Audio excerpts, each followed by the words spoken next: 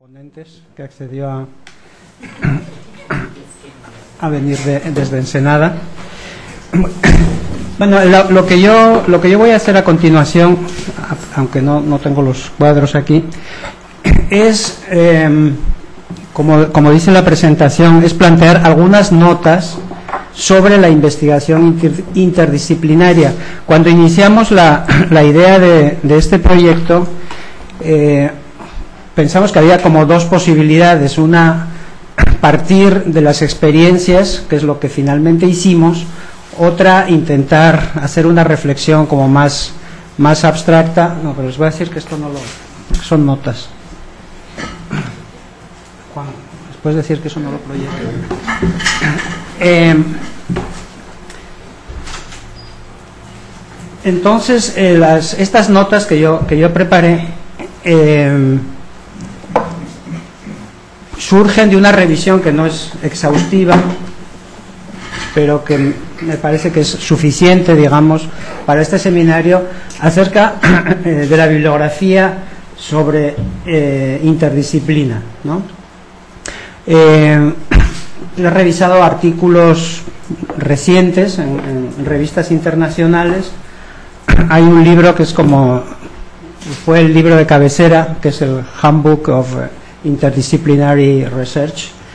Eh, y lo que me di cuenta es que en las revistas, en los eh, en, este libro, cuando uno hace una revisión un poco sistemática, van apareciendo, por lo menos en esta vertiente anglosajona, los mismos nombres. ¿no? Julie Thompson es una Klein, aparece una y otra vez, y hay otros autores que van apareciendo. Entonces, a lo mejor es un poco sesgada esta, esta visión. Pero en todo caso, más allá de estos preámbulos, hay un acuerdo en que aproximadamente desde la década de los años 60 hay en distintos ámbitos académicos esfuerzos sistemáticos para lo que denominan avanzar hacia una reintegración de los saberes científicos que desde el siglo XVIII habían quedado fragmentados con la aparición de las disciplinas modernas. Eh, se advierte lo que denominan como una inquietud, una incomodidad eh, acerca de la pérdida de la unidad de la ciencia. Eh, que esto ocurriría, según estos autores, a principios del, del siglo XIX. Y aunque también, según estos autores, la- el llamado, digamos, o el reclamo por una reunificación ha sido persistente, sin embargo, en los años 60 como que hay una, una ola más, más eh, se percibe más claramente, digamos, eh, esta- este interés colectivo, ¿no? Hay dos tipos de, intereses, en principio, derivados, eh, o se derivan de dos tipos de intereses. Un interés podríamos denominar puramente académico, que tiene que ver cómo reflexionamos sobre las disciplinas en relación con la propia epistemología, con la teoría y con la metodología. Pero también hay un- una segunda vertiente que creo que está presente en algunos de los trabajos que ustedes van a presentar, que es el interés eh, o el objetivo de resolver problemas concretos, es decir, tiene una, una dimensión muy aplicada que por la propia evolución de las sociedades se dice se han vuelto cada vez más complejos. Entonces, esta cuestión de ciencia aplicada es una vertiente importante, creo que me parece que en el trabajo de ustedes está eh, bastante explícito y es algo que, hay que tomarlo en cuenta porque esto tiene consecuencias sobre la propia sobre la propia gestión eh, más atrás sobre la propia eh, organización, diseño y gestión de los de los proyectos. Ok. Eh, se dice, o estas, estas, esta, esta literatura dice, la división disciplinaria se traduce en una visión simplificada o reduccionista de la realidad. A veces eh, parece que esto es una, una batalla de buenos y malos, como diría Gerardo, porque efectivamente sí hay un debate y un debate que a veces es bastante enconado, ¿no? Pero los que proponen la interdisciplina dicen, la- eh, el trabajo disciplinario ha llegado a un punto en el cual la visión de la realidad es demasiado simplificada o reduccionista y no da cuenta de las múltiples vertientes de esa realidad. ¿no? Algunos dicen, eh, parte del trabajo disciplinario responde a la metáfora del laboratorio, en la cual los experimentos se llevan a cabo mediante el aislamiento de, los objetos de estudio y su observación en condiciones de aislamiento frente a factores perturbadores. Evidentemente, cuando se sale del laboratorio es cuando las cosas se complican. Y añaden, la especialización y la expertise se construyen sobre dos supuestos. Uno, que es posible descender hasta el fondo de las cosas, pero no sabemos dónde está el fondo. Y dos, que es posible estudiar partes del mundo aisladas del mundo en su conjunto. Ahora bien, también conviene, este, a lo mejor para tener un acuerdo más o menos general, cómo se define una disciplina, ¿no? porque eso también es, un asunto, por, estamos hablando de disciplinas. Entonces yo aquí tomo una, de las, una definición de, un artículo de un autor que se llama Moti Nisani, y dice una disciplina puede ser definida convenientemente como cualquier dominio de la experiencia humana comparativamente autocontenido y aislado que, que, provee, que posee perdón, su propia comunidad de expertos.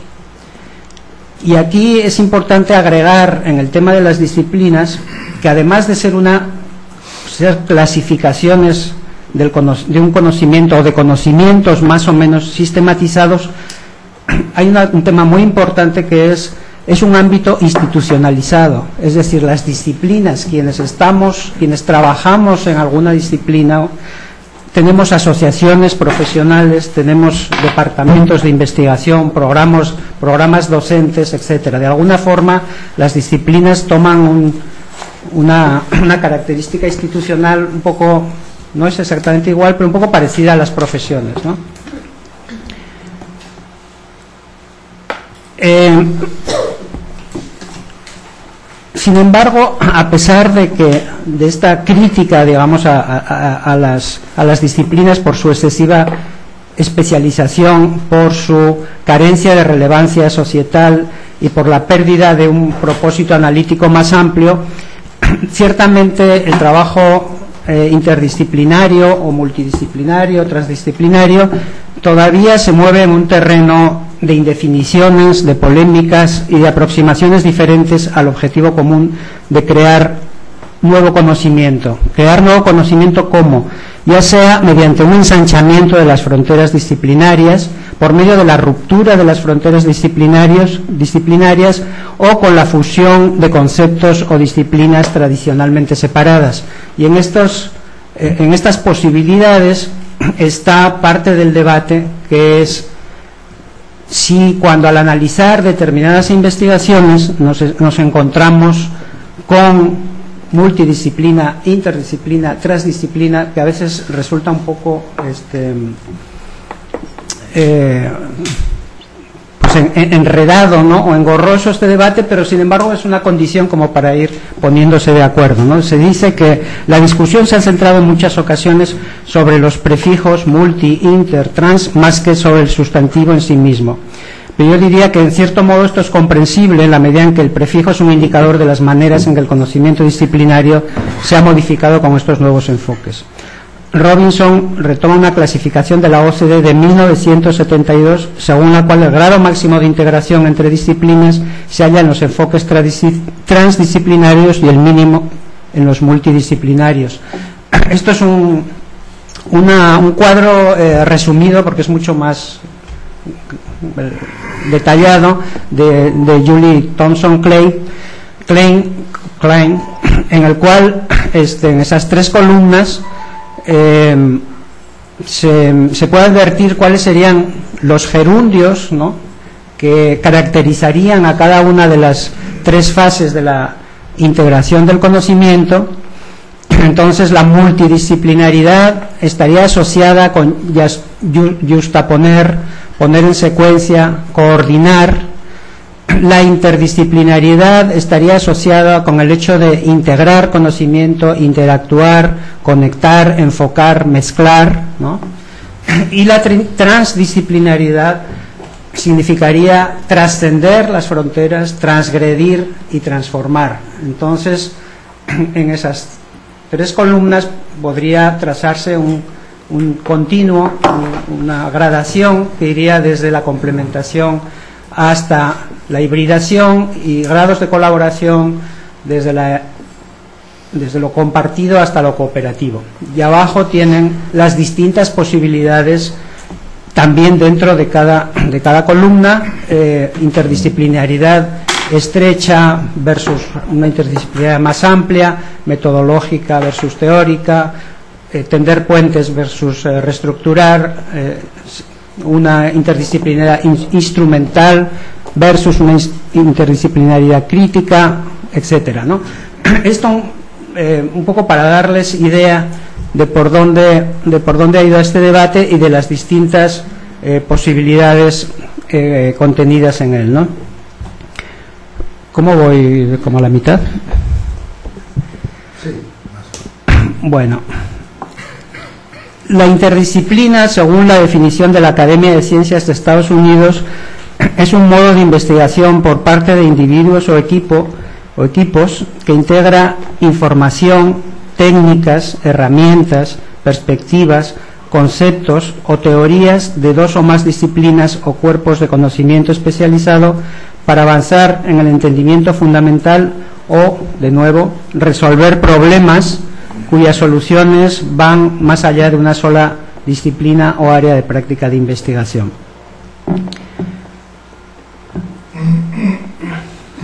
Bueno, hay, eh, a pesar de que les dije que encuentro a ciertos autores que se repiten, realmente eh, las temáticas, digamos, alrededor de este terreno son eh, bastante amplias, ¿no? Entonces aquí yo únicamente voy a, a tratar muy brevemente algunas de, las cuestiones, ¿no?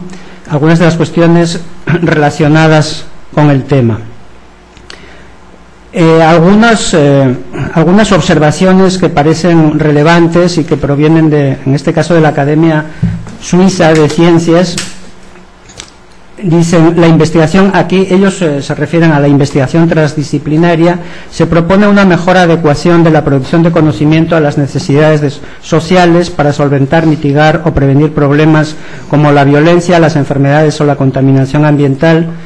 Se propone aprender la complejidad relevante de un problema, teniendo en cuenta tanto la diversidad de la realidad como la diversidad de las percepciones académicas de los problemas, articulando conocimiento abstracto y conocimiento específico de casos y desarrollando conocimiento descriptivo, normativo y práctico. Eh, aunque es un poco temprano para brindar, pero aquí hay eh, Nisani que es eh, un, convencido interdisciplinario, propone estos 10 brindis, ¿verdad? Cheers. Por la interdisciplinaridad. Eh, son argumentos a favor que evidentemente eh, son sujeto de críticas porque todavía digamos que lo, el mainstream digamos es lo disciplinario diría yo a no ser que ustedes piensen otra cosa bueno, entonces ahí están las, las, tres razones a favor de la, las diez razones a favor de la indisciplinaridad, la creatividad, los inmigrantes, entendiendo inmigrantes quienes no son, no están en la disciplina, los outsiders dirían otros, ¿no? Eh, a menudo hacen contribuciones importantes a su nuevo campo. Los disciplinarios, o sea, e, esta es en principio una defensa como de la mirada externa, ¿no? A menudo cometen errores que pueden ser detectados mejor por gente familiarizada con dos o más disciplinas. Algunos temas de investigación por sí mismos, diría yo, valiosos, caen en los intersticios, digamos, entre las disciplinas tradicionales. Muchos problemas sociales, intelectuales y prácticos requieren enfoques interdisciplinarios. Esta idea de la unidad del conocimiento, los interdisciplinarios disfrutan de mayor flexibilidad en su investigación, más que los disciplinarios estrechos, los interdisciplinarios a menudo se ven a sí mismos ellos, esto era un poco difícil de traducir, como el equivalente intelectual de explorar nuevos territorios, y pueden ayudar a cerrar las brechas de comunicación en la academia, ayudando de esta manera a movilizar sus enormes recursos intelectuales para la causa de una mayor racionalidad y justicia y podrían jugar una defensa, un papel en la defensa de la libertad académica. El mismo, este, el mismo autor, sin embargo, dice eh, no todo es positivo en el tema de la interdisciplinariedad y hay algunos riesgos y señala el riesgo, el riesgo espero que no caigamos en esto del diletantismo es uno de ellos. Segundo este, el riesgo de que efectivamente el dominio de las diferentes disciplinas en juego sea deficiente. El riesgo de que el debate caiga en una especie de estancamiento y también que los resultados de investigación sean como muy generales. Y esto es algo que he visto también en, otros, no solo en este autor, sino pareciera que mm, en ocasiones los proyectos de investigación muy complejos, donde participan también actores, eh, eh, actores sociales, etcétera, eh, es tal, digamos, la, complejidad del asunto, la, dificultad de poner de acuerdo a distintos actores, a distintas visiones, a distintas metodologías, que al final los resultados parece que son como muy generales y parecen triviales. Eh, y este parece que también es, un riesgo, ¿no? La trivialización, digamos, de los, de los resultados. Y otra cuestión que él señala y señalan la mayoría de los autores, y ustedes seguramente lo han, vivido, es la tremenda inversión de tiempo y energía intelectual que supone un proyecto interdisciplinario. Además de lo anterior, hay otro campo de, análisis este, interesante y problemático que es el asunto de los indicadores y que tiene mucho que ver con, la, con el cuadro que les presentaba anteriormente. Cómo eh, las eh, comunidades científicas diferencian proyectos interdisciplinarios de aquellos que no lo son, cómo se evalúan y esto tiene este, consecuencias este, pues muy importantes, digamos, para, para el trabajo de, de quienes están en, este campo. Eh, no hay indicadores universalmente aceptados para identificar en la práctica investigaciones interdisciplinarias, la vía más socorrida, al, parecer, es una vía cuantitativa que tiene que ver o que se basa en la cienciometría y en la bibliometría, es decir, se toman eh, proyectos que están adscritos a gente que a su vez está adscrita a departamentos interdisciplinarios o que por sí, o sea, pero se analiza, digamos, el aspecto formal de los proyectos, pero no el contenido en sí mismo. Eh, el proyecto que parece interdisciplinario se clasifica como tal y el, y el que no, pues o las personas o los grupos o los equipos quedan, quedan fuera. ¿no? Entonces hay, hay algunas propuestas de, identificar de manera eh, cualitativa los proyectos eh, interdisciplinarios para responder a cuáles son las diferentes formas de interdisciplina y cómo se pueden identificar, cómo se puede analizar la interdisciplinaridad sobre la base del contenido cognitivo de la investigación. Mm. Y bueno, y esto tiene que ver un poco con la ah, tiene que ver un poco no mucho con las conexiones eh, que tienen las distintas disciplinas per se. Es decir, hay disciplinas que son vecinas, más familiares que unas y otras, y en esa medida es posible eh, lograr una interdisciplina que estos autores llamarían estrecha o, más amplia, más ancha. ¿no? Por ejemplo, este ejemplo de las conexiones entre lo que se denomina, este campo que se denomina la ciencia cognitiva, las, las líneas continuas son aquellas disciplinas que tienen más cercanía por sí mismas. ¿no? La filosofía está relativamente cercana de la lingüística y de la psicología, sin embargo está lejos de la neurociencia, está lejos de la, de la inteligencia artificial, eh, está lejos de la antropología, etcétera. Todo esta esta cercanía o, lejanía, digamos, condiciona un poco o bastante, digamos, la posibilidad de hacer o no hacer interdisciplina más amplia o más estrecha.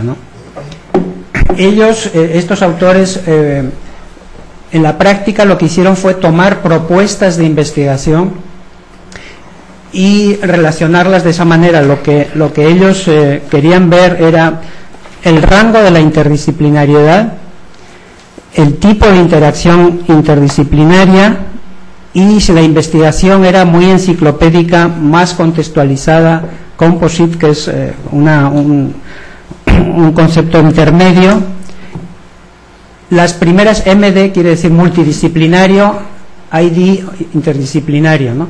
Entonces ellos clasifican, clasificaron una serie de propuestas de investigación según el diseño, digamos, o la, propuesta era más enciclopédica o más o menos, y si, se y si tenía un componente sobre todo empírico, o sea, una investigación que se propone que es aplicada, pragmática, etcétera, o entra más en el terreno de lo metodológico o de lo teórico, ¿no?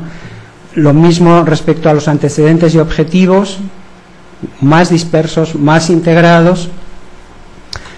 Eh, lo mismo eh, respecto a la, a, expertise y a la implementación, a los resultados y al significado. Es una, digamos, una propuesta, un intento que también tiene su propia autocrítica en el sentido de que ellos dicen, bueno, realmente nosotros lo que analizamos son propuestas, no investigaciones, y sabemos que de la propuesta a la investigación siempre hay una, distancia y que la retórica, dicen ellos, alrededor de los proyectos de investigación, pues eh, cuenta, cuenta bastante en este sentido negativamente.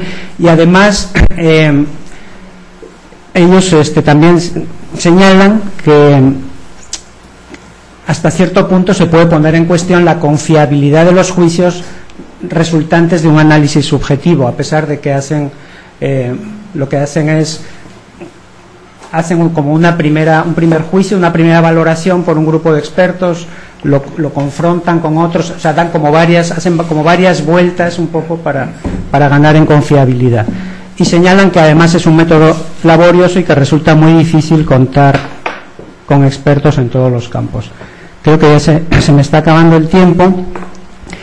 Eh, únicamente como reflexión final, eh, además de las dificultades anteriores en relación con, con aquellos proyectos eh, empíricos o con un componente empírico, también se señala que resulta, ya lo comenté, complicado lograr consenso entre los actores. Eh, otras dificultades prácticas es los tiempos de realización de estos proyectos son muy largos y las exigencias de publicación académica no son tan largas o tan largos y entonces también ahí puede haber conflictos. Es interesante también en esta bibliografía lo que encontré son propuestas de cómo organizar la gestión de los proyectos, en el sentido de que hay grupos que se dedican más al diseño, a la operacionalización, eh, y hay distintos eh, objetivos que a veces se contraponen, ¿no? desde cuestiones eh, metodológicas y teóricas hasta cuestiones muy prácticas, temas éticos, etcétera. algunos de estos autores retoman, por ejemplo, em, métodos de management de la, de la, empresa como para y bueno y lo combinan con otras cuestiones, ¿no? Pero en fin hay una preocupación, digamos, de cómo en la práctica gestionar todo esto. Y para finalizar, bueno, estas dificultades prácticas se mencionan de manera insistente, pero los autores también señalan las compensaciones intelectuales, políticas o éticas que, procura este tipo de, investigación. Bueno, pues este es un cuadro muy, muy general, seguramente en, los, los, trabajos que ustedes van a, a, presentar puede, digamos, que conectarse con algunos de estos, de estos problemas y espero que así sea. Bueno, pues muchas gracias.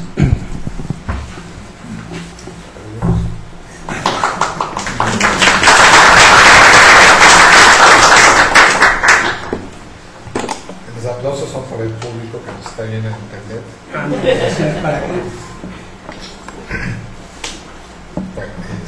Ah, bueno, hay previstos. Eh, sí, si tienen comentarios, preguntas, etcétera.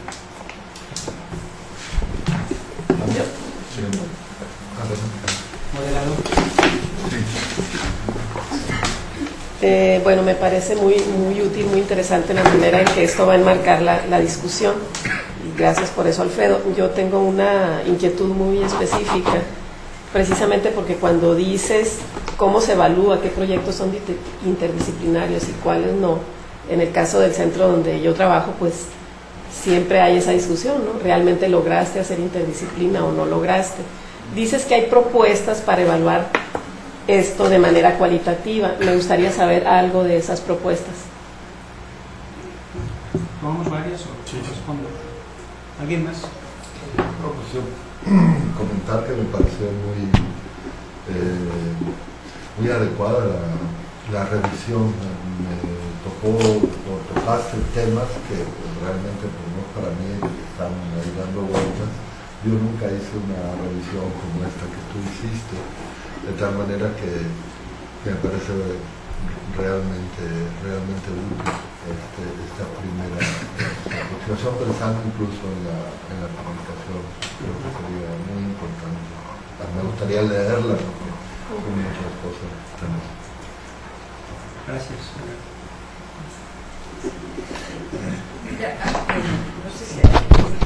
Sí, sí, está, está, y además está transmitiendo.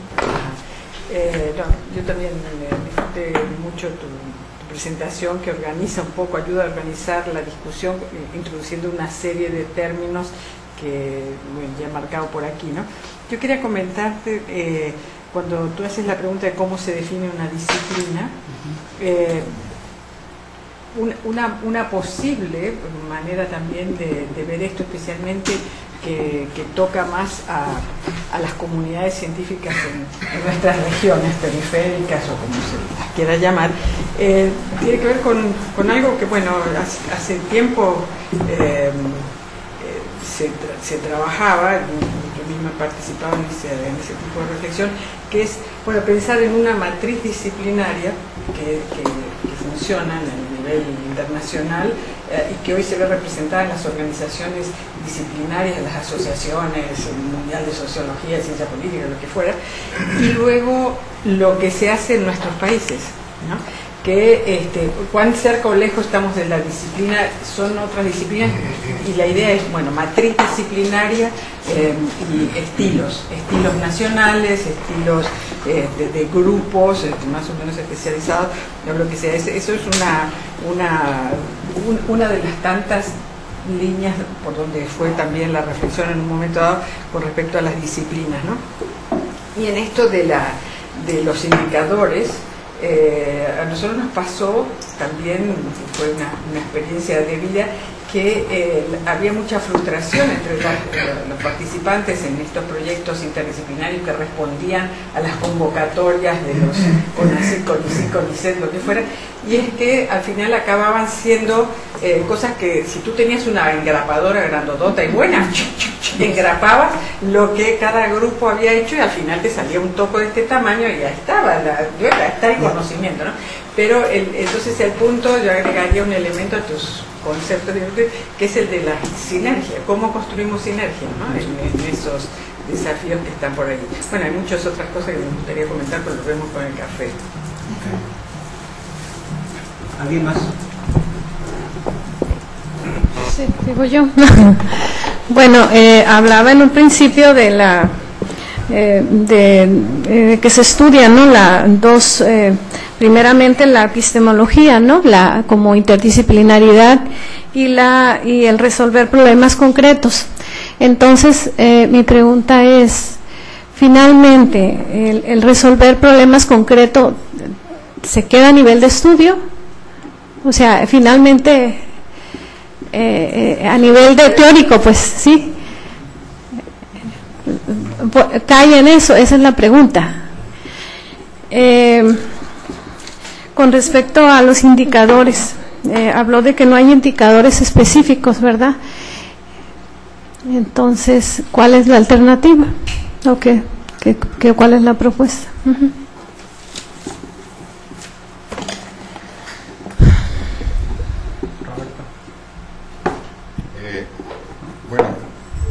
A mí eh, también me pareció muy buena la introducción, creo que nos ayuda mucho a dar el contexto amplio para la discusión durante todo el día.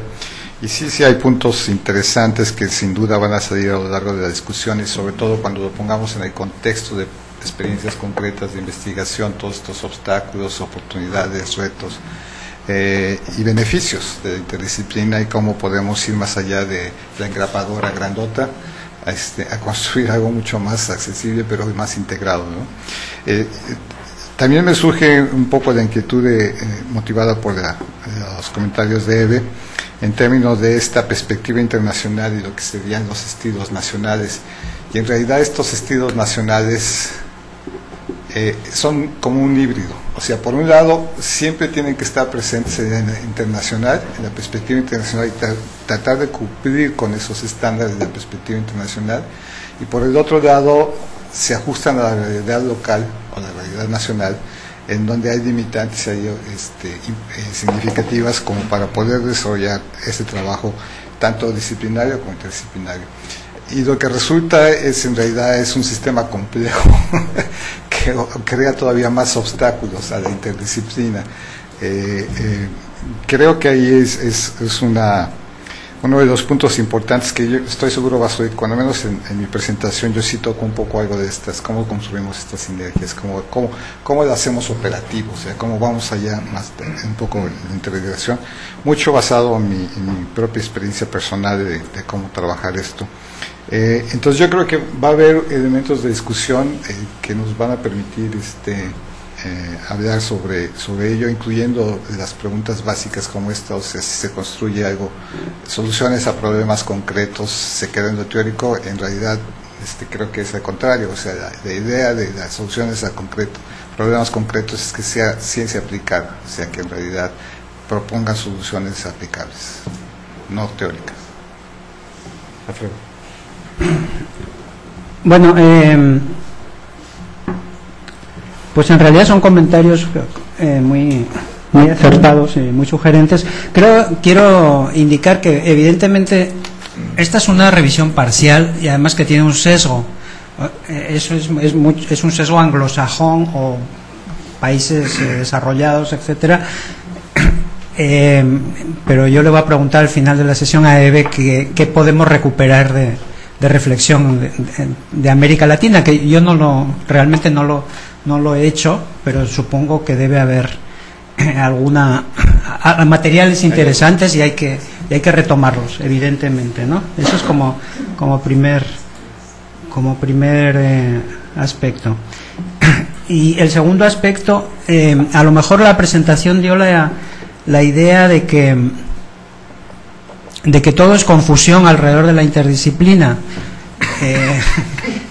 Eh, o sea, es un, es un terreno este, polémico, digamos, eh, que sale un poco de la, de la certidumbre aparente que dan, que dan las disciplinas, pero creo que sí hay, sí hay avances, digamos, en los trabajos que, que, que yo revisé acerca de los temas que comenté, que son tanto eh, el hecho de que no haya el hecho de que no haya indicadores claros no quiere decir que no haya indicadores en absoluto. Quiere decir que hay indicadores que no satisfacen digamos a determinadas comunidades ¿no? como esta esta cuestión de la cienciometría y o la bibliometría. Se puede hacer la crítica a eso. Eso tiene una parte de validez digamos. Puede ser sesgado etcétera pero bueno son como proxies no yo yo diría no entonces, eh, a mí lo que me parece interesante de, estas lecturas es el, señalamiento, digamos, de, estas, de estos desafíos que tiene, que tiene el tema. Y, tal vez algo que no se dice es que efectivamente, eh, digamos, la, academia eh, es conservadora en buena medida, aunque esto sea una generalización, ¿no? Y las disciplinas suponen este avanzar digamos sobre la sobre la, una certidumbre acumulada ¿no? y, este terreno pues evidentemente en principio cae, caes un poco en, ciertos vacíos eh, ¿no? tengo que aclarar que no toda la, investigación interdisciplinaria es necesariamente aplicada o sea hay, hay también interés digamos por avanzar en yo no solo eso sino que hay investigación muy importante eh, interesada en resolver problemas teóricos, metodológicos, eh, conceptuales, etcétera, y el resultado de eso no va a ser aplicado. Solo dije que una de las una de las fuentes de insatisfacción con respecto al trabajo disciplinario es esta idea de eh, de que no de que la investigación disciplinaria a veces y no, no siempre tampoco olvida los problemas concretos y no los aborda en su complejidad pero esto eh, son, son debates en los cuales hay que eh, tener una mirada un poco de relativismo, es decir, no hay verdades absolutas ni, ni, mentiras este, absolutas en este terreno. ¿no? Eh, entonces, cuando dicen es, resuelven los problemas o no, pues no conozco, digamos, las, suficientes investigaciones interdisciplinarias. Ha habido avances, ¿no? que, todos ustedes podríamos citar y, este, temas en los cuales efectivamente ha habido resolución de problemas y en otros pues las investigaciones se han quedado a medio camino no sé, las investigaciones médicas o las investigaciones, el, el proyecto del genoma, probablemente es un terreno muy polémico, pero sí ha habido avances eh, importantes, ¿no? Aparte se podría ser como un, un amigo químico catalítico de Venezuela, que eh, cuando me pregunté sobre si hacía investigación básica o aplicada, dice, mira, en nuestro país lo que podemos hacer, así, después si te sale bien, mejor, pero si lo que podemos hacer es investigación aplicable, Aplicable. porque la industria, la industria petrolera, etcétera, no usaba el conocimiento este, que los científicos producían, ¿no? De- con la mejor voluntad posible. Así que ese de si se aplica o si se queda a nivel, no sé si a nivel teórico, pero sí engavetado, se queda en la gaveta y, y- y no te la usan, ¿no? Este, eso es un riesgo de toda la investigación, sea disciplinaria, inter, lo que sea, ¿no? ¿Por qué no damos paso a Sí, sí, yo lo dejaría aquí como introducción. Eh,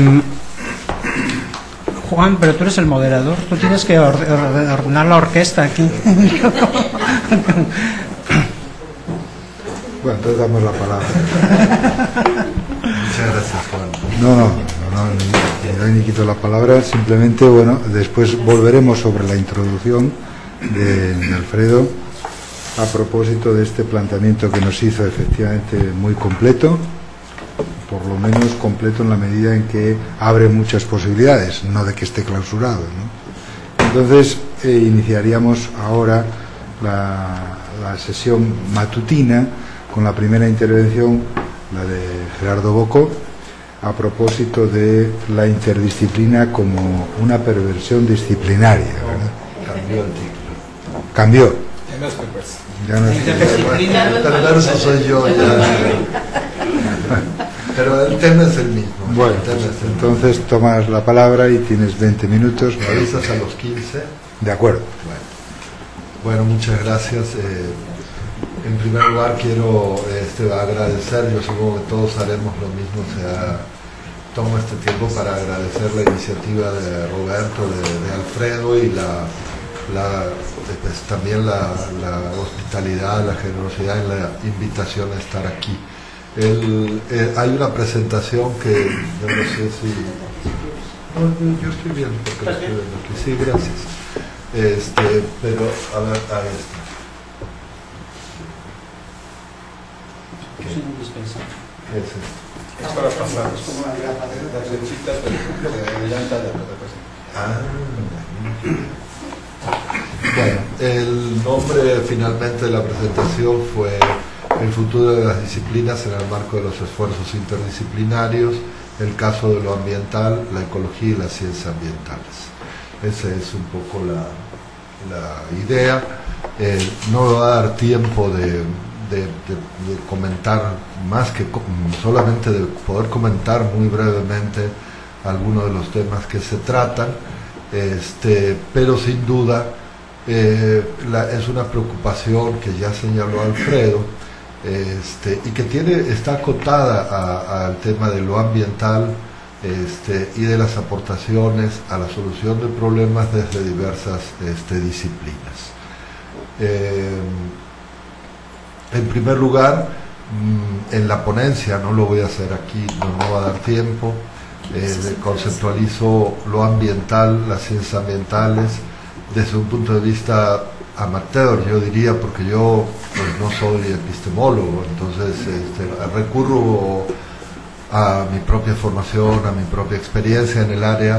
Mi formación básica es en geografía física, entonces la visión siempre está muy cargada hacia las ciencias naturales.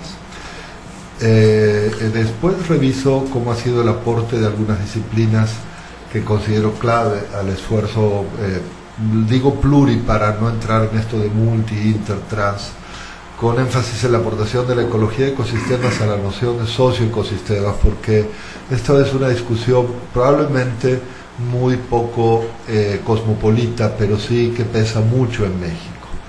Eh, entonces, trato de exponer cuál puede ser el futuro de las disciplinas. En realidad la preocupación de la ponencia más que la interdisciplina es en el futuro de las disciplinas que contribuyen a la interdisciplina y trato, espero poder tener tiempo, ahora parece que está de moda la palabra adendum, después de los pactos, con, algún ejemplo práctico que, creo que puede ser más útil que toda la palabrería.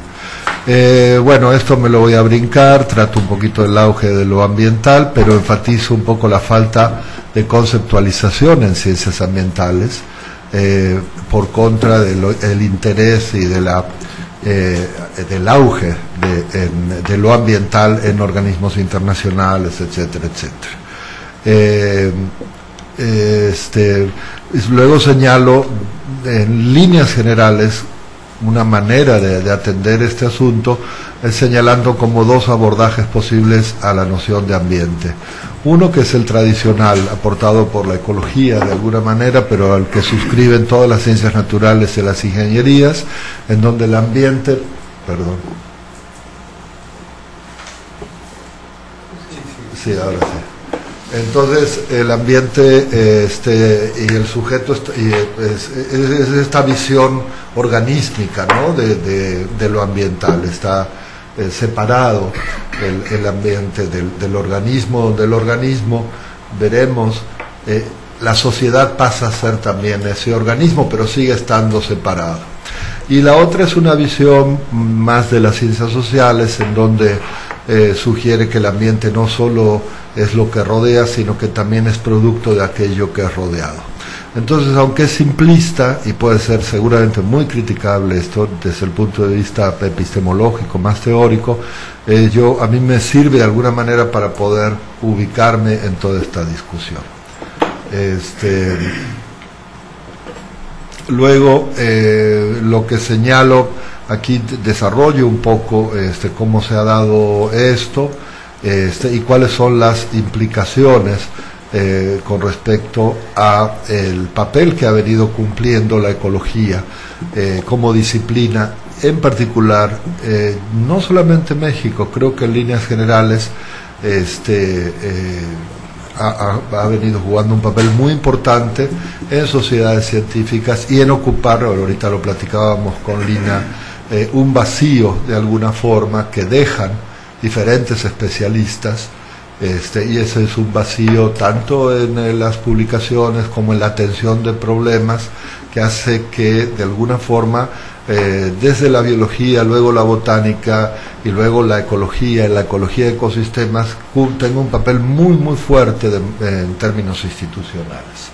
Este, eh, si bien este es un enfoque eh, muy crítico hacia la ecología, quiero señalar que yo toda mi vida he trabajado con ecólogos, este, es, una eh, probablemente una, una, crítica y una autocrítica porque muchas de las cosas que yo señalo que me resulta más fácil ser criticarlas hacia afuera eh, también me, atañen este, eh, lo que ha ocurrido es que en la investigación ambiental eh, y esto creo que yo es lo que yo veo mis colegas en, ecólogos que se han tropezado, yo digo, con dos cuestiones fundamentales, la sociedad y el espacio, o la sociedad y el territorio. Y frente a eso, la respuesta ha sido socializar a la ecología, eh, territorializarla tal vez, pero buscando como una, eh, una especie como de algo así como una, eh, eh, una un, atrapar, un deglutir, en lugar de establecer un diálogo con los expertos en el tema. Y ahí hay, hay dos, dos visiones. Una visión es decir, bueno, no se metan en lo que no saben, y la otra es, ¿cómo no nos vamos a meter si nadie nos ayuda? ¿no? Para decirlo así en palabras muy eh, coloquiales. Eh, obviamente esto, aquí no hay una tema de decir es correcto o es incorrecto, simplemente yo estoy tratando aquí de ver qué va a pasar con las disciplinas que, contribuyen o, cuál es la suerte que corre en este caso este, este, las disciplinas, en este caso la, este, ecología. Eh, déjenme que pase, porque esto creo que ya con esto es suficiente. Me gustaría pasar algunos ejemplos muy concretos. Este,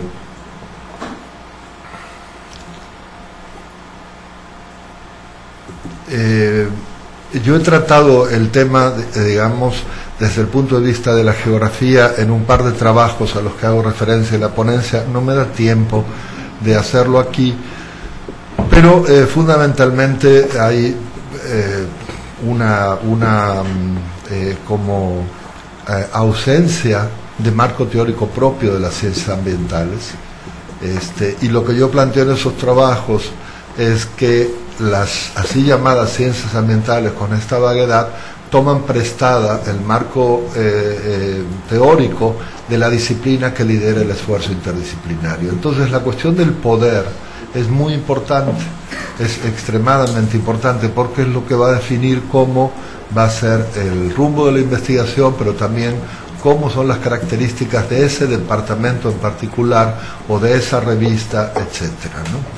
Este, eh, a nivel mundial, a nivel global, esta perspectiva se ha desarrollado, perdón, creo que me pasé,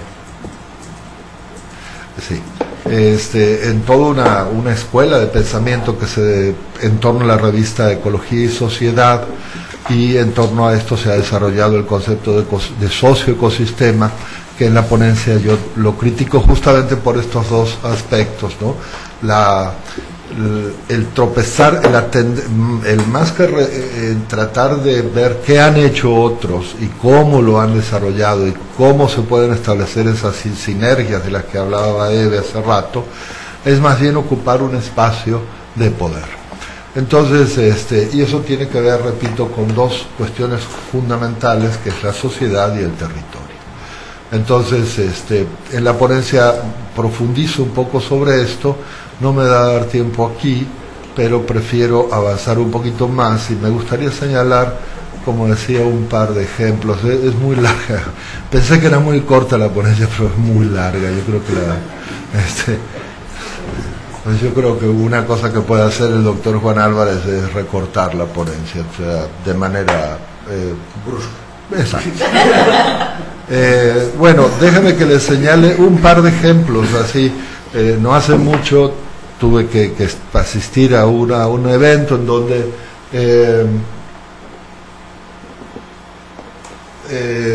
en donde se planteó la necesidad de manejar el análisis de cambio de uso de suelo a nivel de país utilizando imágenes de una resolución muy muy alta, lo cual supone manejar 5.000 bases de datos. ¿no? Entonces, uno se queda frío frente a eso porque lo que ignora la propuesta, que viene de una entidad federal, que es el corazón de la, de la ecología, de la ecología en el gobierno federal, es que es imposible hacer eso. O sea, eh, parte de una noción que yo creo que es eh, algo que muy característico, es esta idea de que cuanto más pequeño, más se puede entender. Y eso es equivocado. Es, ese es un error garrafal. Todo lo demás uno lo puede manejar y uno se puede poner de acuerdo en muchas cosas, pero pensar que cuanto más detalle se va a ver, vamos a tener más información sobre el cambio social a nivel del país, es algo totalmente este, equivocado, porque es desconocer que con el nivel de información también se incrementa el ruido, es decir, el error.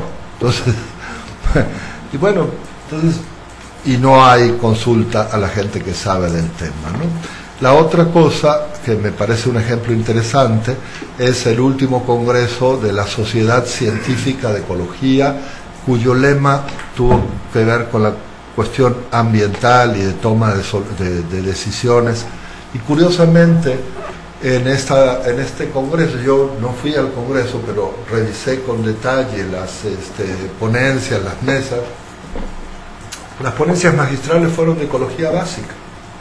Dos de ellas fueron sobre ecología de, y toma de decisiones, pero en ningún lugar encontré un esfuerzo por conceptualizar la, la aportación de la ecología a lo ambiental. Entonces, es, lo ambiental es ecosistemas, en todo caso socioecosistemas, pero no hay una, un esfuerzo por hacerlo. Eh, por otro lado, de las 500 ponencias, solo 50 hablaron de manejo.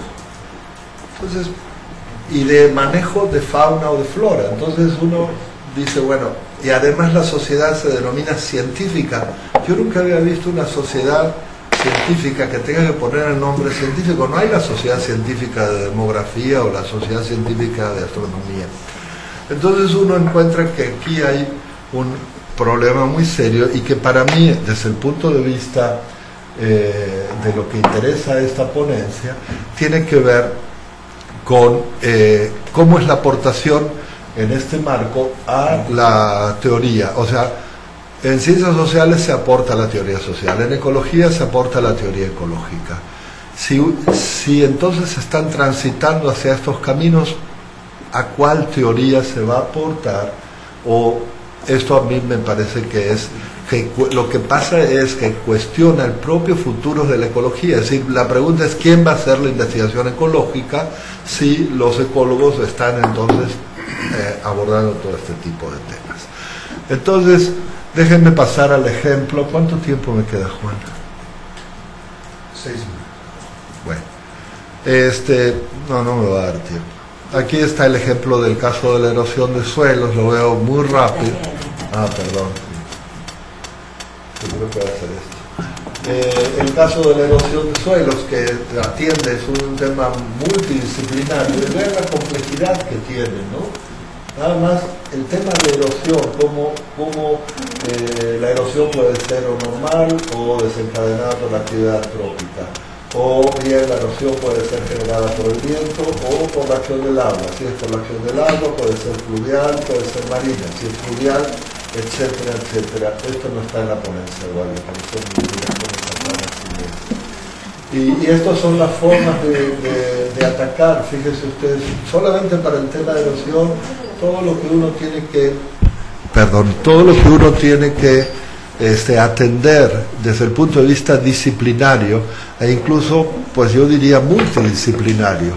Eh, la forma como se ha conceptuado la erosión de suelos es a través de una ecuación conceptual muy práctica que atiende todo el tema de erosividad de la precipitación, erodabilidad del suelo, características del terreno, características de la pendiente del terreno, el tipo de prácticas. Y si ustedes ven esto que es muy descriptivo, pero conlleva una enorme complejidad en cada una de esas cajitas. ¿no? Entonces, el factor cobertura supone, pues, este, ahí creo que falló esa cosa, eh, pero supone todo una, uno puede decir, bueno, yo me especializo en el análisis de la cobertura del terreno, y eso puede ser una especialidad y en el uso del suelo si es disciplinario, lo que yo sí sé es que es extremadamente útil y que se necesita seguir haciendo. Si no hay esto, pues no se entiende algo tan importante en cambio climático, etcétera, etcétera.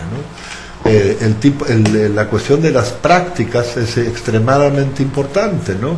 porque hay de prácticas a prácticas y eso nos lleva a la cuestión social y económica de manejo del terreno y del territorio y nos lleva a la cuestión de la planeación y la conservación campesina del suelo y del agua de tal manera que este, lo que yo lo que yo concluiría es que eh, trabajar eh, eh, la pregunta que yo me hago es cuál es el límite que puede manejar un académico o un grupo de académicos con extracciones científicas afines eh, uno de los subtemas debe convertirse en el eje a partir del cual se incorpora el resto, pero desde una disciplina. Es decir, el planteamiento es la disciplina no puede desaparecer desde mi perspectiva en un esfuerzo interdisciplinario.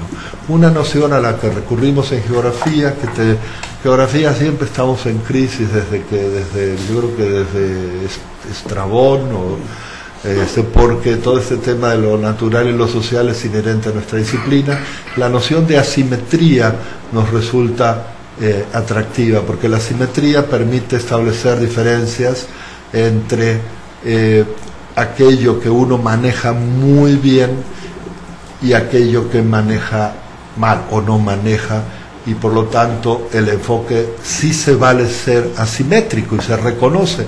Yo voy a privilegiar la cuestión ecológica, ¿por qué no, no pasa nada?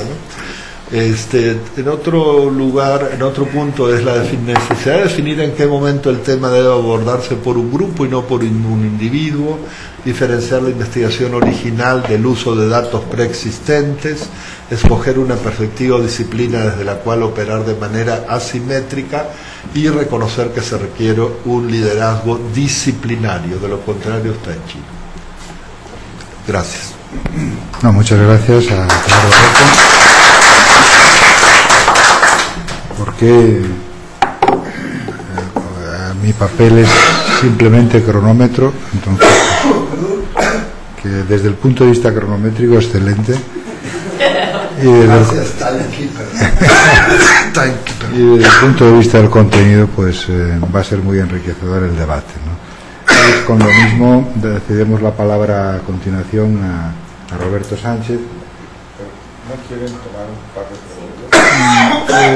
Eh, es que, eh, bueno, porque eh, las, hay unas preguntas posteriormente. sería bueno después de las dos intervenciones. sí, sobre la marcha, si les parece, sobre la marcha, si les parece como también eh, viene del ámbito ambiental, valga la cacofonía, y como hay un receso de 11 a 11 y cuarto, si quieren, dejamos ahí ese, ese receso de una forma un poco más informal a las preguntas pertinentes sobre esos dos. Bueno, eh, pues en realidad yo tomo porque eh, yo lo que hago es presentar algunas reflexiones sobre el trabajo interdisciplinario, pero sobre todo sobre el trabajo transdisciplinario en el estudio de temas urbanos y ambientales. Mi, su punto de partida es mi experiencia propia eh, a través de iniciativas internacionales sobre problemas globales ambientales, sobre mi propia investigación en algunos temas eh, interdisciplinarios y transdisciplinarios, incluso como profesor en departamentos con programas interdisciplinarios a nivel de licenciatura y doctorado por varios años. Eh, y lo que busco es contrastar las lecciones que puedes traer de mi experiencia en estos años con la parte de la lectura de la literatura internacional reciente que aporta sobre el debate de interdisciplina y la transdisciplina. Eh, me centro eh, básicamente en dos preguntas. Eh, uno es, ¿para qué sirve la interdisciplina y la transdisciplina? Y aquí nada más son algunas reflexiones iniciales. Y el segundo es, ¿cómo se construye su práctica? O sea, ¿cómo la llevamos, cómo la hacemos operativa?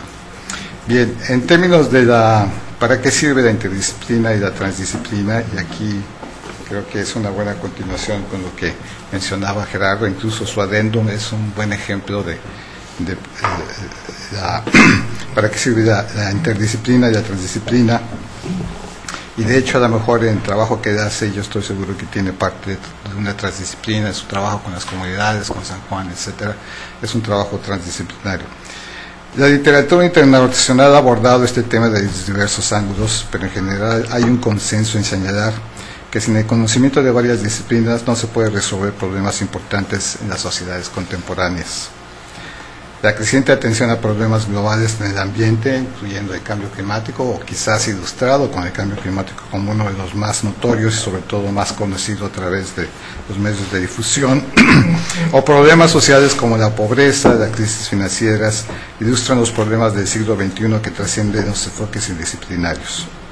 Diversos autores resaltan que se trata de problemas complejos, interconectados, contradictorios, localizados en un ambiente de incertidumbre e inscritos en procesos de rápidos cambios y que su estudio cada vez más está vinculado con enfoques interdisciplinarios y transdisciplinarios. Y aquí hay una, parte de la revisión de la literatura reciente, es, es, es interesante ver cómo esto está enfocado en, en ese sentido. Eh, diversos autores resaltan que se trata de problemas complejos. Ah, perdón. Este, es en un interesante artículo sobre la historia y los objetivos de la superdisciplina, y aquí Bessinger habla de, superdisciplinas para hablar de eh, multidisciplina, interdisciplina y transdisciplina. Señala que la falta de cooperación entre las disciplinas limita la capacidad de la multidisciplina para ofrecer la solución a este tipo de problemas. Y aquí me refiero al esquema que presentó Alfredo, en donde la multidisciplina es solamente cómo las diversas disciplinas van aportando diversos puntos de vista sobre un tema en común, lo que justo mencionaba la engrapadora grandota que mencionaba Eves es el, ejemplo perfecto.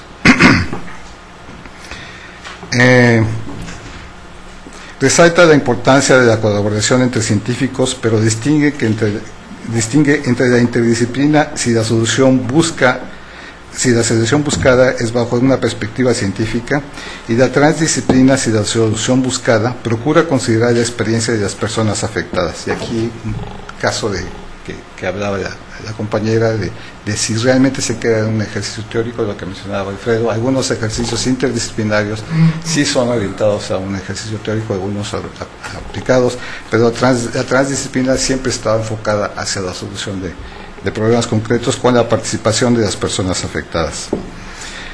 Este segundo tipo de colaboración trasciende no solo las disciplinas científicas, incluyendo el conocimiento no científico en la definición de las soluciones a un problema determinado. Bessinger resalta que el enfoque transdisciplinario está enfocado a la solución de problemas determinados, guiado por la teoría y llevado a cabo metodológicamente. Un segundo aspecto relevante en esta discusión es el objetivo de la investigación interdisciplinaria transdisciplinaria. Para algunos autores, el objetivo principal de esta investigación no es producir conocimiento en el sentido tradicional de la ciencia. Sin embargo, vale la pena preguntarse si la producción de soluciones a los problemas complejos del siglo XXI no representa también la creación de conocimiento. Lo que otros autores destacan como conocimiento útil, en particular en el caso de la transdisciplina, y aquí hay una literatura interesante en donde se cuestiona, o en realidad se señala nuevas formas de producir conocimiento y en particular conocimiento útil a la sociedad. Sin dejar de conocer el valor y la importancia del quehacer científico a través de la investigación disciplinaria, es también importante valorar la creación de un conocimiento útil para la solución de problemas complejos a través de la disciplina. Una de las contribuciones de este tipo de conocimiento, poco considerada aún en la literatura internacional, es la creación de capacidades para orientar el crecimiento y prevenir el surgimiento de problemas complejos. Vale la pena preguntarse cuáles son las formas de generar conocimiento más apropiadas para las necesidades del siglo XXI de nuestra sociedad. Y este es un tema que a mí en realidad me hace tiempo que me viene interesando y que busco eh, sin incidir mucho en, en, la cuestión de la interdisciplina y de otras disciplinas, sino como, como tema de conocimiento, en realidad el replanteamiento de lo que conocemos, la formación de conocimiento y qué tipo de conocimiento es en realidad el que nos lleva a, siglo, a responder mejor a las necesidades del siglo XXI. Tiene que ver, por ejemplo, con el surgimiento de nuevas disciplinas, por ejemplo, en, en los últimos años vemos la nanotecnología, por ejemplo, o la genómica, en donde ya hay un trabajo más, eh, más interdisciplinario. Eh, pero está en el fondo la pregunta básica es hacia qué debemos de responder y incluso está en el debate de lo que es eh, la formación de profesionistas en el siglo XXI, para qué fines y cómo responden mejor la sociedad.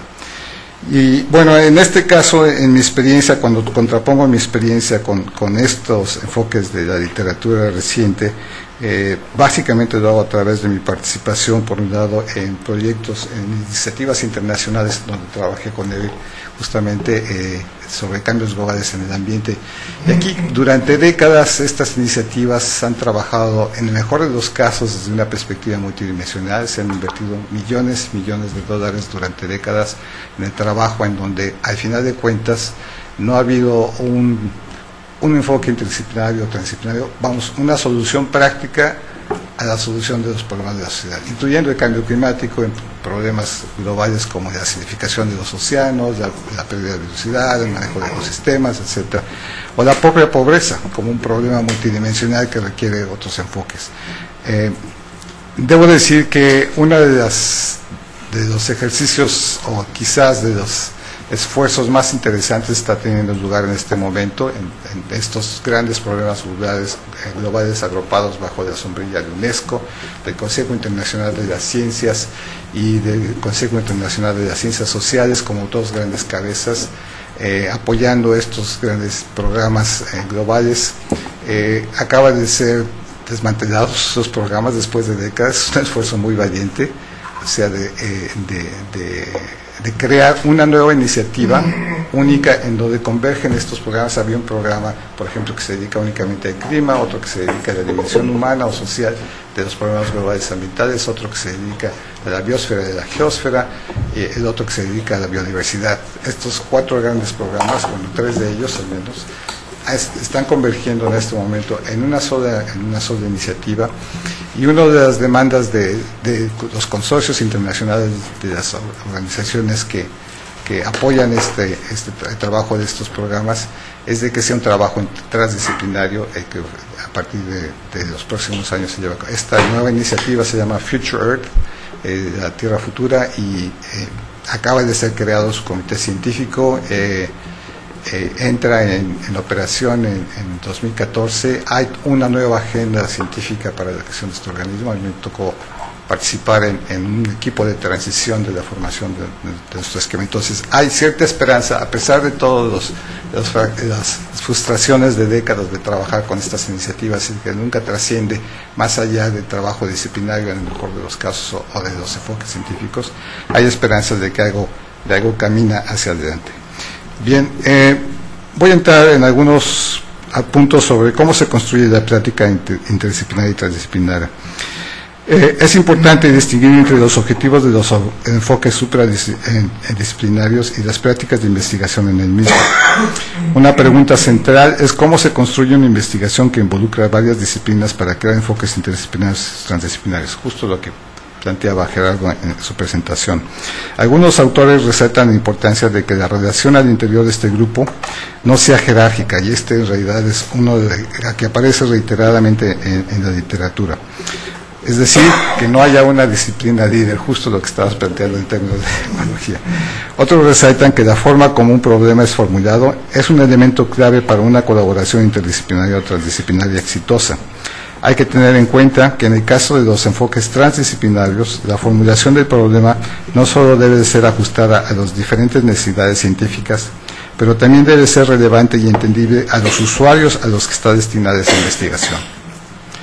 Vale la pena aprovechar la definición de transdisciplina sugerida por Jan y coautores en un trabajo publicado el año pasado muy interesante.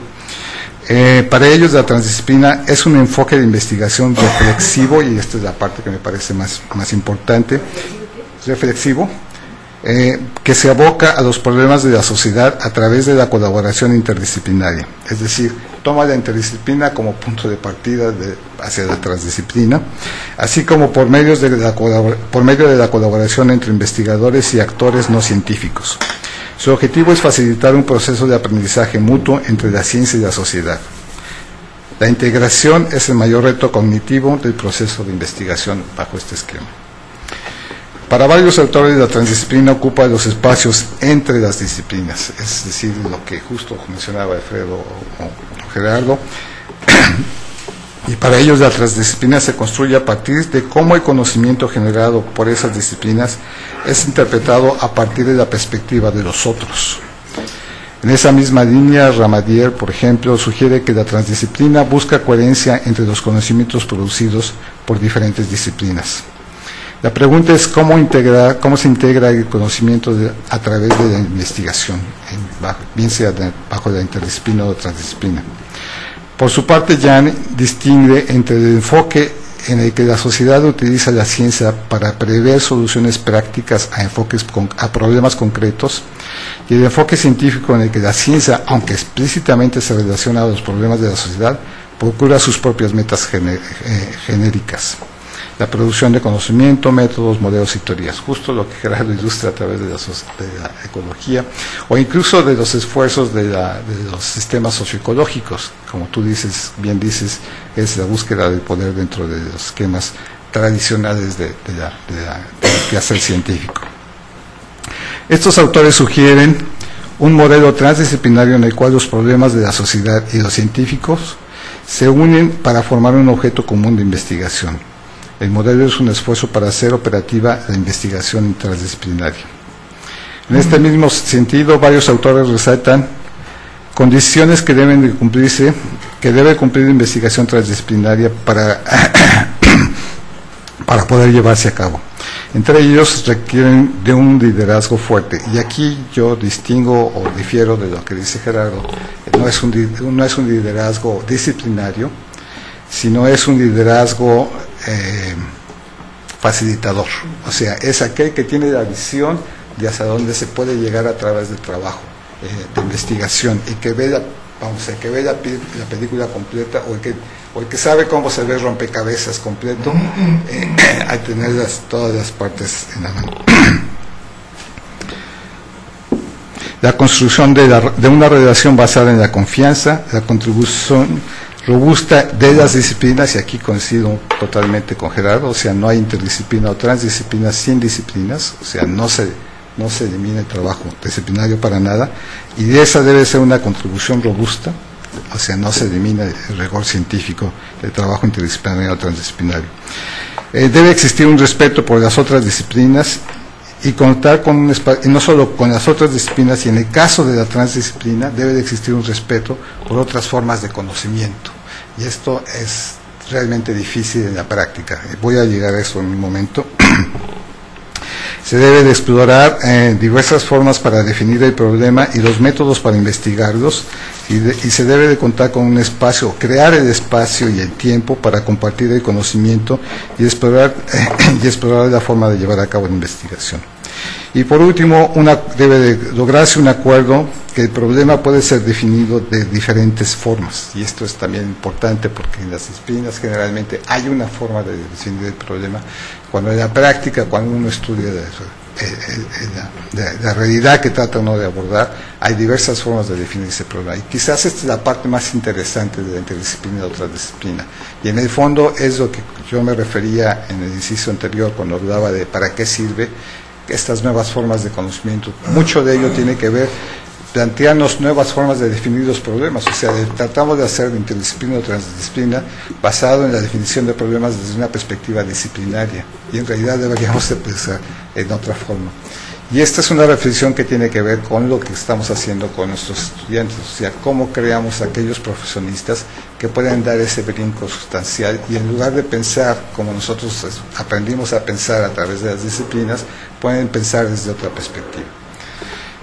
Incluso en algunos casos, este, esto en ningún momento elimina la, disciplina. Por ejemplo, cuando yo trabajaba en la Universidad de California Santa Cruz, el doctorado era interdisciplinario para que los estudiantes pudieran tener trabajo, tenían que salir con un doble grado. O sea, salían con un grado en una disciplina específica, en, ecología, en sociología, este, en, biología, y además salían con un grado de interdisciplina. si no, no, les costaba mucho trabajo en aquel entonces este, conseguir trabajo. Bueno, eh, y aquí un punto interesante que, creo que nos ayuda mucho a, encontrar esa cómo construir la, interdisciplina o la transdisciplina, eh, tiene que ver con lo que ya señalaba Alfredo, que es que varios investigadores eh, describen las disciplinas como instituciones. Y al describirlas como instituciones en realidad nos ayuda mucho, también Eve lo mencionaba, a cómo trabajan esto. Las convenciones y las reglas, normas formales e informales, coordinando la acción humana. Vamos, instituciones entendidas como las, como las convenciones, las reglas y normas formales e informales, coordinando la acción eh, humana y en este caso, bueno, la práctica de la investigación. Este enfoque ilustra las diferencias en la construcción del conocimiento entre disciplinas, ciencias naturales, ciencias físicas, sociales y humanidades, aunque también ayuda a entender las similitudes en la forma como operan las disciplinas. O sea, a pesar de que, por ejemplo, el conocimiento se construye muy diferente entre las ciencias físicas y las ciencias naturales, en donde es un proceso acumulativo, es decir, hay una teoría y el conocimiento se va acumulando en, la construcción, en, mejorar y ampliar esa teoría, pero la teoría no cambia. En cambio, en las ciencias sociales se cambia la teoría, no se construye o no se, no se va ampliando la, la, teoría. Entonces hay una diferencia sustancial en cómo operan las ciencias naturales y las ciencias sociales, pero a pesar de eso hay muchas similitudes en la forma como operan en la práctica, es decir, siguen operando justamente como instituciones hay todas unas normas, serie de normas que son cumplidas, es lo que decía Eve, por ejemplo, para la sociedad de, de químicos operan igual que los sociólogos en términos de las normas y las reglas de, de, cómo se conciben ellos mismos. Incluso en la literatura se menciona que uno deja de ser Juan o Gerardo y, empieza a ser el geógrafo o el químico. O sea, se, la propia identidad es entonces, entonces, esto ayuda a ilustrar la complejidad de cómo poder construir conocimiento a través del trabajo interdisciplinario y transdisciplinario. Y eh, resalta también los retos para la creación de un espacio común al dominio del conocimiento científico y el dominio del conocimiento práctico, porque cuando entra la transdisciplina, este reto se multiplica. O sea, ya no solo es los, académicos o los científicos los que participan, sino además entra otra forma de conocimiento. Y aquí es un, reto interesante porque existe un desdén generalmente desde las ciencias, bueno, hay el desdén desde las ciencias naturales y las ciencias físicas hacia las ciencias sociales y las humanidades pero además hay un desdén desde la comunidad científica a otras formas de conocimiento, que es un obstáculo significativo en el momento en que se trata de construir transdisciplina. Bueno, en términos de mi experiencia propia, de cómo esto se refleja en el trabajo, yo tengo dos, bueno, un proyecto, ya, ya terminó, me quedé en el adendo. Nada más les voy a mencionar en mi experiencia estos, estos ejemplos y estos obstáculos, pero además estas oportunidades los he vivido en carne propia durante varios años a través de dos proyectos. Uno, por ejemplo, en el que participó algún tiempo Lina, que fue en el estudio de las inundaciones en, en Tijuana, eh, como un caso particular sobre los problemas de, de la variabilidad climática en en ámbito urbano y actualmente en el desarrollo de un trabajo transdisciplinario también este, a través de una red temática de CONACYT sobre eh, desastres, donde parte de, de, del enfoque es cómo podemos contribuir en, nuevos esquemas de reducción y prevención de desastres. Y entre, en, ambos ejercicios, eh, trabajar con, con, usuarios, en este caso, otras formas de conocimiento. Uno de los grandes retos fue tener el tiempo suficiente para crear ese espacio en común en donde podemos compartir visiones diferentes del mismo problema y construir el conocimiento. Es muy demandante, es cierto, casi como menciona la literatura internacional, es extremadamente demandante en tiempo, esfuerzo, es frustrante en muchas ocasiones, se requiere de un liderazgo de poder llevar a cabo estos esquemas, pero la gratificación es la construcción de otra forma de conocimiento. Eso es realmente en el fondo, y sobre todo un conocimiento útil para las necesidades del siglo XXI de la sociedad. Bien, lo dejo ahí.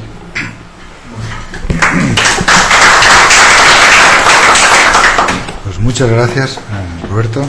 Y entonces, como habíamos dicho, si quieren, le dedicamos unos minutos, estos cuarto de hora, que puede ser de una manera, si quieren, más informal, pero habría que pedir a, Gerardo y a Roberto que se quedaran aquí por lo menos este cuarto de hora, eh, si es que hay alguna pregunta para ellos. O, que, o que salga Gerardo dos minutos a fumar el cigarro. Entonces. Eh. Cuando hay café, no hay tabaco.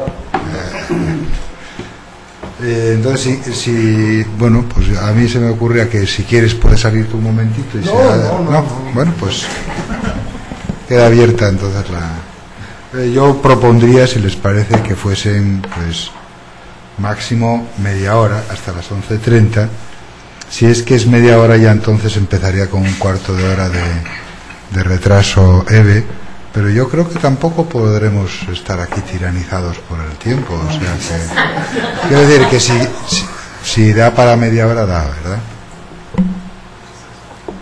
No sé, pues eh, por recordar eran complementarios con diferencias las dos, las dos, eh, las dos presentaciones de Gerardo y de Roberto, ¿no? Yo, si cabe, pues no, no quiero intervenir, pero eh, eh, lo que se ve es una preocupación muy grande de la eh, relación que existe entre eh, la transdisciplinaridad y ya el sentido distinto de la ciencia, en la medida en que ésta exige la transdisciplinaridad juntamente con los nuevos aires científicos, su eh, dar cuenta a la sociedad, ¿verdad? Yo creo que esta quizás sea una de las eh, de los problemas fundamentales que, plantea la transdisciplinaridad. Eh, poniendo el ejemplo con el médico, es como si hubiese el paso del, del enfermo como infirmitus, como débil de juicio, frente al, al paciente que ya pide un consentimiento informado. Es decir, el, el enfermo no es un menor de edad, sino que es alguien que tiene que disponer de su vida. Ya sé que es sacar del contexto de lo ambiental de la cuestión, pero como la enfermedad es algo que nos afecta tan de cerca a todos, a lo mejor construir un puente no nos afecta tanto, pero a la larga puede tener unas consecuencias muy penosas, una- un, un asunto técnico. Pero bueno, yo aquí soy el cancerbero del tiempo. Eh, Eve, entonces, pues, Si, pero si no, eh. Sí. Eh, es- es- está muy, muy, muy rico esto, este, va bien, ¿no? Este, me, me gusta mucho. Eh, yo quisiera que, que si, da ahora o, con el café para comentar un poco más el tema de como lo plantea Gerardo de poder disciplinario y tú planteas la alternativa de liderazgo y entonces un liderazgo eh, de otro tipo que puede ser este, facilitador y no nada más este, eh, el poder. Entonces eh, eso creo que hay verdad en las dos afirmaciones, entonces este, sería interesante eh, explorar un, un- poco más, ¿no? Cómo, cómo se da, y tú diste el ejemplo de College in Society, que sabemos que ahí hay varios, este, también así, Power Builders, ¿no? Y todo eso. Eh, otro, otro tema que aparece también en la, en la ponencia, en la presentación de Alfredo, y que lo vuelve a tomar este, eh, aquí este, Roberto, tiene que ver con el espacio entre disciplinas, y lo que tú llamas los intersticios, ¿no? Ah, que es un- también, me hace acordar a, Eric Wolf, que hablaba de los intersticios también, en- eh, ya no me acuerdo ni qué era, intersticio entre qué, pero era fantástico la noción, es decir, la noción de, de, de lo que queda, es el huequito que se va haciendo, que te, abre brechas nuevas, ¿no? No necesariamente se cae la pared, sino que puedes este, construir otras, otras cosas. Y creo que este espacio, estos intersticios que nos eh, han venido dejando, el, eh, el conocimiento como se estructuró en el pasado, es lo que permite el surgimiento de la interdisciplina, en esta transición, porque yo no sé qué va a quedar en el futuro de interdisciplina, transdisciplina, lo que sea. Y un tercer elemento que me llamó la atención por lo que decía este eh, Roberto, de, eh, de, de- de- de las similitudes en cómo operan las disciplinas y, eh, y cómo las dificultades que se dan en, relaciones entre unas y otras, ¿no? Cómo operan en la práctica. Yo también me acuerdo ahí de, una, de otra noción antropológica que era lo que se llamaba el joking relationship, ¿no? que era la broma ritualizada para que no se cayeran a golpe, pues, ¿no? Este, especialmente la broma ritualizada entre suegra y yerno, ¿no? Eh, porque siempre la suegra es, la bruja, entonces la cuestión así. Y entonces, eh, este joking relationship, eh, yo lo vi muy clarito en un centro de investigación eh, interdisciplinaria muy temprano que fue creado por inspiración de la CEPAL, etcétera, en Caracas, que tal tú conoces a la gente del CENDES, ¿no? El CENDES de la Universidad Central y este, la Facultad de Ciencias Sociales en particular. Había otras facultades que también tenían injerencia sobre esto, pero eran facultades con escuelas disciplinarias. ¿no? Entonces tú tenías los sociólogos, los cientistas políticos, los antropólogos, etcétera, muy estructurados en, en- en lo académico, y el CENDES que tenía más fama internacional pero que nunca terminaba de ser este, eh, digerido por el resto de la universidad. ¿no? Y esto es un ejemplo temprano de interdisciplina que se construye en un país, en una región, lo que sea, pero que se mantiene para que no se cayeran a golpes con las bromas ritualizadas, entonces chung, chung, lanzaban dardos muy elegantes, muy académicos, pero toda la vida fue así, una relación muy, muy difícil, ¿no? Entonces no es tampoco nueva, pero es algo que está allí y cómo se va resolviendo en el, en el tiempo.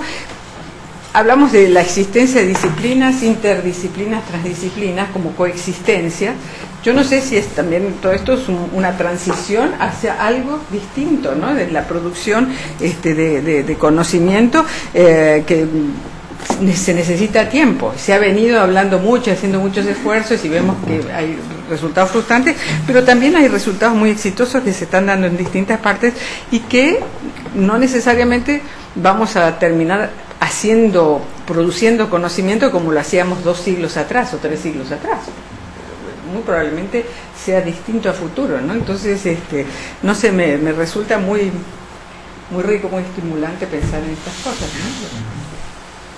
¿no? ¿Alguna...?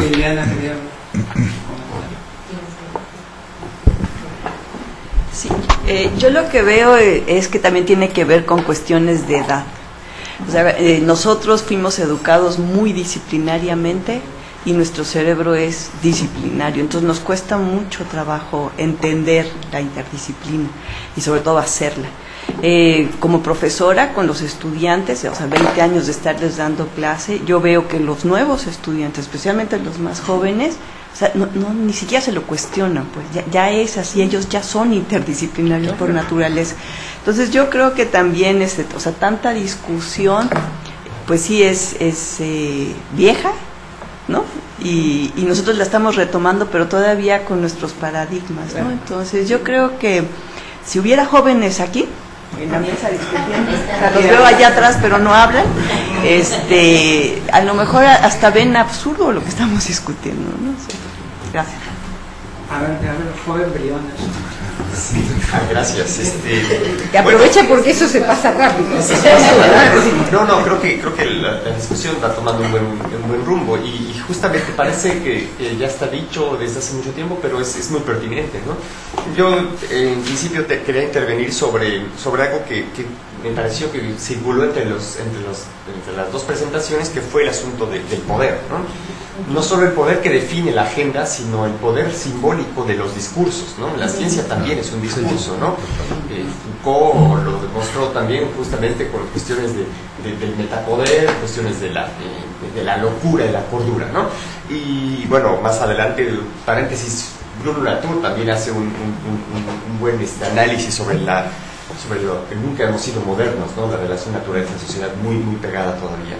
Pero eh, es importante esto mencionarlo porque, porque en la práctica, en la práctica real de, la, de, la, de hacer, este, de, ser investigador o, finalmente uno tiene que luchar por presupuestos, uno tiene que luchar por evaluaciones, y es aquí donde, donde justamente quisiera yo aterrizar esto, ¿no? También el científico social, por ejemplo, sufre la estigmatización del natural y del natural del, social. Entonces eso es una, una, absoluta caricatura que todavía está lejos de, resolverse. Yo creo que es, yo les puedo dar un montón de anécdotas y, agradezco el cumplido por, por, la juventud, pero tengo finalmente 15 años trabajando el tema con científicos sociales y naturales y todavía me encuentro con, con el joking relationship, ¿no? donde alguna vez en algún este, importante científico de ciencias eh, de físicos de, cuestiones climáticas, inicia diciendo ustedes van a tener que decirnos cómo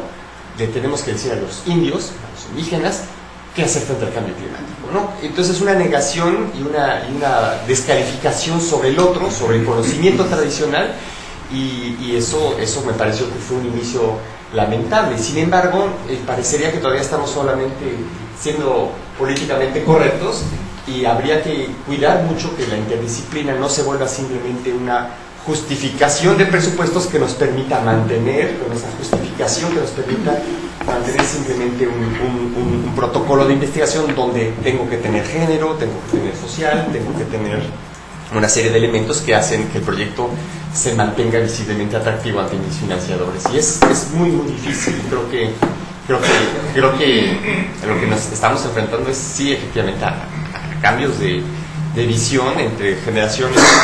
Sí, hay, sí respondiendo también, es, no hay, hay, absolutamente una, dos visiones diferentes. Y yo personalmente tengo experiencias positivas y también experiencias este, difíciles donde soy evaluado por antropólogos que me terminan diciendo demasiado diálogo con otras disciplinas.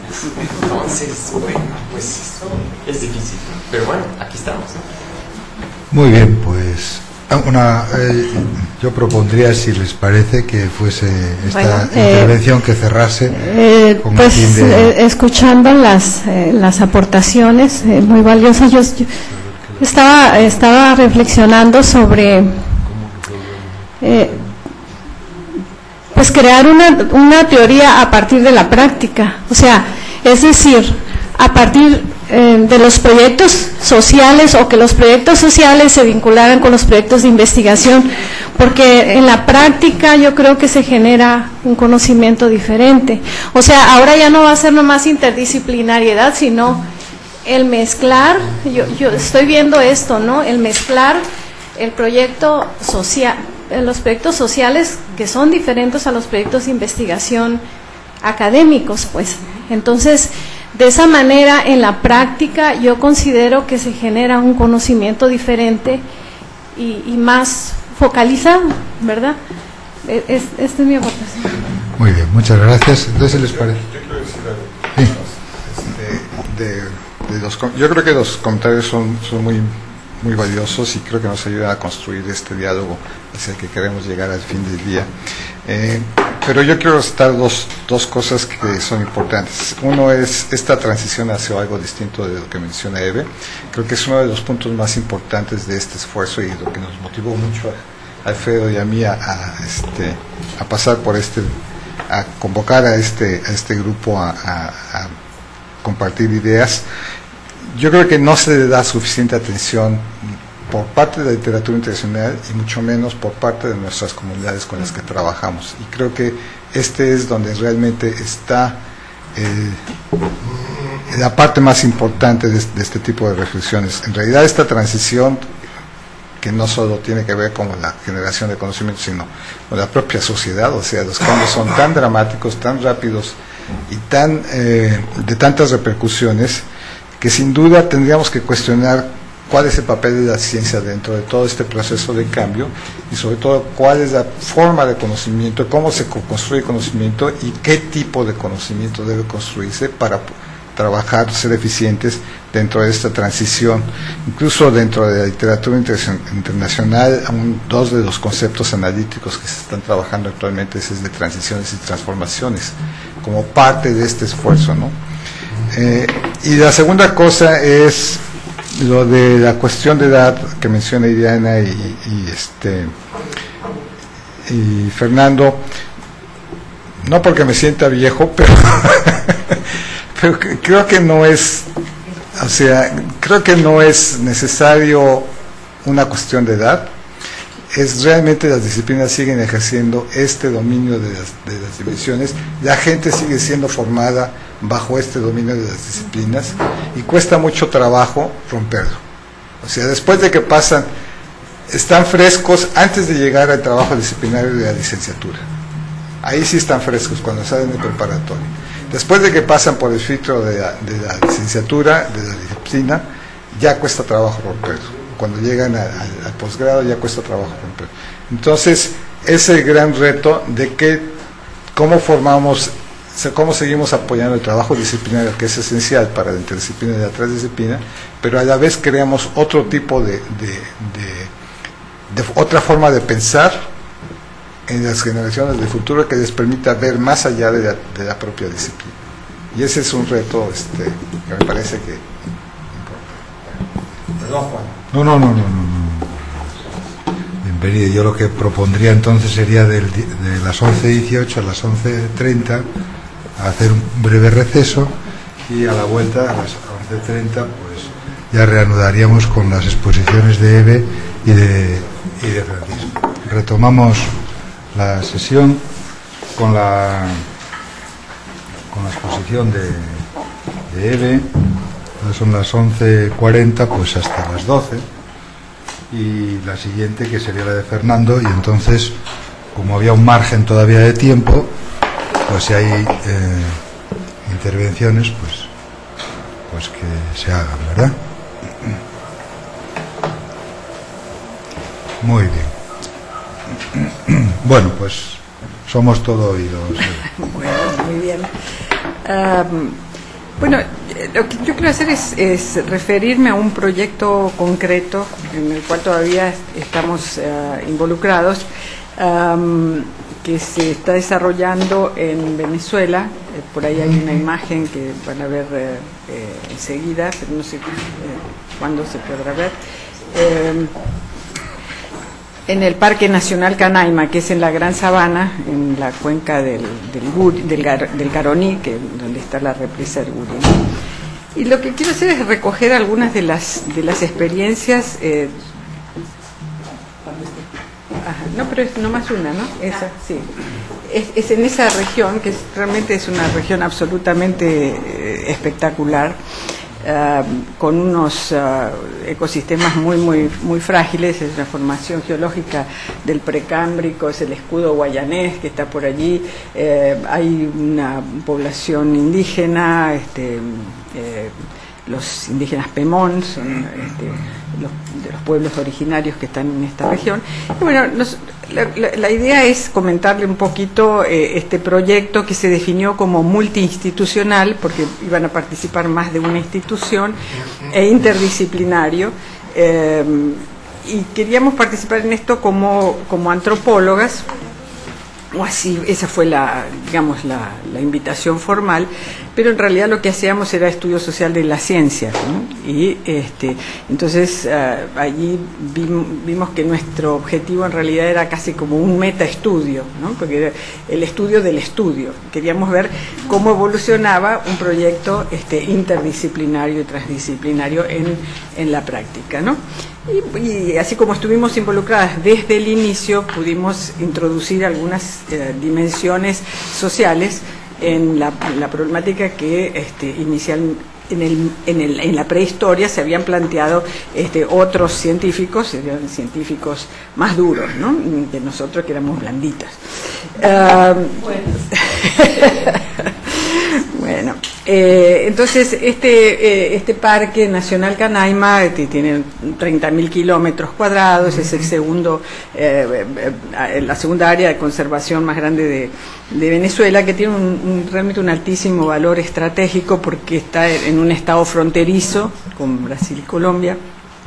Este, los recursos minerales que posee son este, muy valiosos, oro, bauxita, hierro, minerales raros, etcétera, y porque además está asentado en la cuenca del río Caroní, que eh, produce, es uno de los reservorios de agua dulce más, grandes de América del Sur, y este, es la fuente hídrica del, principal complejo hidroeléctrico del país, ¿no? que es esta represa del Guri, que abastece toda- un 75% de la demanda nacional y eh, está enviando ya electricidad a Brasil y a Colombia, ¿no? Y, cuando esté funcionando completamente, bueno, va a ser muchísimo mayor su capacidad. Eh, el hecho de que no haya electricidad en Venezuela en estos días es, por otra razón, ¿no? Porque la energía que está allá no, no logra bajar porque no hicieron las inversiones necesarias, pero la, energía sí está. Bueno, hay toda una opinión generalizada que, que respaldan estudios de instituciones públicas y ONGs ambientales dicen que la región y que el parque en particular se encuentra en una situación de deterioro ambiental muy importante que requiere una acción inmediata. ¿no? Entonces ahí están, entre los problemas que se señalan, es la alta incidencia de incendios, cambios en el uso de la tierra, impactos adversos derivados de las actividades turísticas, que eso es un basurero, este, eh, y eh, mineras, etcétera, etcétera. ¿no? Y entonces eh, aquí vemos que particularmente relevante, como en general en Amazonia, es el acelerado proceso de degradación de la cobertura boscosa que se produce en toda la región y eh, esto coloca en situación de riesgo no solo a los ecosistemas, sino también la sustentabilidad de la explotación hidroeléctrica, que es lo que le preocupa a la agencia encargada de, conservar esto. A ellos les interesa mantener las fuentes hídricas, no le interesa lo que le pasa a la gente que está allí, este, que considera que este, con un modelo de conservación clásico, esto que se conserva sin humanos, ¿no? no con humanos, este es uno de los problemas. Y también entonces la sobrevivencia del pueblo Pemón, que depende de los, de los bosques para sus actividades de subsistencia. ¿no? Entonces, los objetivos del proyecto riesgo, como lo llamamos, es evaluar la vulnerabilidad de toda esta región, del parque en particular, ante los cambios climáticos, los cambios en el patrón de usos de la tierra, la incidencia de incendios, factores sociales, culturales, económicos, etcétera, establecer la línea de base para evaluar los cambios eh, futuros, proponer herramientas para la gestión de riesgo con miras a contribuir a un desarrollo sostenible del parque. Y en finalmente proponer parámetros para medir eh, para definir políticas y poder medir eh, esta situación de, riesgos y los daños que ya se van observando y así tratar de propender a la conservación de hábitats en el parque bajo criterios de sostenibilidad. Esos serán los, los objetivos del proyecto mismo. Los nuestros serán ver cómo realmente funciona, cómo, se había dado esto en el proyecto y qué este, dificultades y, y logros había, ¿no? Entonces ahí es interesante ver, bueno, cómo se llega a un proyecto de este tipo. Y, ahí eh, veíamos que había conocimiento y experiencias previas de los principales investigadores que se juntaron y dice, bueno, ¿por qué no hacemos un proyecto en común? todos ellos, o casi todos ellos, excepto nosotros, todos tenían experiencia de años en trabajo en esa región. Había matemáticos que trabajaban sobre modelos de, corrientes eh, hídricas, etcétera. Eh, había ecólogos eh,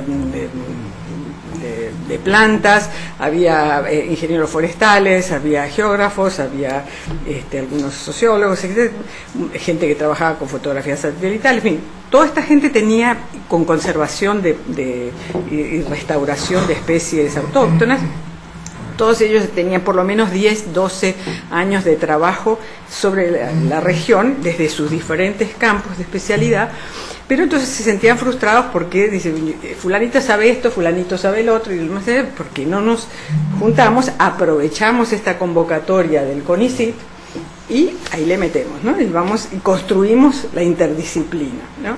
Entonces, y así podemos ser este, mucho más útiles. Entonces, bueno, ok, había esta voluntad, y, entonces ahí entramos los científicos sociales un poco para embarullar el problema, porque nosotros empezamos a hacerles preguntas y, a proponerles conceptos.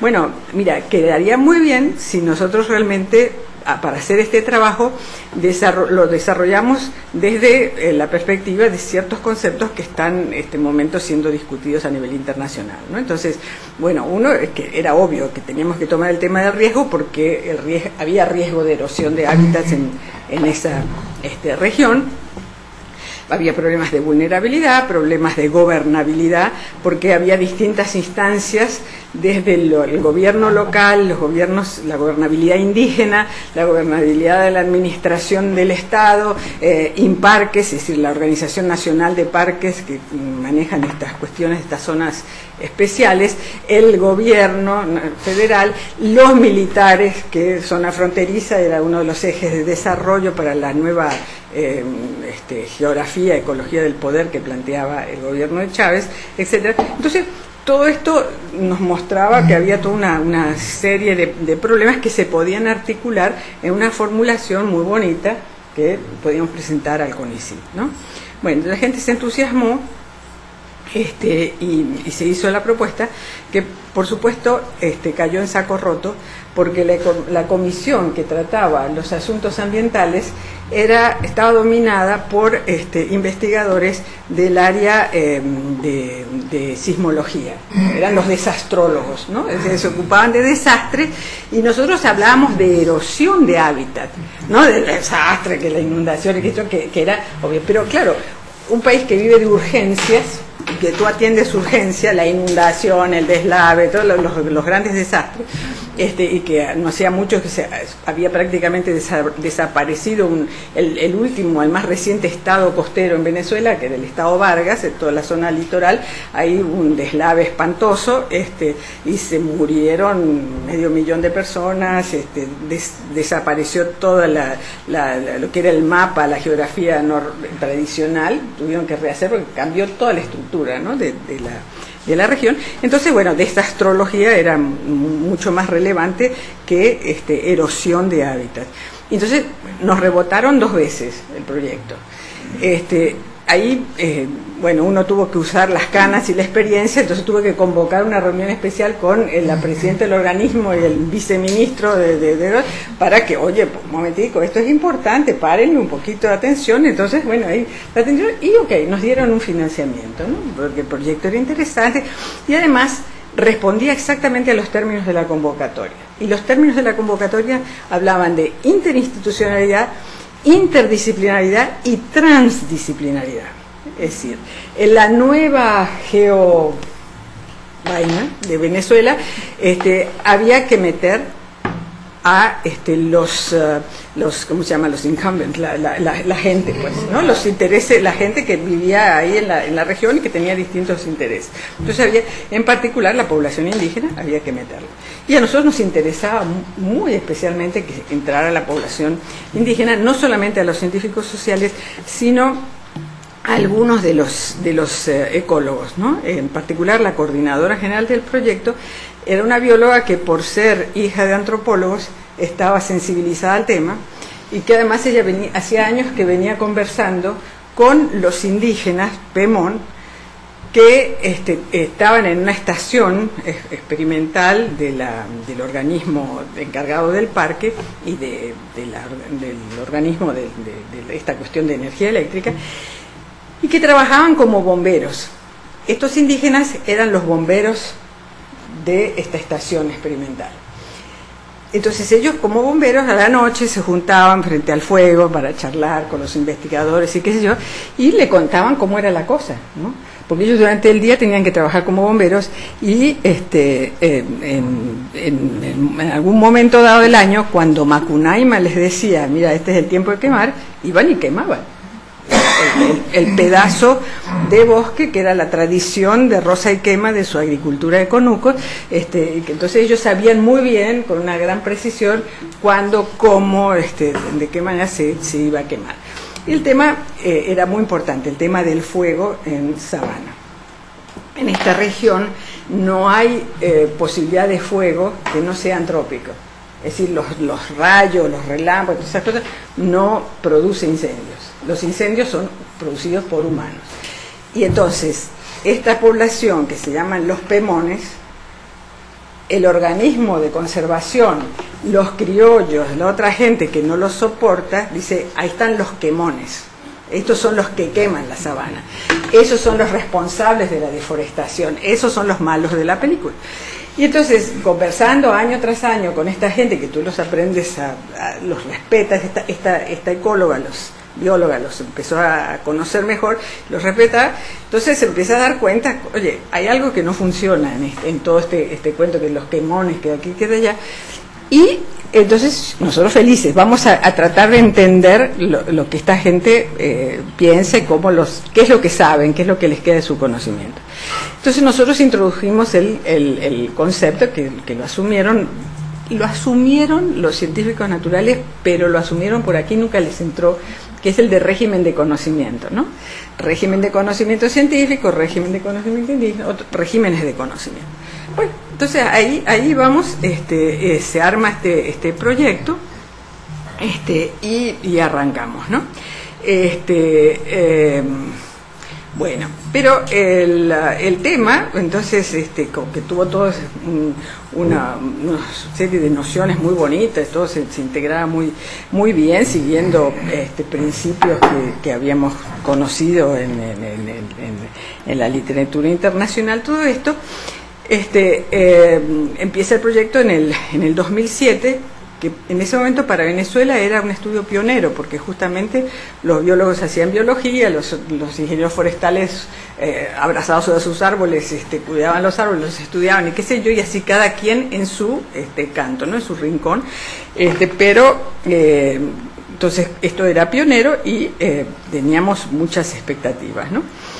Pero lo que yo creo que este, quería destacar aquí es que de alguna manera nosotros respondíamos a una agencia que este, realmente presionaba con su discurso a ciertas acciones. Nosotros estábamos respondiendo al estímulo que ofrecía la agencia financiadora, interdisciplinario, toda la cuestión.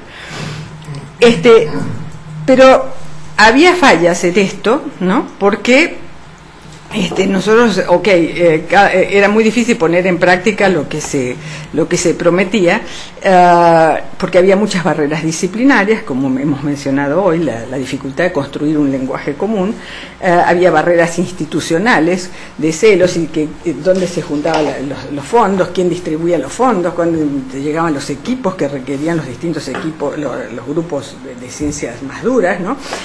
Pero inclusive había un problema de financiamiento Uh, y de evaluación de, de, parte de la propia agencia financiadora.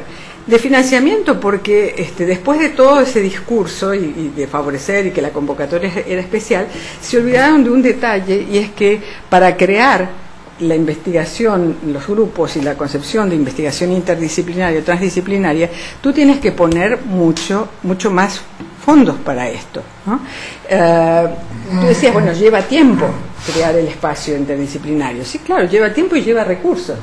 Y cuando yo recuerdo lo que se planteaba cuando surge la biología molecular, el financiamiento de, de Hoover, etcétera, para la biología molecular fue fenomenal. Entonces dije, bueno, ahora los, los, biólogos van a hacer esto, van a hacer biología molecular. Y entonces eso fue un, un, un financiamiento este, sostenido.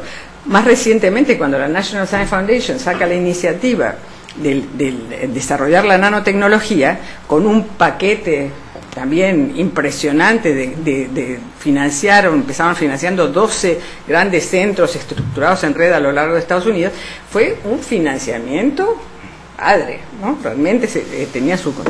A nosotros no nos dejaban ni siquiera tener vehículos y nos quedaba esto más de 12 horas de marcha este, por caminos perdidos en medio del Amazonas, este, no teníamos vehículos, no teníamos más posibilidad que hacer una reunión al año, cuando mucho dos, de todo el equipo. Entonces, ¿cómo construyes tu interdisciplinaridad? ¿no? Esto es como lo hacemos en nuestros estilos nacionales este, periféricos, ¿no? su desarrollo. Ustedes aquí, por ejemplo, esto me parece un privilegio, que ahora nos podamos reunir aquí para discutir de una red sobre estos temas, pero eh, en nuestro medio no esa posibilidad no se daba. De manera que estábamos ya limitados desde el inicio por la propia agencia financiadora.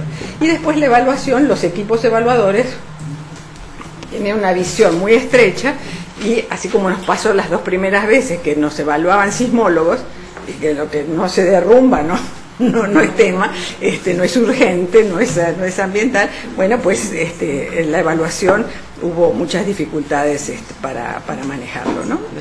Bueno, entonces este, ahí empezamos a, a trabajar en esto eh, con muchas buenas intenciones, etcétera, eh, pero eh, fue muy difícil eh, trabajar con, con, los grupos. ¿no? Ahí empezamos a ver, también lo hemos mencionado hoy en, en, en, los conceptos generales que aparecen, la diferenciación entre nosotros y encontrábamos varios otros. Cada grupo disciplinario decía, bueno, nosotros, los biólogos, los ecólogos, los, eh, los geógrafos, los, yo, los forestales, ¿eh? y los otros, y había otros disciplinarios y otros que no eran disciplinarios. ¿No? Los, trans, que no son los transfugas ni trans nada, sino los transdisciplinarios. ¿no? Eh, entonces, ahí empezamos a identificar varios tipos de otros, ¿no? los otros disciplinarios, que son las otras culturas disciplinarias diferentes este, a la propia. Y ahí entonces fue muy interesante. Ellos se sorprendían, cada cual escuchando a los otros, nosotros aprendimos también muchísimo de los otros, pero hasta que tú digerías realmente lo que los otros estaban haciendo y lo que te lo que a ellos les parecía pertinente transmitirte como un otro disciplinario, no necesariamente era lo que tú necesitabas o esperabas o podías digerir en un momento dado. Entonces, todo eso eh, fue muy trabajoso, porque si tú te reúnes una o dos veces por año nada más, oye, el proyecto se te hace, se te envejece y tú ya, ya pasaste otro interés, a otro tema, ¿no? Entonces ahí ese era un problema. Pero después había los otros transdisciplinarios, ¿no? Y aquí, entonces, también eh, tenemos todo un conjunto heterogéneo de, de- de- actores o de agentes con distintos niveles de formación, de competencias, de perspectivas. Y nosotros distinguimos por lo menos dos, dos grupos en función del papel que ellos desempeñaron en el proyecto. ¿no? Por un lado teníamos a funcionarios y cuadros de los distintos entes gubernamentales que estaban involucrados en la problemática socioambiental, eh, que eran los formuladores y, decisores de políticas del gobierno nacional, del gobierno estatal, eh, estaban los pobladores indígenas, donde claramente se diferenciaban los jóvenes, ahí sí funcionaba esta cuestión generacional, los jóvenes, los ancianos, la generación de los abuelos, como llaman ellos, los líderes eh, de las comunidades indígenas, que hay todo un berenjenal ahorita en Venezuela porque tú tienes los líderes tradicionales, son tradicionales de varias décadas atrás, ni siquiera son del siglo pas- del antepasado, sino que cómo se fueron estructurando esto en las décadas del, del 30 al 50, y ahora el, gobierno introduce otras estructuras de capitanías, que ellos tenían sus viejos capitanes, ahora hay otros capitanes, pues, tratan de, de ver quién controla qué en, las federaciones indígenas, entonces hay todo un rollo allí, pero bueno, están estos, estos líderes eh, de comunidades, eh, están los líderes de las instituciones indígenas constituidas, están los militares, están los especialistas académicos que trabajan en la región, y cada uno de ellos tiene intereses, cada cual tiene sus intereses este, de, grupo. ¿Ya terminamos? ¿Ya? Ah, este, eh, la población criolla, otros grupos de interés. Y hay otros, otros, otros, otros, que aunque son periféricos a la investigación, pueden influir bastante en el desempeño, en el logro de las cosas, porque eh, son a veces los que llegan a establecer parámetros en los cuales esta investigación se puede desarrollar. ¿no? Ah, y estos son los que constituyen las arenas transepistémicas de las que habla Karin Nord, en las cuales uno adelanta la investigación y que se dinamiza por todas las relaciones de recursos, de conexiones que van fluyendo. ¿no? Por ejemplo, toda la permisología. Para poder llegar a la región donde trabajamos, tú necesitas permisos de una lista de instituciones enorme, este, que llega hasta la, hasta el capitán de ese poblado donde tú vas a hacer el trabajito. Pero tuviste que pasar un viaje de instituciones que están en distintos lugares del país, para los cuales no tienes manera de llegarles, es, es- es una cosa complicadísima. Bueno, pero entonces este, ahí eh, logramos hacer la, nuestra, nuestra propuesta y empezamos este, a trabajar. Y, eh, y- y la idea era tratar de construir un conocimiento socialmente robusto, que es un, un- tema que ha ido ganando peso a, a medida que se van rompiendo algunas barreras disciplinarias. ¿no? Ya no es más el conocimiento verdadero, sino el conocimiento robusto como pretensión de conocimiento. ¿no? Un conocimiento que aguante, que aguante los golpes de, este, de que te vienen de distintos lados y de la realidad misma que te demuestra que tus hipótesis estaban equivocadas. ¿no? Eh, entonces vemos que de alguna manera, eh, a partir de todos estos eh, fenómenos en, la- el objetivo de construir conocimiento socialmente robusto, eh, la transdisciplinaridad en particular y la interdisciplinaridad también se revela como un nuevo modo de gobernabilidad de la ciencia en la sociedad. Es decir, ya no es nada más el conocimiento académico producido por las disciplinas, sino que tenemos diferentes formas de producir conocimiento y que entonces su gobernabilidad eh, es, distinta. Aparece toda una nueva retórica del conocimiento, este, ahora se habla de red, de telarañas, con múltiples nodos y conexiones, sistema dinámico, eh, muy, muy, muy distante de la noción de la- el el conocimiento científico como fundamento o estructura lineal de la retórica disciplinaria. ¿no? Ahora estamos en. La metáfora de unidad con los valores de universalidad y de certeza, aparece reemplazada por eh, metáforas de pluralidad, de relacionalidad en un mundo complejo. Es decir, el, el- lenguaje va cambiando ¿no? en el tiempo, son otras palabras las que empiezan a funcionar más. Los valores anteriores de control, de dominio, de expertise, de experticia, están siendo actualmente reformulados como diálogo. Hablamos hoy más de interacción, hablamos de negociación, es decir, eso va, va- va variando así. Eh, y tenemos entonces también los, los espacios de investigación eh, interdisciplinarios y los transdisciplinarios. ¿no? Bueno, eh, el, el tema, que ya no me queda tiempo, uy, ya me pasé, este, voy a nomás mencionar, eh, un, un- un problema, un desafío era cómo encontramos un, temas de interés común no solamente entre los científicos de las distintas disciplinas participantes, sino fundamentalmente temas de interés para los grupos trans, para hablar con las poblaciones locales, con los actores que tú mencionabas antes, la investigación práctica de lo social. ¿no? Y entonces allí, en esta, en esta búsqueda de encontrar temas comunes, eh, encontramos empezamos a trabajar en, en distintos esfuerzos y en general lo dirigimos en dos direcciones. Y entonces identificamos, por un lado, la problemática del fuego, de las quemas, de los incendios en la, en la gran sabana, ¿no? Que este, eso, de- de- de- del estigma contra los quemones, que era el estigma contra los quemones, tratar de entender cómo funcionaba con otra lógica y cómo era mucho más racional la lógica de los, eh, de los quemón y que lo hemos podido demostrar científicamente gracias a la producción de nuestros biólogos, ecólogos, ¿no? que este, peleándose entre biólogos logran demostrar realmente que hay mucho más racionalidad en la, la forma de quema tradicional de estos grupos de indígenas de rosa y quema que lo que los científicos se venían avalando como política oficial del Parque Nacional y de las estructuras de conservación. Eso por un lado. Pero el otro tema surgió no por el proyecto y a contrapelo del proyecto, y que era eh, lo que mm, llamamos el, eh, que ahora está de moda, ¿no? También este, porque los indígenas lo ven eso como una herramienta de que les interesa para, para, para moverse, para movilizarse y hacer avanzar su propia agenda, que era la, el plan de vida el plan de vida del grupo tal o del grupo tal otro, ¿no? El plan, en este caso era el plan de vida de Cabanayén. Y que nosotros decíamos, nosotros no tenemos ningún historiador que venga a trabajar con ustedes, qué sé yo. Pero cuando se empezó a hablar del plan de vida que se había hecho para la comunidad de al lado, estos se engancharon y eso era lo que querían, insistían, insistían, insistían. Y al final logramos que apoyaran al proyecto nuestro, que, es decir, que apoyaran participar en el proyecto riesgo, aunque siempre quedaba rezagado, porque ellos lo que les interesaba era que le hiciéramos el- que les ayudáramos a hacer el plan de vida. Y ahí fue toda una discusión muy bonita, porque ellos decían, bueno, pero nosotros somos dueños de todo esto, porque somos dueños del conocimiento. Y entonces cualquier paper que quieran ustedes publicar tiene que pasar por nosotros primero. Entonces se le, caían las medias a, a nuestros compañeros científicos, especialmente a los duros, porque se, pero caramba, ¿cómo puede ser? ¿No? Nosotros tenemos que publicar. Entonces fue fantástico, fue divertidísimo la explicación en qué consistía un paper, cómo se evaluaba el paper, si se recibía plata o no se recibía plata, que no recibíamos un, to- un tostón, como dicen los brasileños, sino que era la manera de avanzar en tu carrera eh, y poder quedar en la universidad.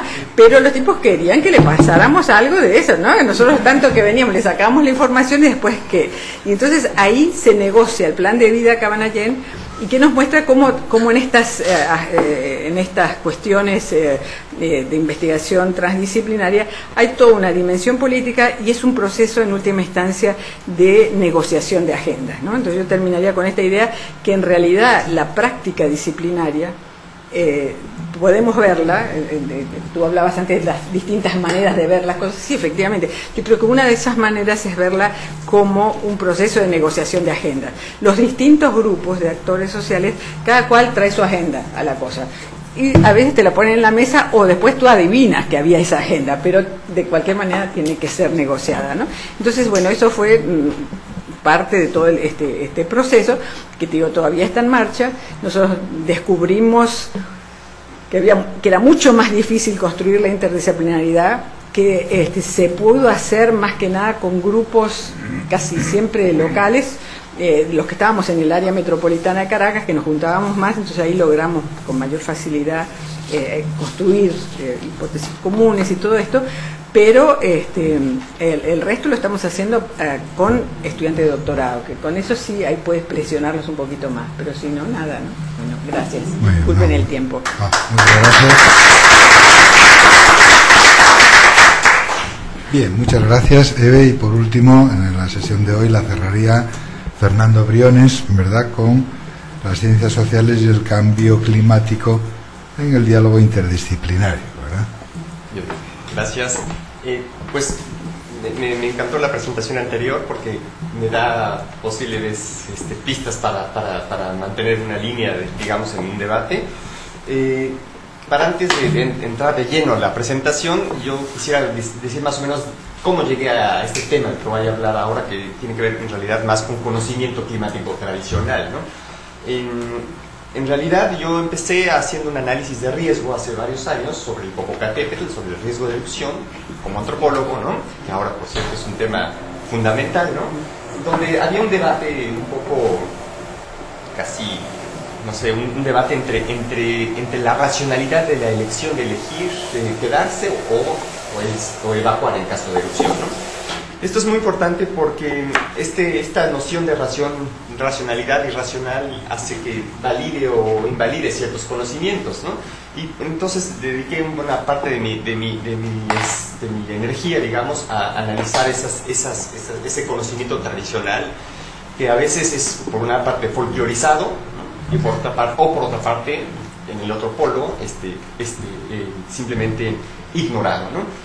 En ese sentido es donde, donde trato de desarrollar en este momento una investigación sobre conocimiento tradicional, sobre conocimiento climático tradicional. El cambio climático evidentemente es, un, es, una escala de análisis difícil, ¿no? porque para muchas de las personas con las que trabajo es más bien un asunto de una escala temporal más limitada, así de variabilidad climática, pero me ha permitido, digamos, tratar de buscar un enfoque, estableciendo un diálogo con otros este, científicos, donde no solamente pretendemos hablar de dimensiones sociales del cambio climático, como generalmente se dice, sino las dimensiones climáticas del cambio social, ¿no? Eh, es decir, es re- re- reinvertir un poco la, visión tradicional, ¿no? Dimensiones climáticas del cambio social, ¿no? Entonces, bueno, navegar en este archipiélago epistemológico con científicos, incluso algunos que estaban programados acá, con los que hemos tenido, como Cecilia Conde, que lástima que no pude venir, ¿no? Eh, que con ha- hemos tenido un buen diálogo, pues ha sido, ha sido al mismo tiempo un reto difícil, interesante, y, bueno, una de las, de las puntos de partida es, como antropólogo, en mis piezas, es si podemos hacer una antropología del cambio, del cambio climático. ¿no? Eh, esto va a tomar muchos años y, y va a tomar a mucha gente construirlo. Y, quizás el primer gran problema al que nos enfrentamos como, digamos, como antropólogos en nuestro método privilegiado, que es el método etnográfico, es, es la operatividad de nuestros, de nuestros datos. ¿no? Eh, tenemos una gran resolución de datos. eh, personalmente yo privilegio el terreno, es decir, la escala local, tengo una gran cantidad de informaciones que para otros actores, que pues, creo que es importante mencionar acá, son poco, son poco útiles esos datos. Y esos actores son los tomadores de decisiones. Y esa es la otra parte que tenemos que pensar en, un seminario como este. ¿no? Eh, científicos sociales o naturales estamos en el mismo barco. Nosotros solamente hacemos un análisis que después va a ser implementado por otro actor que no está en este momento eh, discutiendo con nosotros, que es el, es el funcionario, es el, el- el- el director operativo, es el, otro, el, otro, el otro miembro también de esta, de esta, de este, de esta telaraña. ¿no? Y en ese sentido, creo que la, la antropología eh, nos ofrece muchas herramientas para entender muchos de los problemas y explicar por qué algunas cosas no funcionan, eh, pero a cambio de eso nos quita un- una, nos- nos- nos impide simplificar. El antropólogo no tiene muchas veces la, la- la capacidad de la simplificación porque su naturaleza de, de- sus datos son, son, son de muchísima resolución. Y esto me, recuerda, ayer discutíamos con Alfredo eh, esta, esta película de, Antonioni, de Blow Up, ¿no? cuando el, el- fotógrafo está haciendo un zoom a una modelo y entre más se acerca, ve más detalle, pero pierde visión global. Y entre más se aleja, tiene mejor visión global, pero pierde detalle. Entonces, en ese juego de escalas es donde, donde trato de, de moverme. Voy a pasar a la presentación y si me pasan el control remoto para, para tratar de, de simplemente de forma muy, muy rápida, tratar de, de ver cómo un problema global como el cambio climático en lo local tiene absolutamente otras, otras este, implicaciones. Voy a, yo trabajo en el sureste por ahora, en Chiapas, eh, aunque por supuesto me, me interesa también, me interesan otros, otros lugares como Sonora, las sequías, donde alguna vez trabajé un poquito. Y, y en este sentido, eh, bueno, pues la- me, me interesa mucho la relación entre, entre el clima entre el clima y la sociedad. Bueno, no voy a hacer un, un- un análisis muy profundo de esto, pero sí, evidentemente, todas las sociedades han- han- tienen que adaptarse, ajustarse a ciertas condiciones este, de su entorno. Y, eh, bueno, evidentemente el, el- el asunto del, del- del- del- cambio climático es un asunto estratégico para, la, para el planeta. Eh, a mí me gusta esta gráfica demasiado vista y citada en, en- en- en los estudios de cambio climático, porque lo que tenemos enfrente en realidad son escenarios a futuro. ¿no? Y, y ese, es el- ese es un tema fundamental, el riesgo. ¿no? El riesgo no es para el pasado, el riesgo es para el futuro, es decir, un asunto de toma de decisiones. Pero para tomar decisiones tenemos que tener una alta resolución de nuestros datos que nos permitan un estado del arte mm, bastante certero sobre cómo, sobre qué tenemos, ¿no? Entonces yo diría que esencialmente los trabajos de, de- de- incertidumbre son, son fundamentales. ¿Qué, qué escenario pretendemos para, para el cambio climático? Bueno, pues antes se hablaba de 2 grados, ahora se habla de 4. Y, y en ese sentido, eh, bueno, eh, hay, riesgos calculados ¿no? Eh, a partir de una serie de, indicadores. ¿no? Estos mapas son hechos por colegas que no, son hechos por, son los datos que yo manejo en, en- terreno, al contrario, son otra forma para mí de ejemplificar una parte de la realidad, que es a partir de indicadores estadísticos, algunos indicadores, este, sobre todo estadísticos, ¿no? y esto nos da una resolución, esto nos da una visión global. ¿no? Pero el cambio climático es como un, como un reloj con diferentes engranes, y esos engranes van en diferentes direcciones. ¿no? Eh, y, y finalmente, si no uno se acerca un poco más, con un poco mayor resolución, puede ver que, por ejemplo, en el sureste, quisiera yo que enfoquen un poco su, bueno, voy a enfocar aquí a su, su bueno, es un poco lento esto, pero estoy lejos, no importa. Que, que- que- calculen dónde está, por ejemplo, este, el norte de Chiapas, eh, cerca, de, cerca de Tabasco. ¿no? Esto es, esta es la zona donde yo trabajo. Y quiero, estoy haciendo un ejemplo de acercarme por escalas. Primero es- pu- puse un mapa del planeta, ahora pongo un mapa del país. Y eh, el escenario actual, digamos, en esta zona de, de Tabasco, Chiapas, es de, pues es un índice de severidad de sequía leve, ¿no? No hay, no hay demasiada, de, demasiado déficit de, de- de- lluvia. Pero en un escenario pesimista, en un modelo hecho por canadienses, en modelo de cálculo de riesgos a futuro, eh, pues tendríamos una reducción importante de la, de la lluvia en una zona donde, donde actualmente depende eh, esencialmente de, de de cultivos autosustento. Entonces, esto, esto primero también nos pone, nos pone a pensar sobre lo que es sequía para algunos y sequía para otros. ¿no? En, el, en Chiapas, este, se- sequía no es que deje de llover completamente, como podría eh, pensarse en Sonora. ¿no? Eh, eh, en Chiapas, simplemente que deje de llover la mitad de lo que llueve ya es, puede ser catastrófico. ¿no? Entonces, esencialmente el trabajo que desarrollo por ahora lo hago en justamente en esta zona, en un, en un municipio que se llama Tila y otro Tumbalá. Es una zona chol, que es un grupo étnico importante, maya, ¿no? Y trabajar, al trabajar con los, este, pues con los, con los agricultores y con los campesinos, eh, evidentemente salen una serie de conocimientos que no quiero de ninguna manera folclorizar, porque tienen límites. Y eso es lo que trato de quizás de dialogar, cuáles son los límites del conocimiento en este, eh, tradicional de, de estos, este, de estos grupos y cuáles son sus ventajas, ¿no? sus, potencialidades. ¿no? Em, bien, estos son mis actores, entonces, ah, bueno, este es, este es mi municipio esencial de, trabajo, ¿no? Y así como fui haciendo un zoom, ¿no? De- desde, el, desde el mapa, este, desde el mapa mundi hasta, hasta ellos, ¿no? Y ese es justamente lo que, lo que creo que hay que ver en esta, en esta exposición, como el actor social finalmente pues es, es, es- un ciudadano común y corriente que está sujeto a una serie de presiones, a una serie de, variables que no puede necesariamente controlar. En la izquierda vemos a un productor de café, ¿no? que el café es un, es un, un- cultivo importante en términos de, cambio climático porque es, un, es un cultivo que, va a ser susceptible a- a cambiar de, de- sobre todo va, va- va a subirse el nivel de, o sea, la altura de donde se siembra ahora no va a ser la misma si seguimos una tendencia de calentamiento este, este, en el planeta, entonces va a haber una tendencia a privilegiar ciertos terrenos que ahorita son un poco más fríos, ¿no?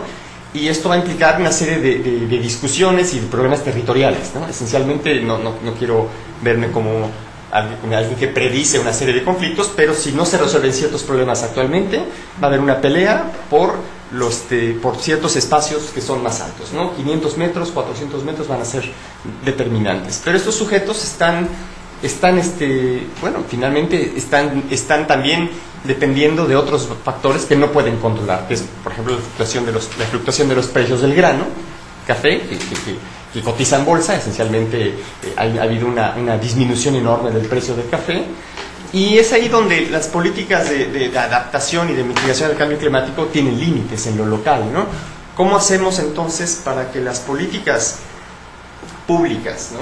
que están diseñadas desde una visión de muchísima amplitud, con datos poco precisos para hacerlos operativos, justamente, ¿no? esto no es una deficiencia, simplemente es un asunto operativo, frente a realidades que son extremadamente complejas, pero al mismo tiempo no podríamos hacer tampoco políticas públicas a medida, porque eso resulta casi, casi imposible. ¿no? Es un debate que hemos tenido en algunas otras ocasiones con, con trabajos de cambio climático y creo que Roberto Sánchez lo ha, lo ha visto en algunas intervenciones que hemos compartido, ¿no? donde eh, la política pública no puede, no puede hacerse necesariamente a, la medida del actor, pero el actor necesita también que haya una mediana este, seguridad sobre, lo, sobre, pues, sobre las variables que le conciernen, si no, no podría, no podría este, aplicarse nada. ¿no?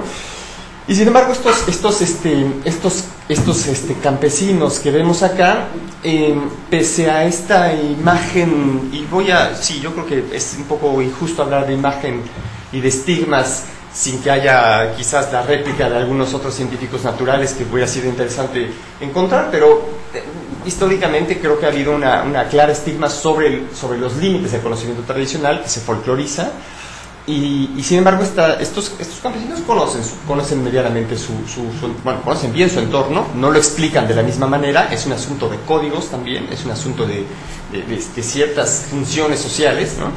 Y, y en este asunto, en este, en este, en este contexto, bueno, ellos aprovechan, aprovechan su, su un, un- una- un régimen de lluvias bastante benévolo por ahora, ¿no? hasta, que, hasta que haya una- un déficit importante.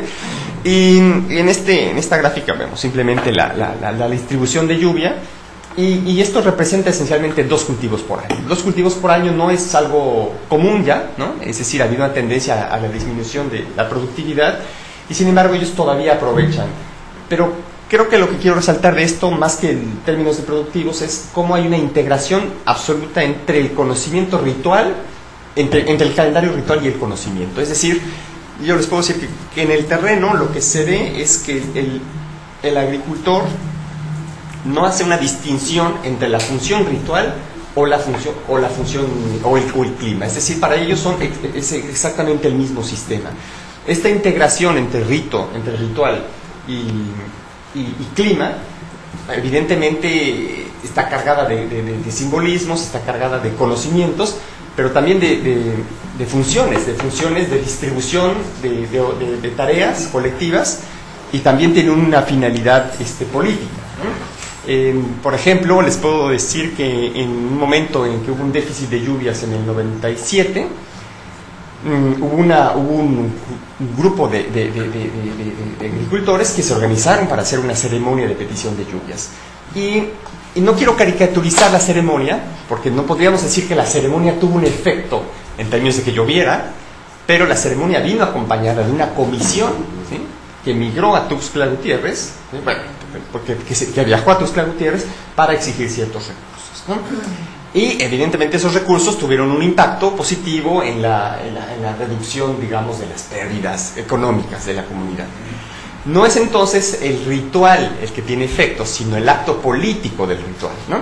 Y eso es muy importante porque eh, esencialmente lo que yo he trabajado en el terreno es es identificar, básicamente si hay una identificación sobre el cambio climático, no, no la hay como tal, ¿no? Debo de, decirlo, ¿no? no hay como tal una identificación sobre el cambio climático, se distingue perfectamente la variabilidad climática, pero sí hay un uso de los conocimientos y de los, de los conocimientos este, tradicionales y de los, y de los, de los rituales que permitiría ¿sí?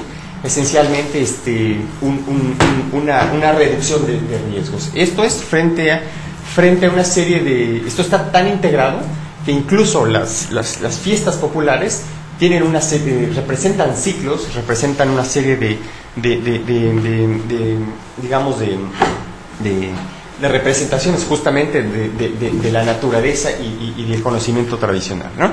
Eh, y creo que, creo que lo que a mí me preocupa finalmente en el tránsito de esta investigación, que evidentemente tengo que todavía trabajar su, su publicación, es, eh, es que la, la, falta de, de una de una estrategia realmente local sobre el cambio climático, pues nos da como resultado una serie de, pues de iniciativas propias, ¿no? que pueden ser saludadas ¿no? y que pueden ser este, este, importantes, pero que no necesariamente van a, van, a, van a dar un resultado óptimo en el futuro. Y aquí quiero mencionar en este sentido que cuáles, cuáles son básicamente las acciones de los, de los agricultores frente, frente, frente a lo que tienen ellos, a la, es decir, la variabilidad climática estacional, bueno, pues ellos hacen referencia, ellos tienen como base los indicadores fenológicos, es decir, ellos siguen una serie de, bueno, hay toda una serie de, hay un conocimiento de constelaciones, hay un conocimiento de fases lunares que permite tomar decisiones para el momento de plantar. Hay al mismo tiempo unas, bueno, pues, se, conoce, se conoce, se conocen la aparición de plantas y de, y de insectos que permiten identificar cuándo va a llover y cuándo no va a llover eh, pero también tiene otras consecuencias que pueden ser este, este, ligeramente mm, no deseables en este sentido. Y, y, esa es, por ejemplo, la migración. ¿no? Eh, una de las consecuencias de, la falta de productividad en el campo, que no solamente tiene que ver con el cambio climático, sino con otros factores políticos, económicos, este, precios, etcétera, ¿no? Incluso, incluso podría yo mencionar que hasta, hasta el riesgo de, semillas que no pueden reproducirse, ¿no? Transgénicas, por ejemplo, ¿no? Esto trae como consecuencia otras, otras variables, que es la, la, la, migración temporal, por ejemplo. ¿no? Y esa migración temporal produce también una falta de continuidad en ciertos conocimientos sobre, sobre, sobre el campo. Y, y quizá, quizá un poco donde, donde habría que puntualizar es que la flexibilidad del, agricultor en el sureste mexicano es, su, única, su única potencialidad frente a, frente a una serie de políticas que todavía no aterrizan en, lo concreto. Eh, es decir, en, México es un país que ha tenido una importante aportación hacia, hacia, hacia, hacia comunicaciones del cambio climático, en, las comunicaciones de, en el IPCC, las comunicaciones este, nacionales, ¿no?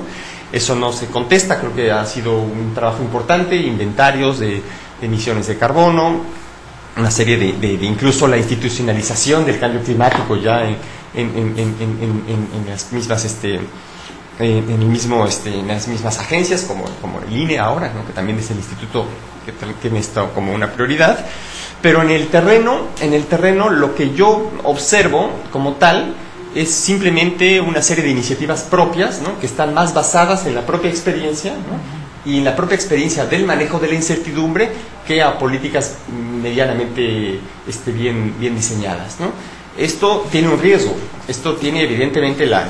se puede saludar y se puede decir que la gente sí tiene una capacidad de, de, de negociación permanente, de ante, ante la incertidumbre y sabe, sabe manejar la incertidumbre porque no se concentra solamente en un solo cultivo, por ejemplo, porque sabe migrar, porque siempre va a encontrar la forma de medianamente sortear los problemas, pero no necesariamente va a dar resultados deseados en el largo plazo. ¿no? Entonces, em, creo, que, creo que esto pone de manifiesto, un, y con esto creo que ya, ya, estoy en el tiempo, voy a, voy a concluir con una, una, una reflexión, es que en la medida en que no se conozca con definición, aunque eso implique un reto este, metodológico importante, con que en la medida que no se conozca con, con, detalle al actor social y sus problemas y la cantidad de aristas que tiene sus, sus, sus, este, su cotidiano, va a ser imposible resolver los problemas de la adaptación. ¿no? La adaptación hay que verla con, además con cierto cuidado, la adaptación al cambio climático, quiero decir, porque puede ser un riesgo, puede ser como el desarrollo, un paradigma, ¿no? Y si hay un científico que escribió una frase como los desastres son resultados no deseados del desarrollo. Bueno, yo pienso que si en 30 años no decimos que, la adaptación, que los desastres no son más que resultados de un desarrollo no deseado, habremos cometido entonces errores importantes. Es decir, como nada nos garantiza, como nada nos garantiza que en 30 años nuestras decisiones van a ser correctas, eh, yo creo que uno de los retos para evitar ese, ese, riesgo será un, un, un, conocimiento detallado de nuestros actores locales con toda la complejidad que implica.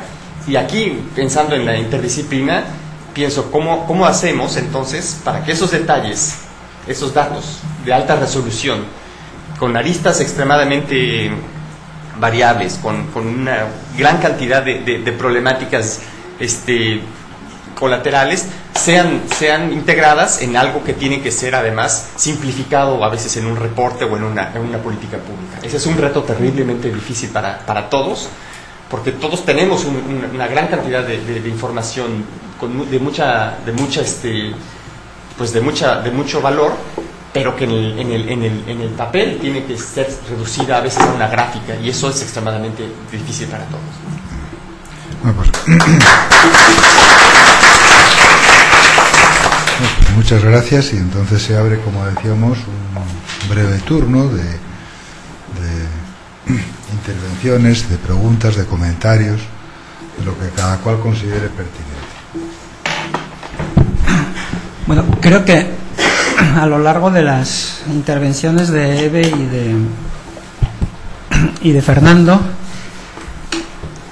eh, sale a la, a la, luz, digamos, un, un, tema que es de los más complicados en, en, el asunto de la, pues parece que de la transdisciplinaridad sobre todo, que es eh, si uno se propone o si un proyecto de investigación se propone una interacción con actores sociales muy diversos, eh, pues en, el, en lo que en lo que describió Eve había este, pues todo, ¿no? Este, campesinos, militares, funcionarios, en fin, estaba prácticamente toda la sociedad ahí representada, ¿no? Y si como dice Fernando, el conocimiento del actor social es fundamental, uno de los problemas y reconocidos por la, por la bibliografía internacional es cómo incorporar el conocimiento no científico digamos, a los resultados científicos de investigación.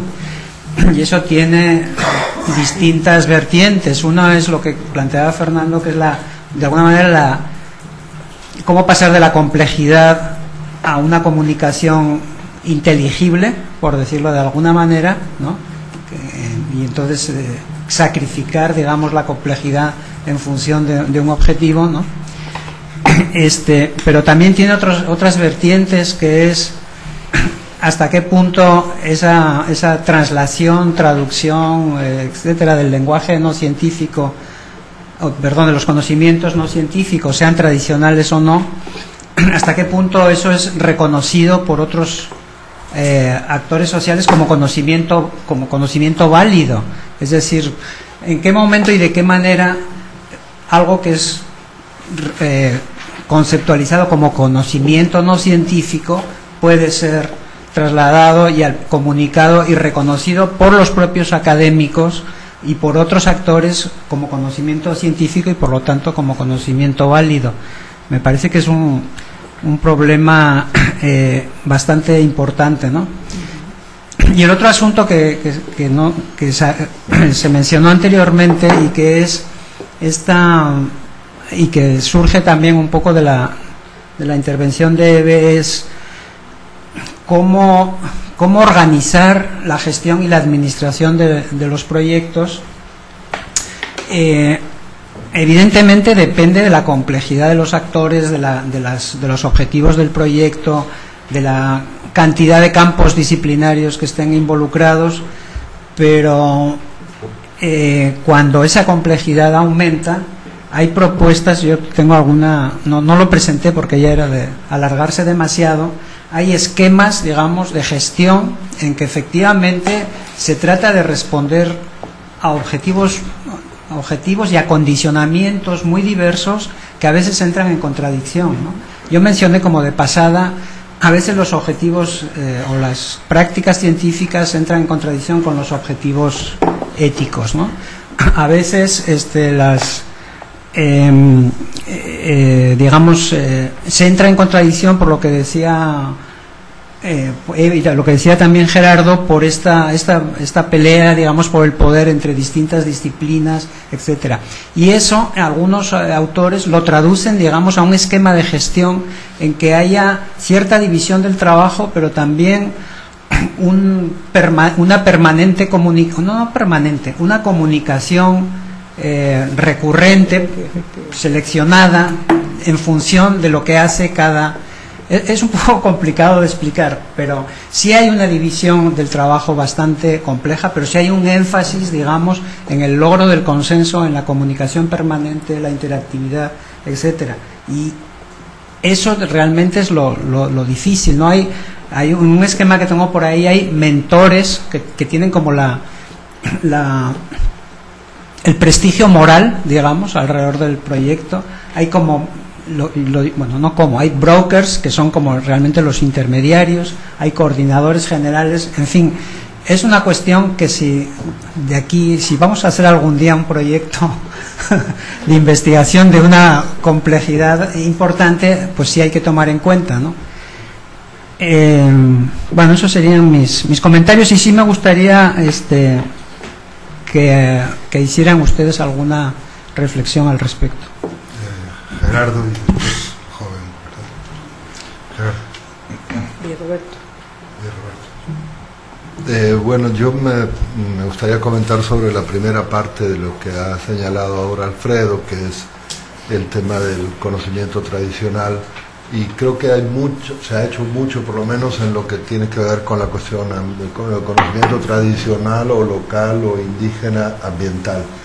Y ahí hay cuatro posiciones. La negación, la aceptación a rajatabla, eh, la validación como un esquema de aceptación que es cuestionado por aquellos que aceptan a rajatabla porque consideran que no los científicos eh, este, ortodoxos no tenemos la eh, autoridad moral para validar el conocimiento eh, indígena y la cuarta opción que probablemente es la que esté tomando más eh, madurez actualmente, que es la hibridación de conocimientos. Este, y algo que también se llama diálogo de saberes. Y aquí también vuelves a tener opciones contrastantes, los y ahí sí nos aglutinamos un poco los científicos naturales y eso que eh, hemos sido criticados este, por no tener una reflexión profunda desde el punto de vista eh, epistemológico sobre el conocimiento tradicional, pero que este, de alguna manera lo manejamos. Y aquellos que son los menos que están tratando de este, incorporar esto del conocimiento local eh, más en, una discusión mucho más teórica que este, es la que faltaría. Eso, eso es como, como está esa situación este, de lo del conocimiento local. O sea, en ese sentido yo creo que hay, hay mucho, mucho trabajo hecho y, este, y tanto a nivel de, de países, digamos, con y sin eh, manejo indígena de recursos, por ejemplo, este, cuestiones de diversa índole. ¿no? Ahí lo dejaría. Bueno, a, a mí me surgen dos preguntas que podrían parecer muy elementales, pero creo que sí son importantes que se toquen.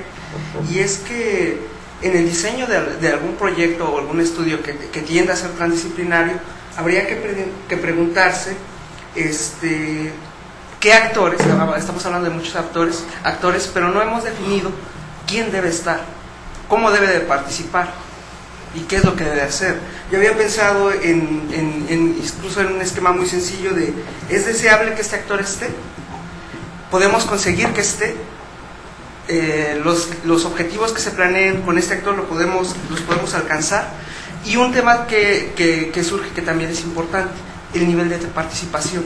Había hablado el doctor Boco de asimetrías, pero las asimetrías no solamente son en términos este, de disciplinas, sino también de habilidades, de conocimientos.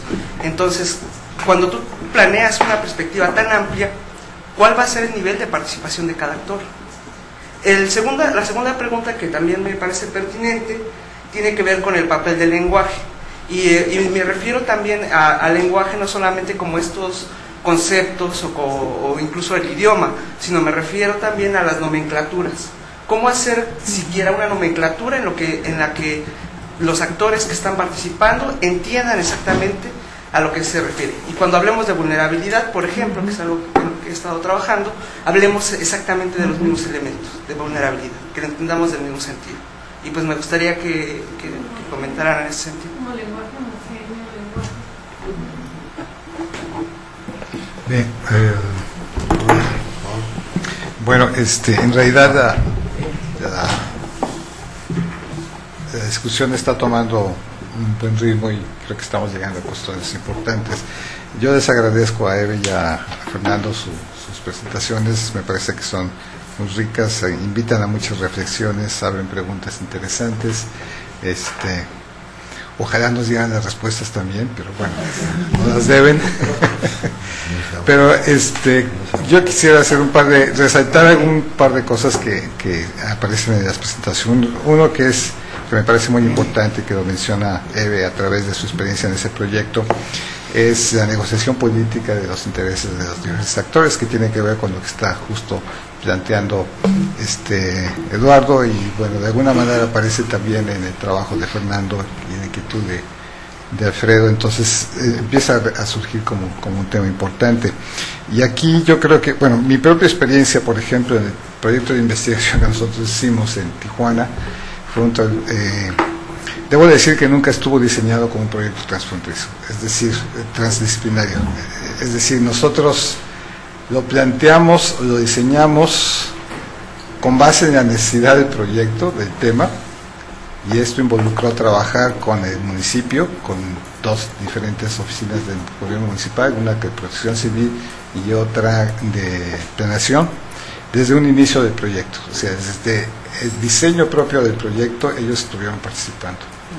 Eh, y además de ellos, bueno, había una gama de, de diversos eh, académicos, entre ellos estaban desde climatólogos, geólogos, biólogos, este, Lina, eh, y otra gama de planificadores urbanos, etcétera. Eh, lo interesante, en realidad, a lo que voy es a lo que aprendimos, porque había que estudiar eh, la vulnerabilidad desde un punto de vista amplio, como lo está planteando Eduardo, desde cómo, por ejemplo, la ciudad ha modificado el paisaje y ambos esa modificación a través del crecimiento urbano es, es un elemento importante de la exposición y de la sensibilidad a las inundaciones, así como la capacidad de respuesta de los grupos individuos, lo que plantea Fernando, en términos de conocer al individuo social, al, al actor social a nivel local, como la- el elemento de que la capacidad de respuesta o de adaptación de, de ese individuo. Eh, esto está publicado hace unos años porque en realidad yo llegué a la transdisciplina después de haber hecho el proyecto, o sea, eh, cuando hic- hicimos el proyecto y lo planteamos, la transdisciplina apenas empezaba a su- a surgir, pero después de un tiempo y que me invitaron a, contribuir a, un libro sobre esto, es que me empecé a plantear y a revisar la literatura y a darme cuenta de las similitudes entre lo que nosotros habíamos hecho en el proyecto y lo que planteaba la, la- la literatura internacional. Y uno de los puntos importantes fue esto de la negociación entre los actores, en reconocer quién eran los actores que deberían de estar, quién eran los actores que querían estar, este, etcétera. Eh, y una de las cosas que aprendimos es precisamente esta capacidad de negociación. Y por eso es, es importante el liderazgo. O sea, uno es reconocer los diversos saberes, los diversos dominios de conocimiento, reconocer que hay conocimiento útil, por ejemplo, en este caso, entre los planificadores urbanos o la propia comunidad, entre los actores sociales que son las personas que son sensibles o que están expuestas a problemas de las inundaciones y que reconocen que están expuestas a problemas de las inundaciones y que tiene que ver con esto que tú estudiabas al principio, de que a pesar de que se conocen el, el peligro al que están expuestos, no están dispuestos a moverse, porque parte de las entrevistas que hicimos en, estos, con estos actores, algunos que reconocían y que han sufrido el problema de las inundaciones porque ya llevan tiempo en la comunidad, no están dispuestos a moverse. Una de las cosas que le preguntamos es si tenía confianza en las autoridades cuando llegarían a desalojarlos, y algunos decían que sí y otros decían que no, porque temían, como era una zona de invasión, que se usara el recurso de, la, emergencia para moverlos, para evitar que regresaran a su bebé. Bueno, lo que quiero señalar dentro de todo esto es que lo que aprendimos en, esa, en ese trabajo es que hay que tener una capacidad de negociación con los diversos actores, reconocer a los actores y tener una capacidad. Lo que es más importante, porque estamos hablando de investigación, es reconocer cuándo y cómo pueden participar en el proceso de investigación.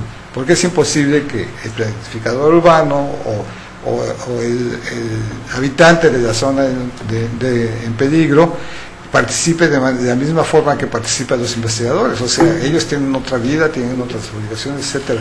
Entonces, esa es la habilidad, ese liderazgo de que yo hablaba en un principio, y en donde es a través de ese liderazgo que puede, no, cuando hablo de liderazgo no quiere decir que es una sola persona, sino puede ser el propio grupo de investigación, ese que tiene que que aprender a manejar. Nosotros lo aprendimos en la práctica, como decía la compañera. Todo esto lo hemos, aprendido en la práctica cotidiana de, a llevar a cabo la investigación.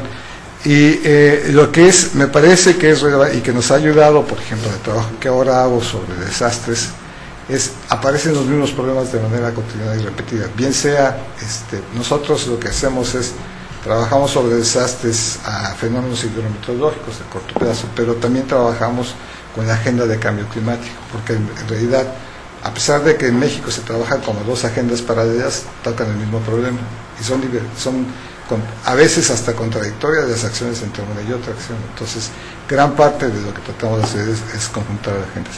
Y por último, lo que quería regresar es a, es a lo que este, lo que mencionaba Alfredo, que me parece muy importante, esto de la gestión del proyecto, que una vez más tiene que ver con estas habilidades que se construyen muchas veces sobre la marcha, y la gestión del proyecto, eh, y que tiene que ver, por ejemplo, cómo trabajar el, tema que mencionaba este Fernando, de la incertidumbre, y sobre todo en, el análisis de riesgo.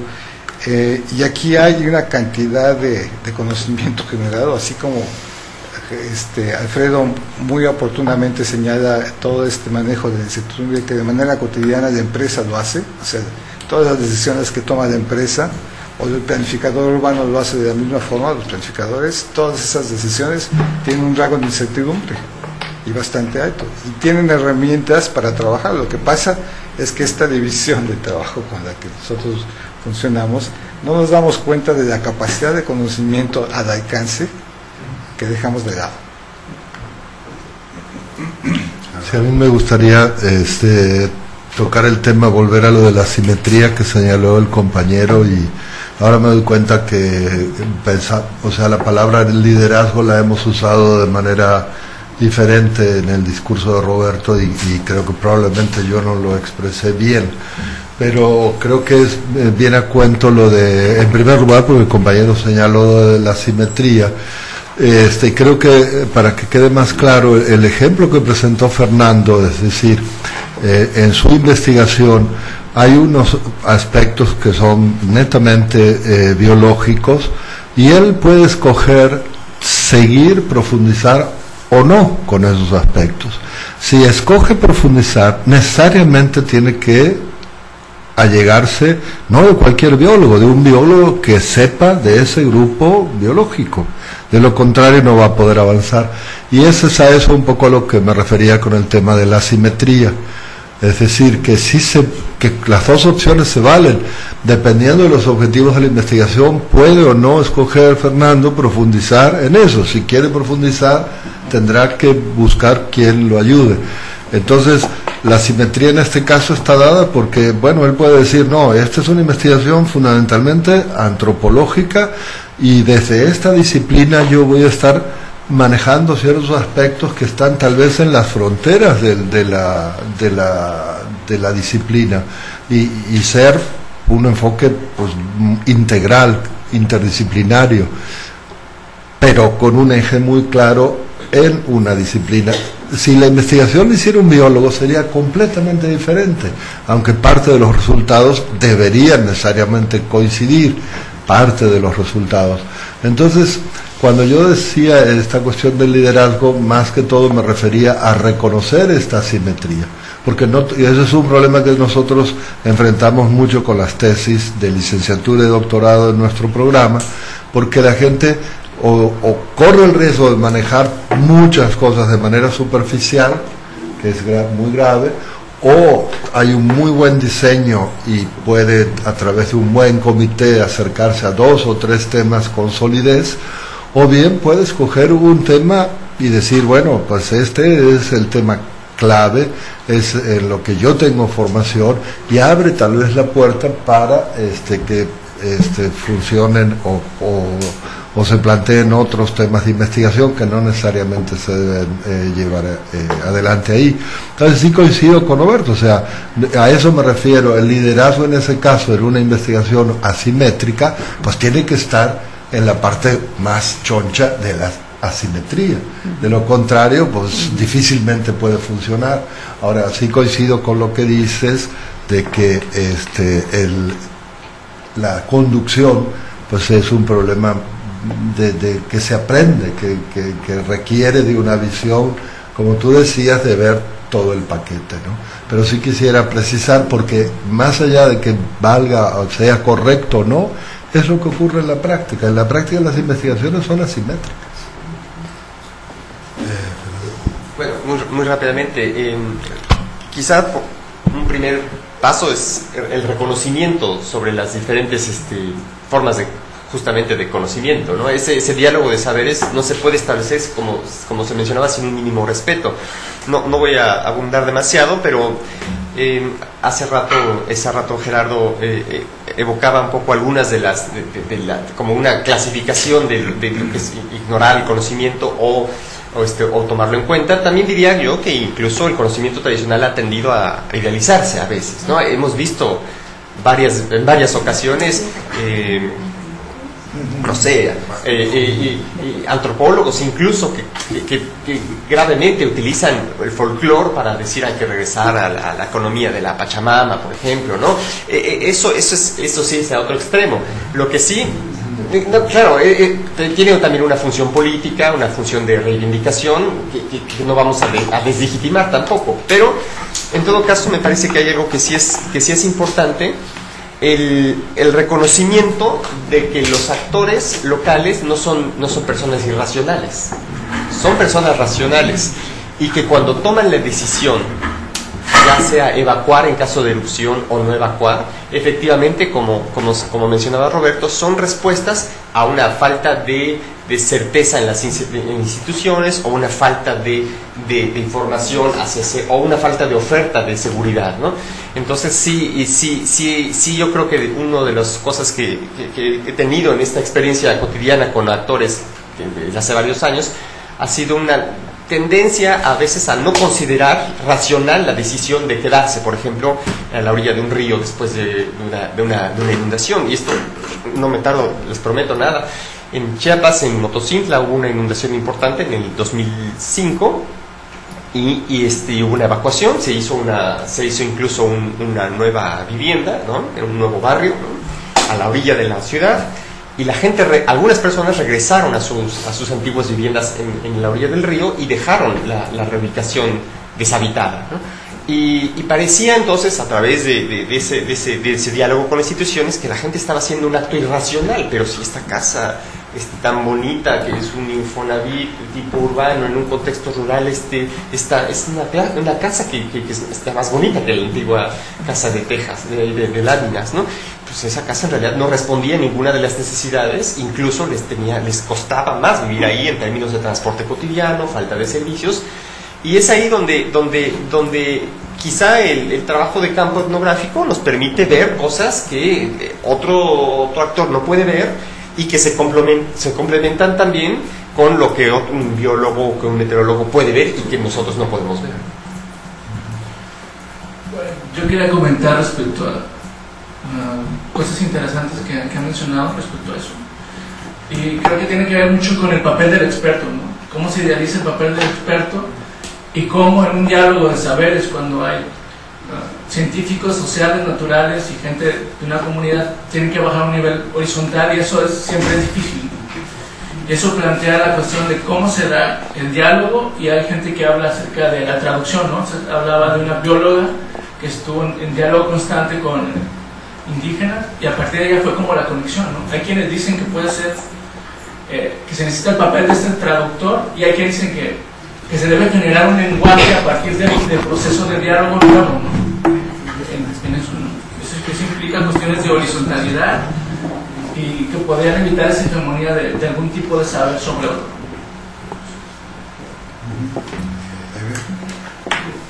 Bueno, eh, tú preguntabas, eh, te hacías la pregunta de qué actores deben estar, ¿no? ¿Verdad? Eh, nosotros también nos lo hicimos, eh, justamente hubo un montón de cosas que dejé afuera en el trabajo y nosotros decíamos, bueno, incluimos en la categoría de esos otros transdisciplinarios a todos los actores sociales, y que son un montón, ¿no? Eh, que no forman parte del equipo de investigación o solo algunos. Y si es solo algunos, ¿con qué criterios? ¿no? Que es tu pregunta también. Bueno, este, en última instancia decimos, por lo menos tenemos que empezar por algún lado. Y los que van a hacer es, tenemos que considerar en primera instancia aquellos que posean algún tipo de conocimiento, de experticia, lo que sea, capaz de contribuir a la solución de esos problemas. ¿no? Ah, es, es decir, que deberíamos aceptar una comunidad extendida de pares. Somos iguales, aunque somos diferentes, ¿no? Pero somos iguales en términos de que cada quien tiene su, su saber, su conocimiento, y ahí podemos entonces dialogar, que es la otra palabra que este, se, se ha venido este, usando. Entonces ahí no estamos estableciendo por, por decisión eh, eh, equipo una, una distinción entre conocimientos expertos y conocimientos legos, y es bien bueno que tú introdujiste la noción de conocimiento experto porque es, es obvio que se maneja en, en- en la simetría de, la relación con otros saberes, sino que eh, lo que buscábamos era garantizar la incorporación de quienes posean alguna forma de conocimiento, sea este contributivo y que este sea contributivo o de interacción ¿no? este, a, la, a la cosa. Después tú te mencionabas también el tema de la participación. Bueno, este, en Venezuela hace 10, 15 años eh, se, se, eh, pasó a ser parte del lenguaje oficial porque está en la, constitu- en la nueva constitución de Venezuela, que es una república, ¿cómo se llama? Eh, participativa y protagónica whatever that means, ¿no? Este, pero la idea de la participación social fue muy importante y era una reivindicación muy pesada, muy gruesa, evidentemente, ¿no? Son, son siglos de exclusión este, social, entonces, bueno, había este tema de la participación. Pero, eh, es decir, que está muy metido en el, en, el, en el cotidiano ya de la gente, ya sea porque te lo tomas en serio o porque lo tomas a, la chacota, pero este, allí está el tema de la participación. Y el grado de participación, como tú señalas, es, es muy importante. Pero entonces depende de, de- la habilidad, yo creo que depende eh, de, no solamente de lo que tú puedas decir, de la habilidad que tengas para decirlo, sino de que el, poder que tengas allí. Entonces estamos de vuelta en las asimetrías que señalaba este Gerardo, ¿no? Pero yo creo que sí es un tema este, eh, importante a tomar en cuenta aquí. Con respecto al papel del lenguaje, fíjate que nosotros en esos talleres que teníamos anualmente, eh, un día no sé si, si era porque estaba muy eh, eh, apabullado el uno de los ingenieros forestales o algún otro, pero decidimos hacer un glosario. Y cada uno desde su aportaba lo que consideraba que eran los conceptos básicos del- de su métier, ¿no? de, su, de su actividad. Y eh, nos encontramos con algunos conceptos que lo estábamos entendiendo de manera muy distinta los científicos sociales de los científicos naturales, inclusive como cosas como cambio, ¿no? la noción de cambio, cambio social, cambio este, biológico y todo. Eh, en otro trabajo lo tenemos eso, eh, lo, lo- lo discutimos porque era muy difícil, era peor que, que si del inglés tradujeras al castellano, era bueno, cómo cuernos nos entendemos, ¿no? Lo que estamos eh, diciendo. Entonces creo que sí es un tema importante. Y el tema, un tema también crucial, que es el de la negociación política, que tú lo, retomas allí. Fíjate, a nosotros una de las cosas que concluimos eh, como ejercicio del proyecto es que a lo largo del proyecto, eh, si bien logramos ganar a capitanes y abuelos y a jóvenes este, indígenas y, a otros científicos, no, no logramos enganchar a funcionarios públicos y funcionarios del sector político, de políticas, etcétera, que participara en forma continuada, continuada y se ganara a la idea del proyecto. Nos faltaron esos dolientes. ¿No? Eh, con un problema serísimo como es el de la deforestación en, en- amazónica y, todo lo demás, del fuego, esto. Pero fíjate que nosotros empezamos el proyecto en el 2007. En el 2008 logramos hacer un taller en un Congreso Nacional de Ecología en el cual se sentaron en una mesa así como esta este, todos los principales responsables de las políticas que tenían que ver con el fuego, las federaciones indígenas, las distintas capitanías de la región, la gente del Ministerio del Ambiente, el- este, los de Delca, estaba tutile mundachi, como decían ahí, ¿no? Todo el mundo estaba allí. Pero este, es- esa gente después, en un proceso político de transformación tan fuerte como el que se vive en Venezuela, que es riquísimo en términos de, un proceso político, pero tan difícil porque hay un nivel de rotación tan grande, etcétera, la gente o bien cambió enseguida, o bien no tuvieron ya más el poder de decisión, dependían de otros. Entonces que cuando nos volvimos a ver no, no logramos seguir con un plan de trabajo y un acuerdo básico que por primera vez en la historia habían logrado sentar a representantes indígenas en la misma mesa con los científicos y los funcionarios y demás, no volvió a darse esa posibilidad, ¿no? Con todo y que estamos en una república protagónica, participativa y no sé qué más. Este, no, sé. Entonces, esta cuestión de la negociación política del peso de los actores, la simetría de los actores, este, es muy importante y eso a veces no depende de tu voluntad, depende de cómo se dan los accidentes de la historia. Eso no impide que haya que pelear para conseguirlo y negociar todo lo posible, pero a veces las cosas no se te dan, ¿no? Y no es porque la gente sea mala, sea inco- sea incompetente, sino porque, bueno, la, la negociación, no, las circunstancias van en contra en ese momento, ¿no? Pero nada es para siempre, así que tenemos esperanza todavía. Eh, Liliana. Sí, eh, bueno, hay, cos- hay cosas que dijeron y no las voy a repetir, pero es este, o sea, en la parte de eh, análisis que hemos hecho de los proyectos eh, interdisciplinarios o transdisciplinarios que hemos hecho y las lecturas que hacen los alumnos de doctorado sobre todo lo que se ha escrito sobre el tema que quieren trabajar desde todas las disciplinas, lo que hemos visto es que se ha ido construyendo, o sea, como que el, el modelo es constructivista, o sea, todos los proyectos se han ido haciendo y cuando los ves en el largo plazo ya son, o empiezan a ser transdisciplinarios, entonces como que es un proceso, ¿no? Eh, no se da en un día o en un año. Y por el otro es que hay un, un, eh, lo, mencionó yo, eh, él, es la necesidad de incorporar a los equipos un nuevo profesional, que es el de la comunicación.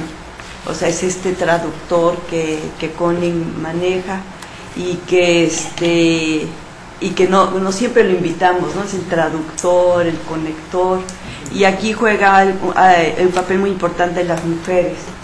Este, hay una cuestión de género, de que a las mujeres se les da más la comunicación, y yo lo que veo en las maestrías y doctorados interdisciplinarios que tenemos es que cada vez entran más mujeres. Hay, hay veces que son puras mujeres.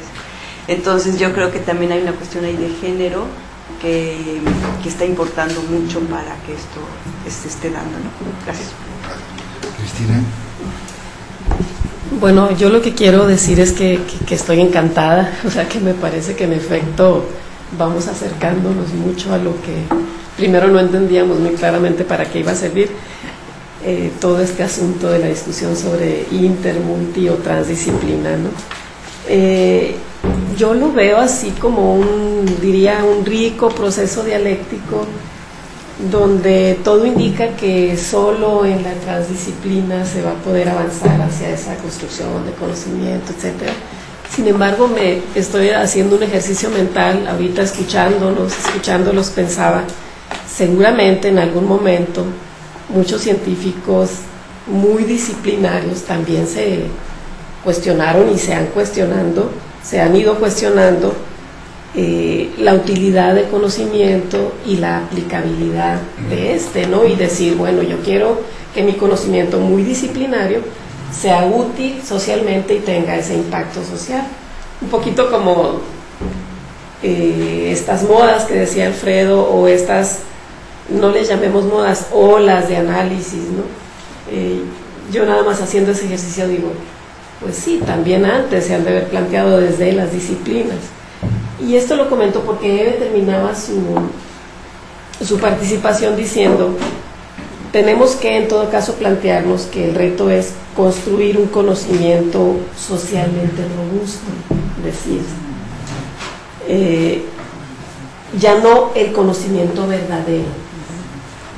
Entonces, creo que ahora nuestro gran reto, otra vez, y el dilema va a ser cómo vamos a determinar o identificar si realmente estamos avanzando al conocimiento socialmente robusto, desde nuestra óptica otra vez, o desde los actores sociales realmente implicados. Y es así como, por eso decía yo, un proceso dialéctico. A mí me encantaría que nos dijera un poquito más qué concibieron en ese proyecto o qué tú desde tu experiencia ubicarías o entenderías por un conocimiento socialmente robusto. Sí, Gerardo. Ah, Bueno, sí. Sí, esa relación eh, yo creo que ya estamos sobre el tiempo, entonces muy rápidamente comentar un poco eh, mi propia experiencia eh, en cuanto al papel de los actores y son dos experiencias. En una participó la doctora Espejel, este, pero la primera es este, es el caso de un proyecto solicitado por una empresa forestal indígena que define los roles claramente. O sea, ahí no hay ninguna duda. Nos dijeron, queremos esto, esto y esto a un grupo de, académicos.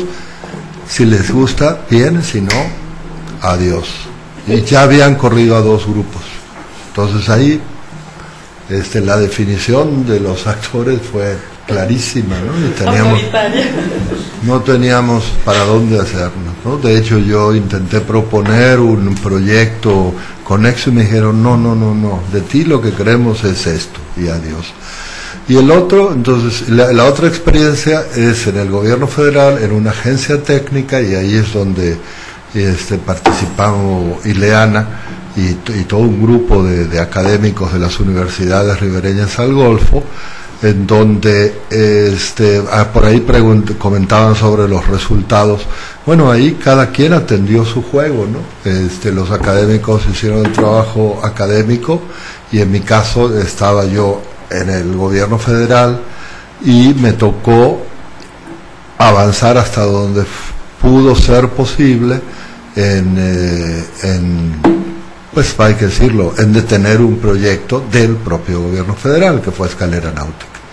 Proyecto finalmente se detuvo, es decir, no quedó en la gaveta, como decía Eve, no quedó en el cajón, se detuvo el proyecto, el proyecto siguió después a nivel de entidades federativas, pero más allá de las virtudes de la investigación, que todavía, esa sí se quedó en la gaveta, esa se quedó, pero detuvimos el proyecto, detuvimos el proyecto, era un proyecto de Fonatur, ¿no? Entonces, y ahí también los actores sociales estuvieron muy, muy claros, muy, muy claros qué papel jugaba al interior del gobierno federal las contradicciones entre Fonatur y la Semarnat, luego este, los desarrollados, los diferentes actores sociales en la región, el papel de los académicos, etcétera. Ahí está, estaba muy, muy claro, muy claro, transparente, yo diría, salvo mejor opinión de Ileana. Gracias. Eh, fíjese, por el tema este del, conocimiento socialmente robusto, lo que planteaba Alfredo al principio, se me había quedado sin comentarlo antes del conocimiento válido, cómo sabemos que un conocimiento es válido, entonces o no, cómo lo podemos reconocer. ¿no?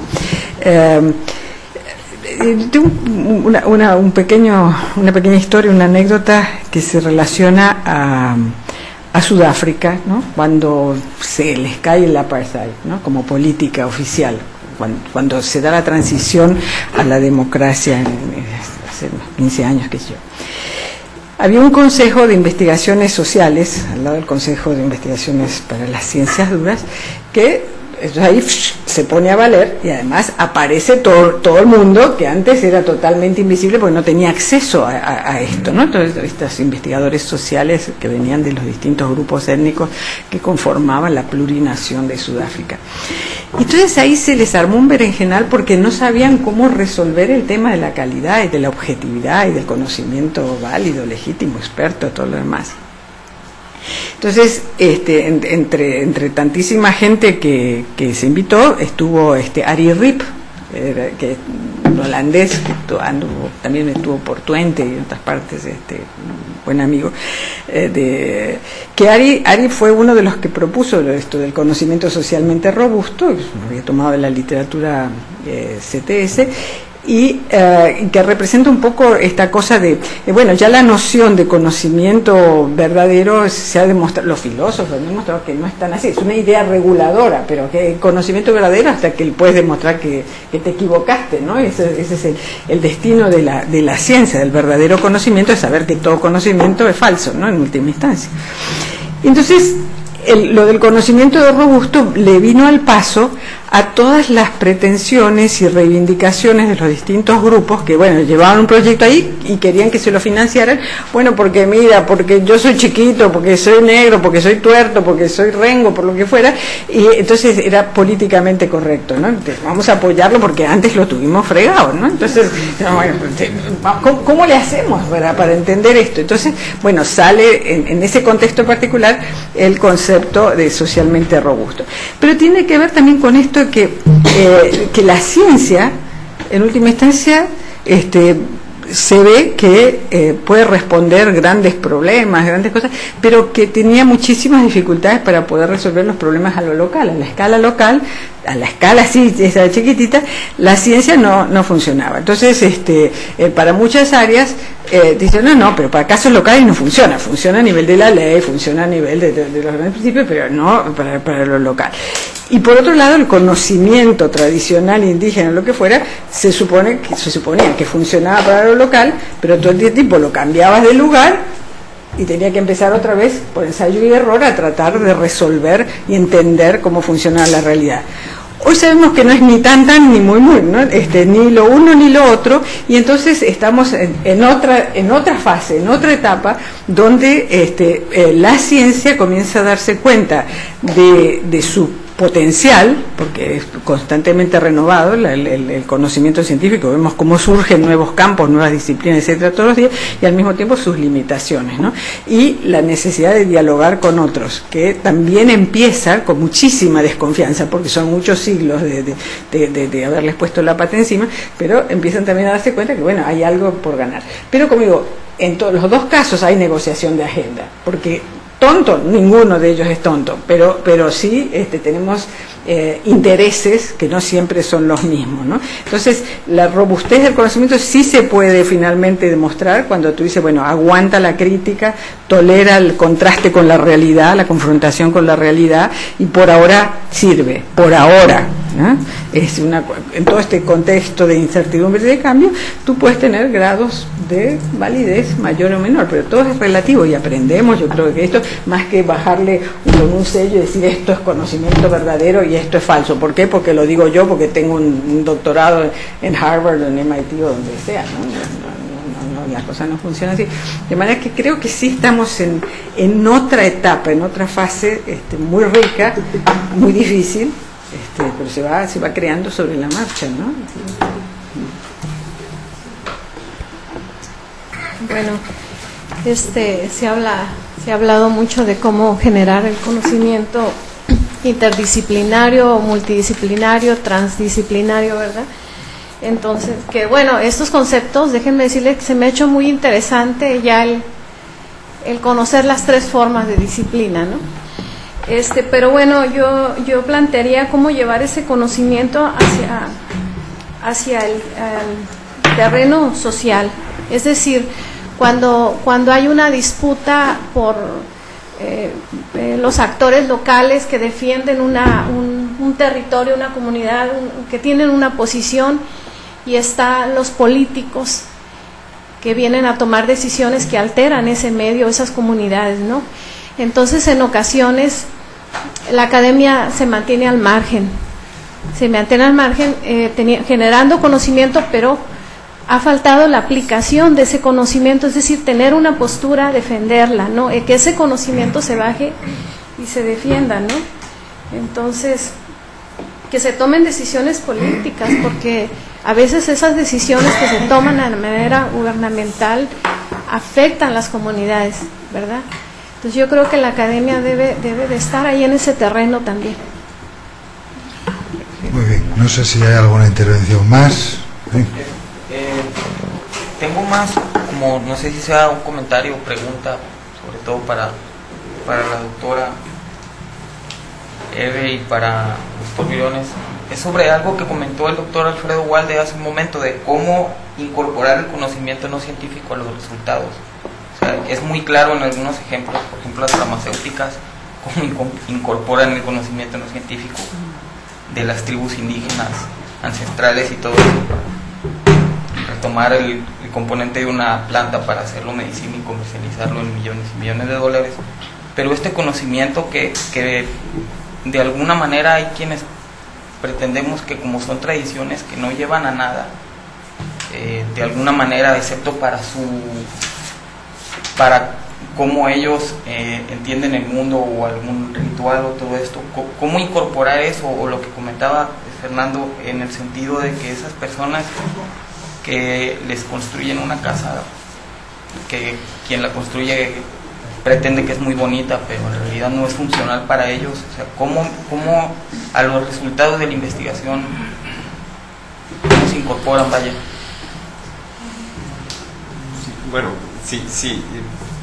Es, es que también aquí hay que considerar que hay una serie de, de actores que a veces un académico no puede, no puede completamente, no, no puede intervenir en todo. Yo creo que, permítanme contestar medianamente al mismo tiempo.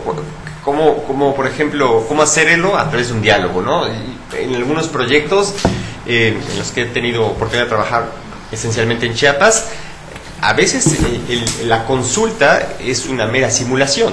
¿no? Cuando una consulta funciona como un proceso real, es más factible que tomemos mejores decisiones. ¿no? Pero si me ponen en la posición del político, es posible que yo no sea el, más indicado para resolver, que también está sujeto a presiones, a resultados, a presupuestos, al igual que nosotros, ¿no? a intermediarios. ¿no?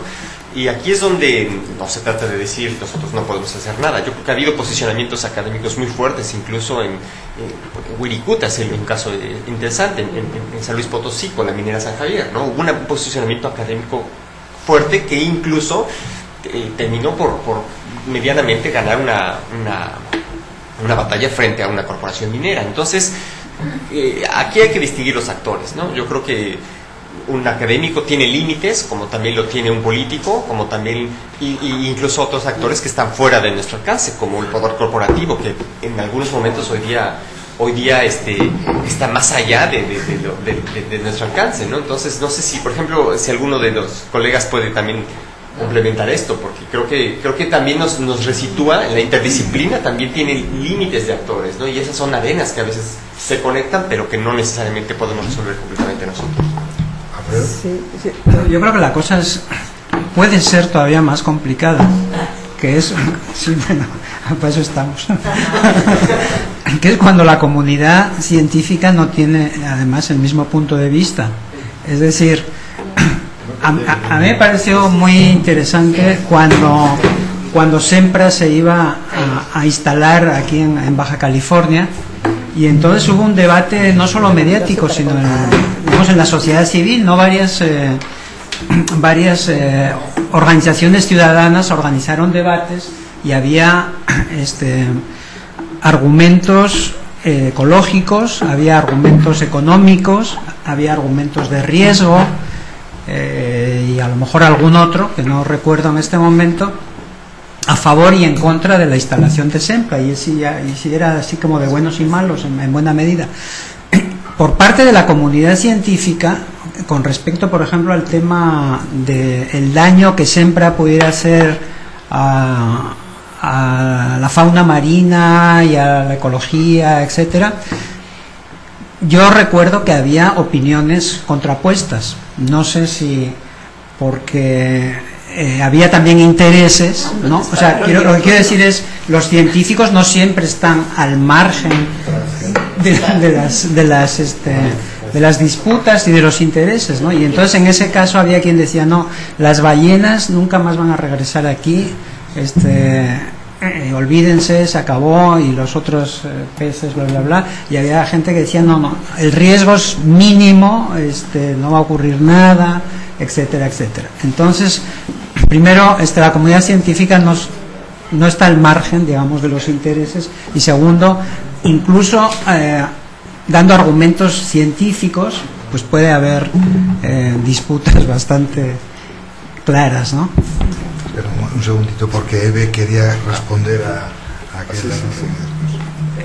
Bueno, eh, mira, yo, yo veo el, el tema de, la, de, de cómo se incorpora el conocimiento tradicional a los, a los resultados. Eh, yo creo que lo fundamental en esta fase es eh, para la construcción de conocimiento nuevo. Es decir, ni local o tradicional o indígena, ni científico solo, en muchas de estas áreas problemáticas pueden funcionar solas. ¿no? Y le- entonces el diálogo de saberes tiene que servir para eso, no nada más porque mire, yo te digo cómo soy, tú me cuentas cómo eres y ya, ahí nos quedamos todos, nos damos la mano y somos amigos. No, no, no. Es que los desafíos que plantea especialmente el cambio climático actualmente nos ponen en una situación inédita. ¿No? Eh, nosotros vemos el conocimiento de las poblaciones indígenas sobre manejo de fuego que les sirvió mientras el, el- ecosistema funcionaba de una cierta manera, con eh, una demografía X, eh, Y, Z, este, eso funcionaba. Hoy en día han perdido la memoria, cambiaron las condiciones eh, climáticas, cambiaron las condiciones demográficas dentro, porque además hay- ellos son muchos más y ha- hay más gente que está allí, este, de manera que se les cayeron todos los papeles, ¿no? Eh, si no todos, eh, lo que recuperas es que el potencial de conocimiento que había en su modelo anterior, en su régimen de conocimiento, que es un punto de partida importante para seguir trabajando. Y los científicos también para corregir errores de enfoque que la ciencia tenía, y entonces pasando a un nuevo modelo, este, trabajar junto con los indígenas que saben lo que saben eh, de su cosa local y que esto no funciona, que esto puede ser aquello, pero los dos se necesitan, ¿no? Y ambos necesitan trabajar con el sector eh, este, eh, político. Y entonces para, para manejar el sector político, que hay que enganchar a, a actores más importantes que, que puedan decir cosas, Creo que es útil y, para eso este, sí los, los científicos académicos tenemos eh, formación y experiencia en esto y es, eh, es- escribir, es dar a conocer es- estas experiencias que se están haciendo de construcción de conocimiento conjunto. Entonces yo creo que la comparación a veces con y participación en proyectos más amplios, comparando resultados comunes, eso es muy útil fundamentalmente para convencer a esos otros actores que son los decisores, los políticos, los financistas, los que te tienen que dar este, la lana o lo que sea. ¿no?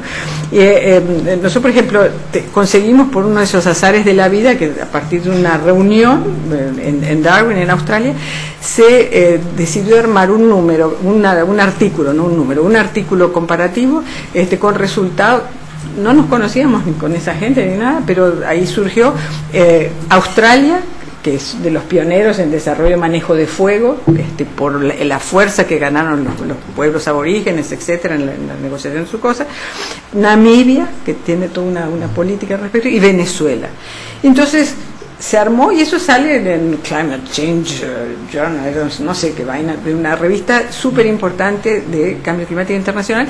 Entonces, eso, oye, rapidito para mostrárselo al señor ministro de turno de, Ciencia y Tecnología, del Ambiente, de quien sea en tu país, y eso este, también ayuda a que se den cuenta que existe un mundo donde lo- los pobladores indígenas, las poblaciones locales, tienen también saberes, tienen cosas para decir para hacer, y que este, eso lo están haciendo también otras gentes, los australianos, los de Namibia, los de Sudáfrica, los de México, los de otras partes. ¿no? Entonces, creo que esto son una serie de acciones conjuntas que se van haciendo, pero que es una manera de este, incorporar ese conocimiento, ese otro conocimiento, a este, los resultados de la investigación. ¿no? Roberto.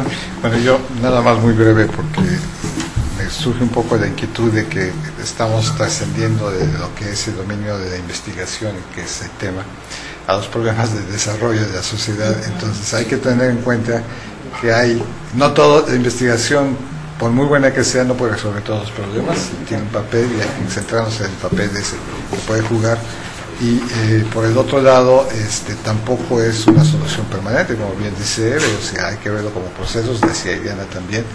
Desde luego dentro de este proceso lo que es importante es la capacidad de aprendizaje. En el fondo lo que todas estas herramientas la ciencia como una herramienta para la sociedad eh, es útil en el sentido de también de crear no solo de saber sino las capacidades. O sea el saber no necesariamente se traduce en una capacidad. Entonces este, hay que hay que trabajar en ese conjunto quizás para la tarde, porque ya veo que todos tienen cara de hambre, este, para la tarde lo que podemos hacer es regresar a estas cosas con el segundo grupo de presentaciones y, este, y dar respuesta a las preguntas de la, de internet después también. Sí, a ver, hay dos, dos preguntas. Una es, de alguna manera se ha comentado indirectamente, pero de todas maneras. La pregunta concreta es cómo superar la barrera de la jerga que imponen las diferentes disciplinas. Luego dice aquí ya no me gusta, pero no, sé qué tiene que. Y segundo es eh, a la transdisciplina. A partir de la experiencia, es Edgar López, la anterior era Daniel López Vicuña. A la transdisciplina, a partir de la experiencia de los ponentes, ¿dónde empieza y termina la disciplina y viceversa en la trans? Bueno, pues entonces quedan pendientes estas dos preguntas. Yo simplemente pues eh, quisiera no hacer una recapitulación porque ya no ha lugar, pero no deja de ser curioso que en los años 60 tuvo mucho impacto la conferencia de Snow cuando hablaba de las dos culturas, que era la cultura de ciencia respecto a la cultura de letras o la cultura literaria y ahí se planteaba el problema del, por parte del propio Snow de cómo si uno no sabía quién era Shakespeare, pues era un inculto, pero si no lo sabía la segunda ley de la termodinámica, no lo era, ¿verdad?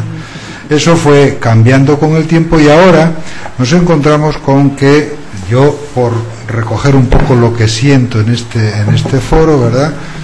Que una cuestión en apariencia de epistemología o de teoría de la ciencia o de reflexión sobre la ciencia en realidad eh, está muy señalada por todas las intervenciones que hubo de la relación que tiene la ciencia con la sociedad. Es decir, la ciencia ya perdió, por decirlo así, eh, ese estatus de, de, empíreo platónico, de investigación pura, y eh, por una serie de transiciones llega a lo que es la tecnología, que esto ya preocupa. Esto ya inquieta y esto ya también hace que intervenga el resto de la sociedad. Aquí, como era un foro de investigadores, se está viendo el aspecto únicamente desde, la, el, desde el punto de vista del científico. Habría que ver cómo la propia, los propios movimientos sociales, cómo la propia sociedad, cómo la propia dinámica de los estados eh, provocaron que también los científicos tuviesen que plantearse estos problemas de una manera diferente, ¿verdad? Entonces esto no deja de ser también una cuestión que queda en el aire, pero eh, eh, continuará, ¿verdad? Bueno, muchas gracias. Las áreas verdes y la experiencia de una aproximación eh, transdisciplinaria que hemos tenido a lo largo de mucho tiempo. Entonces, lo que se presenta es un esquema de investigación transdisciplinaria que se ejemplifica en un caso de estudio referente a las áreas verdes en ciudades áridas, costeras, fronterizas. Es los casos de Tijuana y Ensenada en Baja California, en donde, donde, en donde por más de 20 años se ha formado un grupo de, diferentes, de diversos estudiantes, profesores, investigadores, profesionistas, gobernantes y sociedades civil, sociedad civil, quienes en conjunto hemos elaborado un gran proyecto transdisciplinario que busca cooperar a la sustentabilidad de ambas ciudades. El proyecto inició con un enfoque disciplinario o multidisciplinario desde la botánica y la ecología, con el que, eh, con el que iniciamos con inventarios florísticos, descripciones, diagnósticos de los problemas, así como una experiencia práctica adquirida en diferentes cosas en, en- en diferentes proyectos, como es el caso de Ecoparque, que es un parque que construyó el Colegio de la Frontera, este, eh, y que ahora está en la ciudad y es el tercer parque más grande, o los jardines del Sausal en la Universidad de Baja California. A estos estudios se les incorporaron, gracias a preguntas de las agencias de gobierno, temas de la administración pública y se elaboraron propuestas interdisciplinarias para continuar con proyectos transdisciplinarios que han construido el incluir las necesidades y percepciones de los usuarios. Este, también se han agregado factores de índole social, de salud integral y de educación ambiental como eje que pensamos que son los que hacia el futuro nos van a dar más continuidad en el, en el momento en el que estamos. Este, en cuanto al tema, desde su origen la ciudad, las ciudades trataron de incorporar áreas verdes. En las ciudades modernas estas siguen siendo un requisito del diseño urbano, por lo que son tema de investigación. Aunque la realidad indica que las ciudades de país desar- este, en desarrollo, especialmente las nuevas colonias y los fraccionamientos nuevos, en aras de aprovechar todo el espacio en construcciones vendibles, han descuidado la provisión de, eh, espacios verdes. Esto ha sucedido de una manera tan rápida que la capacidad de los gobernantes y a veces la propia confabulación de los gobernantes con los fraccionadores lo que ha hecho es que cada vez haya menos áreas verdes en- en los fraccionamientos, ¿no? Eh, en los últimos 12 años la política sobre el crecimiento de fraccionamientos para casa habitación para gentes de escasos recursos ha sido muy fuerte, ha sido muy muy agresiva, digamos, y esta, digamos que no ha obedecido muy bien a los planes de desarrollo urbano locales ni se ha abastecido con los servicios que éstas requieren. Ahora, las áreas verdes tienen funciones básicas que son súper importantes.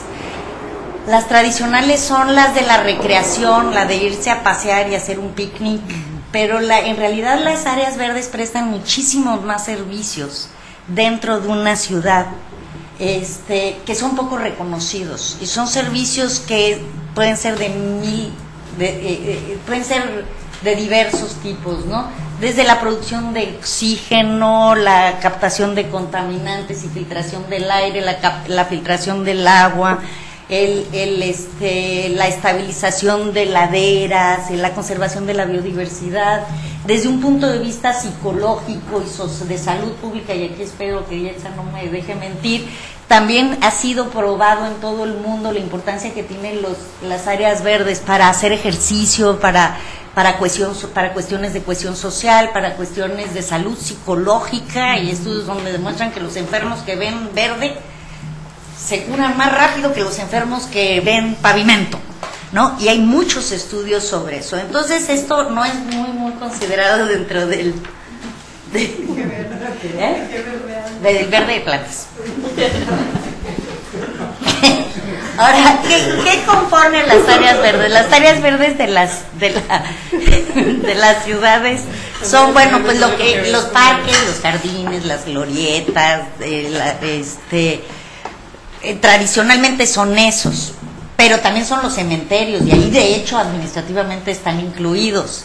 Pero también son las áreas naturales que a veces quedan embebidas en- dentro de la ciudad y que, y que no- son las menos apreciadas y que pueden llegar a cumplir una función muy importante muy importante en la capacidad de resiliencia que tenga una ciudad ante eventos extremos, ¿no? Sobre todo climatológicos.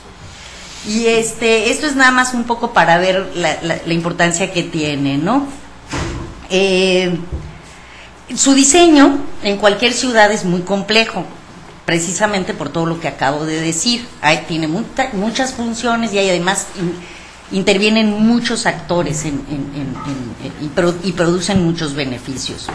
Pero en un marco de sustentabilidad urbana, algunos aspectos que se consideran para su instrumentación son las condiciones particulares físicas y biológicas del espacio natural en el que está embebida la ciudad, eh, esto es para man- mantener esta capacidad de resiliencia de la que hablo, capacidad de, eh, de mantener los beneficios y funciones ecológicas del espacio en el que está, el paisaje en el que está embebida la ciudad, las necesidades que la población tiene en función de su diversidad cultural, estructura de edades, composición étnica, género, minorías, su accesibilidad, o sea, todas estas son variables que se deben de considerar desde un aspecto social los, la- cómo el, el uso de las áreas verdes por todos estos grupos pues varía mucho.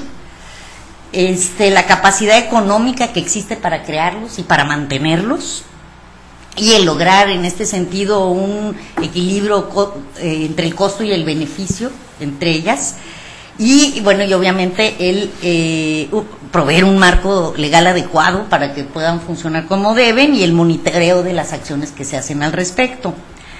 Ahora, el problema está que no hay una, un- un- precisamente como cada ciudad está embebida dentro de un medio físico, natural diferente y tiene una composición de población diferente y cultural diferente, no hay receta de cocina en esto para todas las ciudades, ¿no? Entonces, por eso lo que originalmente la Organización Mundial de la Salud decía que tenía que ser entre 9 y 12 metros cuadrados por habitante, que además no incluía lo de la accesibilidad, eso ya lo borró la Organización Mundial de la Salud y ahora sí no hay un mínimo está, establecido internacionalmente, lo cual es malo y es bueno. Pero bueno. Este a lo largo de todos estos años de experiencia se ha ido elaborando un marco conceptual para la investigación y docencia del trabajo eh, in- eh, interdisciplinario. Sin embargo, en el 2013 eh, seguimos a un or- autor que se pronuncia autora Connie y colaboradores, sí, este, que presentan una propuesta que se ajusta mejor al tipo de investigación que nosotras hemos realizado en todos estos años. El modelo se adapta al tema de investigación modificando cuestiones fundamentales como es el origen de la pregunta que da inicio a una investigación. No, es que todavía no lo pongo. Las preguntas son interesantes, voy a poner el primero para que no se desesperen. Las preguntas son interesantes. Es el mismo cuadro que yo hacía referencia el mentor, broker, todo eso. ¿verdad? Es este, ok. Las preguntas son interesantes cuando las plantea el investigador, pero son importantes cuando la sociedad las propone. En ecología esto es fundamental porque de entrada la investigación puede ser aplicada o no. Si es aplicada, se usan marcos conceptuales donde hay incertidumbre y valores e intereses en juego que han creado un nuevo paradigma científico que se conoce como ciencia postnormal y que parte de hacer un, útil la serie de resultados que se obtienen de la consultoría ambiental generadora de fuentes, insumos de conocimiento en materia ecológica y desarrollo sustentable. El esquema transdisci- transdisciplinario, el esquema es transdisciplinario porque en su primera fase, que es esta, parte de una pregunta importante planteada por la sociedad civil o el gobierno interesado. El tipo de pregunta promueve la creación de un equipo de expertos de disciplina que junto con los interesados y mediados por un facilitador del que hablábamos antes, o sea que no necesariamente tiene que ser un experto, sino un comunicólogo, un facilitador, construyen el objeto de estudio. En el esquema se incorporan cuestiones fundamentales que deben tener los dirigentes de las investigaciones, que en este caso, en nuestro caso, han hemos sido bueno, los profesores investigadores, este, pero cuestiones fundamentales que tiene que tener este personaje es que debe de preocuparle mucho el problema que se plantee, debe tener un gran compromiso para solucionarlo y una moral íntegra, ¿no? entre comillas. Por su parte, el facilitador, también se requiere un facilitador que debe de ayudar a la discusión entre las diferentes disciplinas y actores, promover la participación y apertura y traducir el conocimiento para que sea comprendido por todos. Y esto alude a lo que Liliana había dicho, esto de la importancia de la comunicación, poder comunicar los resultados a los otros actores que están participando.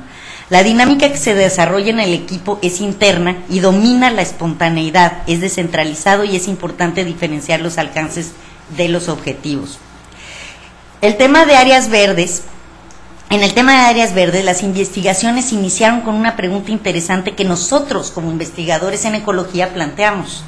Sin embargo, la necesidad de mejorar y aumentar y diseñar las áreas verdes buscando un mínimo de superficie por habitante, que es un requisito de la Agenda 21, eh, condujo a que en una coyuntura de un gobierno local como Ensenada, porque eso también es muy importante, eh, eh, ahí ahorita hay una persona que ha sido muy accesible, ¿no? Este, plantearan preguntas ellos como cuál es el mínimo de su- eh, cuál es el mínimo de superficie verde que necesita una ciudad y cuál es su distribución especialidad ideal, qué tipo de plantas soportan la escasez de agua y cómo pueden generar espacios estéticos y adecuados para distintos tipos de actividades, ¿Cuánto deben costar las áreas verdes? O sea, fueron preguntas que se fueron eh, creando conjuntamente. ¿Cómo y quién debe administrarlas? ¿Qué perciben los citadinos como área verde? ¿Y qué quisieran que fuera? ¿Cómo sería su reglamentación? ¿Se pueden usar aguas tratadas para, para mantener las áreas verdes? Etcétera. Hay muchas más. Estas preguntas promovieron la creación de un equipo de expertos, de profesores y alumnos de gran diversidad de profesiones que junto con los interesados de gobierno construyeron el objeto de estudio de manera transdisciplinaria. A la fecha no ha habido necesidad de un facilitador, ya que dentro del equipo ha habido la capacidad de traducir el conocimiento porque, porque está preocupado por las cuestiones ambientales en términos de justicia social y con compromiso. El equipo ha sido así, naturalmente y con compromiso para solucionar los problem el problema de forma alternativa. Se ha dado la discusión entre las diferentes disciplinas y personalidades y se ha promovido la participación y la apertura. La dinámica que se desarrolla es interna, descentralizada y domina la espontaneidad ha sido importante que durante la evaluación de esta primera fase se trabaje en diferenciar los alcances de los objetivos y se replanteen para cumplir con lo esperado por los interesados. O sea, en el camino hay que irse ajustando. En la segunda fase, que ya llegamos a esta, que corresponde a la producción de un resultado integrado, el equipo puede utilizar cualquier técnica de investigación social o ecológica o de ingeniería siempre y cuando haya responsable de la productividad de interacción de los resultados, que es el que viene ahí como productor. Y el director revise continuamente si la meta es clara y tome decisiones sobre la dirección del proyecto. Esta fase pone en orden a los resultados y puede llevar mucho tiempo. Es un trabajo centralizado y de integración de métodos. En nuestro caso se han utilizado técnicas de investigación social como entrevistas a usuarios y gobernantes, encuestas a beneficiados, a viveristas, jardineros, recuperación del conocimiento científico en términos de necesidades fisiológicas de las plantas, de zonas áridas, época de floración, cuestiones muy biológicas, eh, ecológicas, se, se han hecho catálogos, eh, de los inventarios, cuánto es la superficie, la cubierta, la calidad de la vegetación, eh, si hay fauna nociva o no, pero también se han usado bases de datos y sistemas de información geográfica y de diseño este, para poder comunicarlo. Hemos encontrado que los mapas son cosas buenísimas y los comunicólogos encuentran formas muy creativas de comunicar las cosas. Los responsables de los proyectos han medido la productividad de interacción de resultados funcionando como directores que revisan continuamente si la meta es clara y toman decisiones en cuanto a la dirección de proyecto. Y aquí debo reconocer que esa es, esa es ella. Esta fase centralizada y de, dice que no, pero sí. Ella habla de grupos sin cabeza, pero no, sí. Esta fase centralizada y de integración ordena los resultados y requiere de un intenso trabajo de campo y gabinete y varía en duración dependiendo si se hace a partir, porque como hemos hecho, muchos de los trabajos se han hecho con alumnos, con cursos, con, grupos, o sea, son pequeños trabajitos que se van construyendo, ahorita van a ver, y se han hecho con, concursos, cursos, con tesis. Eh, las tesis se han hecho mucho aprovechando los, eh, por ejemplo, aquí en el COLEF, tenemos esta cosa de hacer lo social con lo natural, entonces el aprovechar los lectores internos, los lectores externos que provengan de, de, este, de disciplinas diferentes, involucrarlos desde el origen, aunque todavía no estén ya este, formalmente aceptados, involucrarlos en el diseño del, de, este, de los proyectos de tesis, ¿no? Y yo creo que en la maestría que hay allá en UABC tiene una situación muy parecida. Y también de doctorado, y hay un doctorado también. Este, ¿dónde me quedé? Eh, sí, y de bueno, los responsables aquí, los responsables eh, esta fase, es, esta fase centralizada y de, integración ordena los resultados y requiere de un intenso trabajo de campo y gabinete y varía en duración dependiendo si se hace a partir de un curso o de una tesis, por eso dije eso.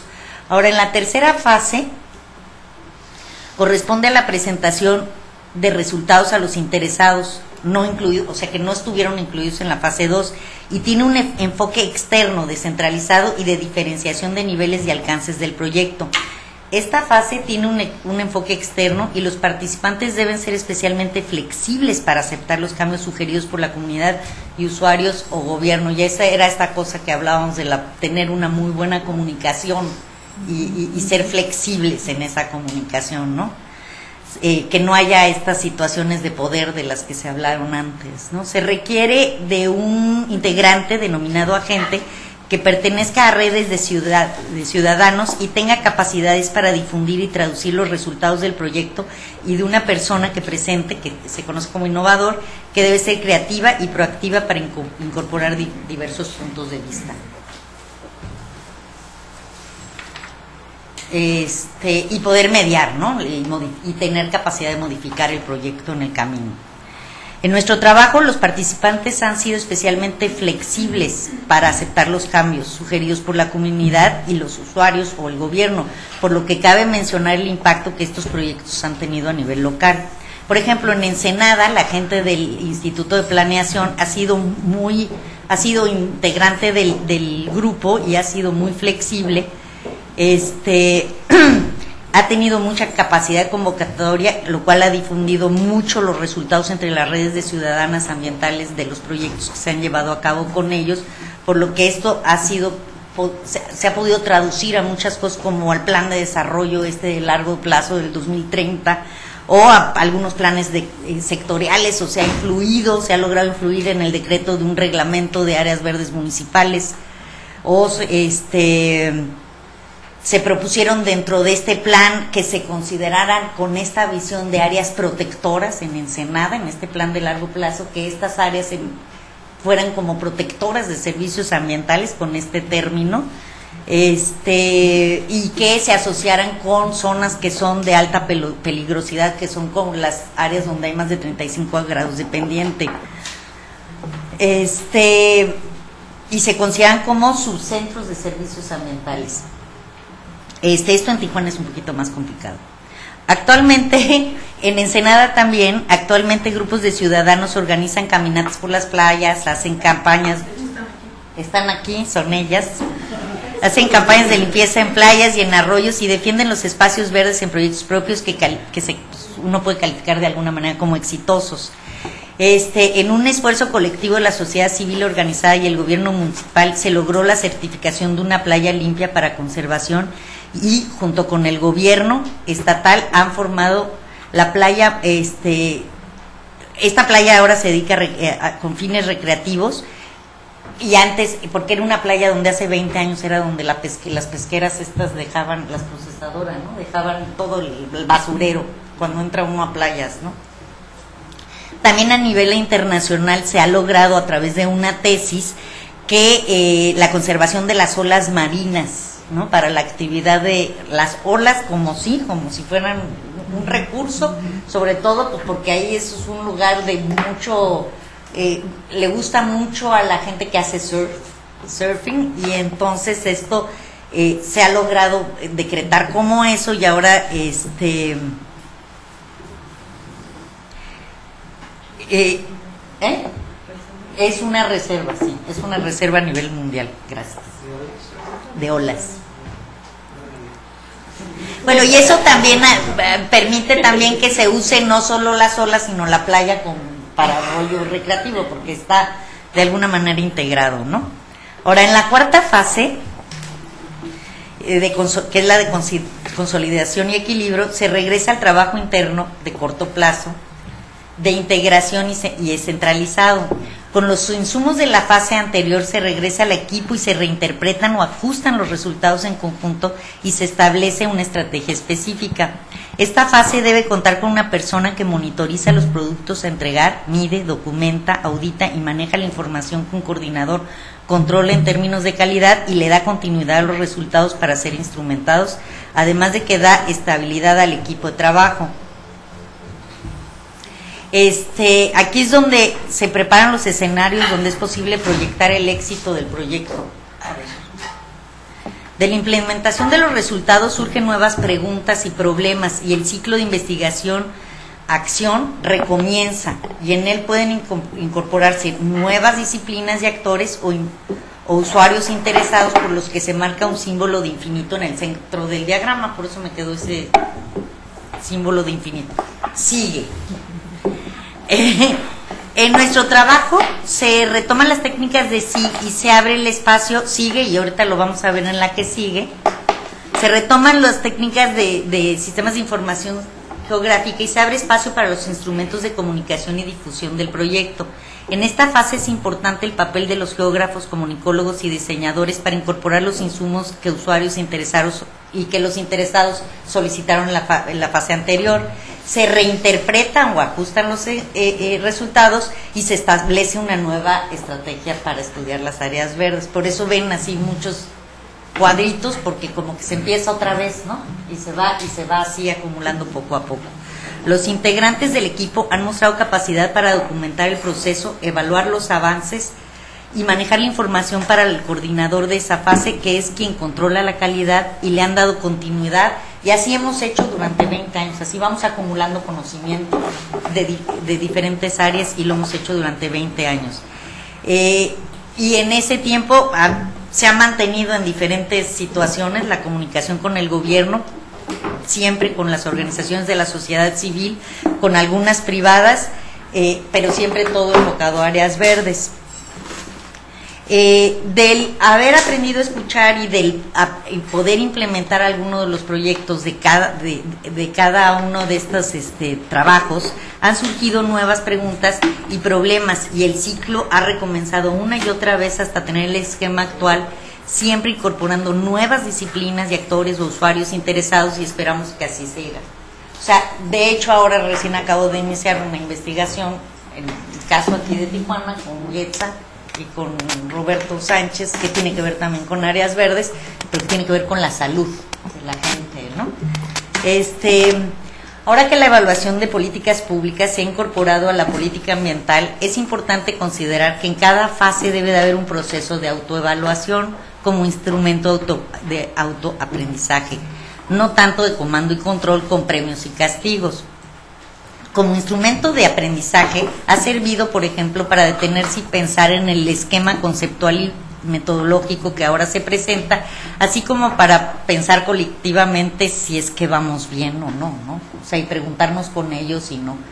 Nosotros pensamos que sí vamos bien, cada vez le añadimos más, pero bueno, la cosa es que esto, según este esquema, es que uno lo puede repetir y cada vez enriquecer más, enriquecer más, conforme va uno entendiendo de otras disciplinas, se va, va uno incorporando otras gentes y esto pues lo puede uno hacer ad infinitum. Pero el valor que tiene es el conjunto del conocimiento que se va creando a lo largo, o sea, el entendimiento de un tema que es muy complejo, pero a lo largo de muchos años se va creando, que por eso decía que no puede ser de un en un solo proyecto, en un solo momento, es como muy difícil, ¿no? Hacer eso. Este eh, las lecciones aprendidas investigando este tema de forma trans- trans- transdisciplinaria, un tema complejo como las áreas verdes, áridas, costeras y fronterizas, se resumen en tres argumentos que deseamos concretar. Un principio básico para pasar de las investigaciones disciplinarias o multidisciplinarias a las inter o transdisciplinarias es la construcción del objeto de estudio. En nuestro caso hemos pasado de preguntas interesantes planteadas por nosotros a preguntas importantes planteadas por los usuarios o por el gobierno. Este, eh, cuando el objeto de estudio conlleva la solución de un problema común, las investigaciones desde la pluridisciplinariedad se arman de mejor manera. Es decir, los equipos inter y transdisciplinarios con la incorporación del conocimiento empírico se dan naturalmente. No es necesario forzar situaciones porque la meta es resolver el problema, no solo problematizar o analizar la teoría. Por otro lado, los equipos de investigación transdisciplinaria son dinámicos, expansivos, intra y extrainstitucionales con investigaciones y participaciones puntuales donde hay líderes emergentes y también liderazgos de largo plazo bien defini- definidos. La formación de un de un equipo para el análisis y propuesta de planes de infraestructura verde en Baja California ha incluido el tema como línea de investigación en programas de docen- docentes multi e interdisciplinarios para expandir el conocimiento a estudiantes y profesores de posgrado con diversas, con diversas disciplinas.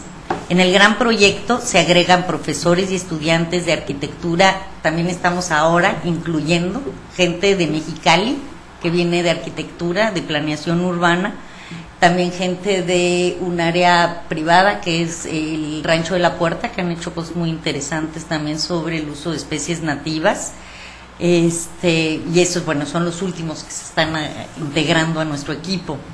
Este, también gentes, pues ahí va, va variando, depende de quién esté en los institutos de planeación o en, las, en los puestos de gobierno y esos, bueno, a veces están más integrados, a veces menos, pero intentamos mantener contacto. Este, eh, pero y también, bueno, hasta algunas organizaciones internacionales, ¿no? Eh, la cosa es tratar de darle continuidad a las ideas, ¿no? Este, el esquema le da importancia no solo al entrenamiento de profesionales que participan en los equipos, sino a las personalidades y habilidades de los participantes. Así se resuelve uno de los problemas que se han planteado como una falla importante en los modelos para alcanzar el desarrollo sustentable, lo humano, ¿no? Finalmente, o sea, para finalizar, los proyectos transdisciplinarios como el problema complejo de áreas verdes se construyen con un sinnúmero de proyectos pequeños, que es lo que decía, menos ambiciosos y más concretos, que en conjunto persiguen y logran un objetivo común alcanzable solo en el largo plazo. El trabajo relacionado con alumnos de posgrado que hacen ciencia aplicada como consultores ambientales y vinculados a problemas planteados por gobiernos locales ha permitido llenar de ejemplos este esquema. ¿no? No se los vamos a enumerar, de hecho habíamos hecho un resumen, el trabajo lo tiene, pero no lo voy a decir aquí. Ahí están todos los, los ejemplos de trabajos que se han hecho, ¿no? Y todo esto con el fin de avanzar en la investigación sobre formas de alcanzar el desarrollo sustentable en- a nivel urbano. La aplicación del esquema es una contribución para integrar los diversos y convergentes esfuerzos que se han hecho desde la academia y su interacción con el gobierno y la sociedad civil para construir un modelo de investigación aplicada en la solución de un problema en ciudades áridas, de zonas áridas. Muchas gracias.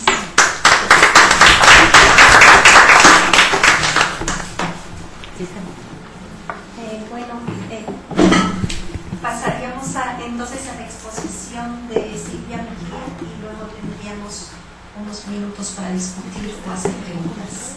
Eh, Silvia. Gracias, Dolores.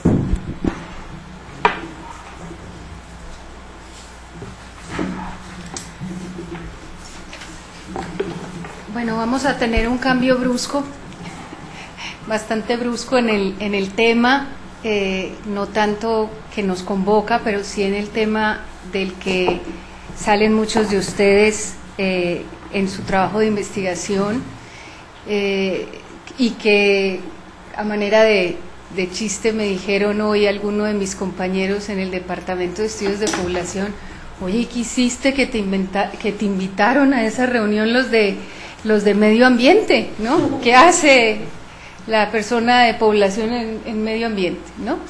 Y efectivamente me he estado preguntando mucho la misma pregunta de lo que hace que empezamos. Este, sin embargo, pues como eh, decía al principio, es un corte fuerte, pero es un corte en el que también se va a ilustrar un poco lo que se ha venido ilustrando este, a través de todas estas pláticas en miniatura, porque mm, no tengo los colaboradores, como ustedes todos están aquí reunidos, para este, dar por hecho que el conocimiento básico de la disciplina de origen está presente. Entonces me disculparán si por ahí me meto en algún en algo que, que no esté muy claro, pero pues me tendría que detener en, en muchos aspectos que no tienen que ver con esta presentación. Eh, cuando escribí también la primera frase que escribí para esta presentación y que se las mandé a Roberto y a Alfredo, no lo no sé si la recordarán, dije lo interdisciplinario en mi formación eh, empieza desde el momento en que como psicóloga decido hacer una maestría en psicobiología y un doctorado en neurociencias. O sea, yo ya el origen de la psicología nunca lo perderé, obviamente, pero hace rato que me moví de ahí y tanto hace rato que obviamente pues mis colegas psicólogos en Colombia donde me formé pues no me reconocen ya como psicóloga, ¿sí? Me reconocen como neuropsicóloga, como quien trabaja en el campo de las neurociencias, como quien se dedicó a la investigación en la en el área de la cognición y, y bueno, ya de psicóloga por ahí me quedan algunas cosas que aplico en mi familia, de pronto con alguno que otro amigo, pero realmente no, no es ya, ya, ya ese origen en el cole. También, también me toca a veces aplicarla. Pero bueno, ese es un poco el origen. Entonces, eh, hablar de lo interdisciplinario para mí es como parte natural de mi quehacer, porque desde el principio brinqué y brinqué y llegué a otro lugar. Eh, ¿Cuál es el problema? Porque yo quiero abordar esto un poco desde los problemas que atañen al quehacer mío eh, y al quehacer del grupo de gente con la que yo trabajo, pero también desde los pasos que hemos tenido que seguir, algo similar a lo que Lina estaba presentando. Y me cae muy bien la presentación de Alfredo en la mañana que puso un cuadro, qué tan distantes estamos una disciplina de otra. Y estamos en el sentido de mirar ese problema, ese problema tan grande que está allá arriba, que creo que sigue sin resolverse, que es esta división mente-cuerpo, que es un planteamiento de la filosofía que ha llevado a, muchos filósofos durante muchísimos años a trabajar sobre él, a pasar a otro nivel donde ya no hablamos del cuerpo y la mente, pero sí hablamos de la mente y el cerebro como dos instancias diferentes. Y es allí donde aparecen muchas disciplinas como las que están allí y, y valga la redundancia, Alfredo lo mencionaba, una más cerca de las otras. Ahí estoy yo por ahí al final, todavía en mi origen. Y donde la interdisciplinariedad lo que intenta hacer es unir el trabajo de los básicos y los clínicos. Los básicos en este sentido estarían representados por los médicos, por quienes se dedican al análisis este, de la salud desde la, desde la medicina y que en esta división mente-cerebro, pues lo que les interesa es estudiar el cerebro.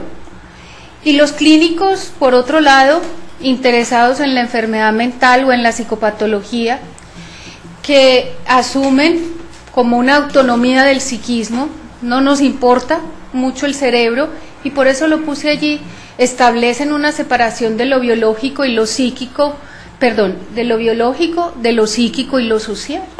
Y alguno de los autores este, lo mencionaba como de cerebrar lo social. El cerebro no importa cuando estamos trabajando con lo psicológico y lo social desde este punto de vista clínico.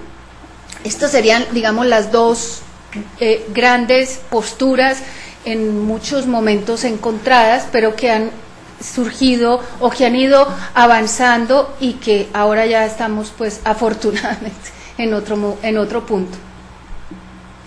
Mm, las neurociencias, en el título lo ponía como eh, son interdisciplinarias a multidisciplinarias, estudian la estructura, la función, el desarrollo, la química, la farmacología y la patología del sistema nervioso. Eso pues es un montón de información eh, del quehacer de las neurociencias, pero cuando uno aborda cualquier problema desde las neurociencias, se da cuenta que esto es como una bola de nieve que ha ido cambiando, se ha desarrollado, se ha ido transformando conforme la parte clínica que se refiere a este primer elemento que pongo ahí, crece el impacto de la enfermedad del sistema nervioso, crece por razones eh, inclusive demográficas, que es el caso de lo que yo quiero presentar. Entonces ya hay más viejos, el cerebro envejece, ya lo podemos estudiar en etapas avanzadas, donde el cerebro está enfermo, donde tiene algunas patologías presentes, que ha obligado que las neurociencias pues tengan este desarrollo y esta transformación.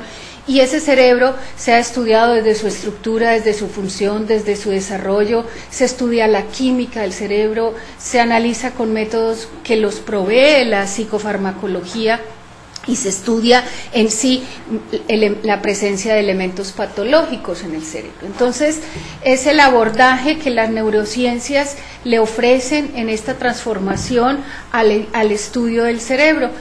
Y bueno, obviamente eh, es un área, como decía, creo que era Alfredo esta mañana, lo del genoma humano ha tenido un impacto enorme.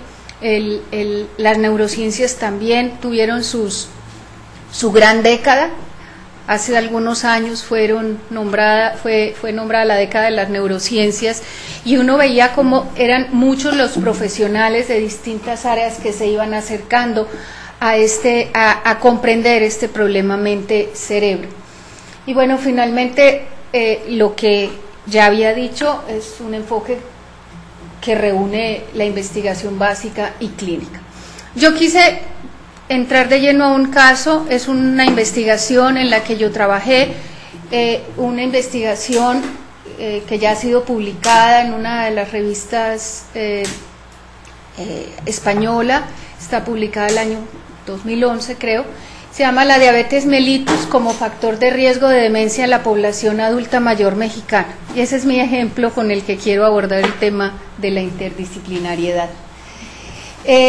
Algunos antecedentes que está resaltado en negro la variación que tenemos que hacer cuando abordamos el tema del envejecimiento. Tenemos que mirar el bienestar físico y en especial para el efecto de esta investigación estamos analizando el problema de la diabetes. En México el problema de diabetes es altísimo. Si vamos a, a la necesidad de comprender esta problemática o esta, esta enfermedad en la población, como una necesidad eh, del sistema de salud de abordar tanto en prevención, tanto en tratamiento como en prevención, pues no cabe la menor duda de que es un, un, problema de salud pública también en México el problema de la diabetes. 14% de la población adulta mayor sufre de, de diabetes en México.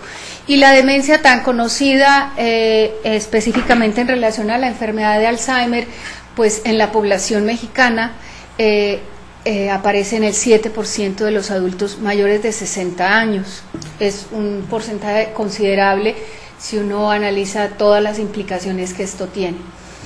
Sabemos que estas personas adultas mayores tienen cambios en el bienestar emocional y tienen cambios en la funcionalidad, la funcionalidad referida como la pérdida de la independencia. El adulto mayor pasa de etapas de ser totalmente independiente a tener que depender de otras personas, pierde la posibilidad de moverse en el ambiente y esto acarrea también una cantidad o tiene una cantidad de implicaciones. Entonces, desde el principio, si lo miramos, lo miramos como problema físico, problema emocional, problema de funcionalidad o motor, como lo quieran llamar, pues ya estamos en presencia de una problemática que obliga una mirada interdisciplinaria. Eh, la es la encuesta nacional de salud y envejecimiento en México, es una encuesta que se ha hecho eh, ahora tres veces, ha salido a población, eh, se ha hecho de 2001, 2003, 2013 o 2012, perdón, y, ha ido recogiendo información sobre los adultos mayores a nivel nacional. Es una encuesta que tiene datos de 15 mil personas, de las cuales más o menos 8 mil son adultos mayores de 60 años y por ahí unos 12 mil son adultos mayores de 50. Los de 50 hace 10 años pues ya, ya están en 60. Entonces ahora en el 2012 ya los vamos a encontrar este, en, en esta etapa llamada de adulto mayor. Es una encuesta, eh, ahí, ahí, la, está la diapositiva donde la, donde, con, con, la información con la cual se presenta la encuesta en la que han participado varias universidades de Estados Unidos.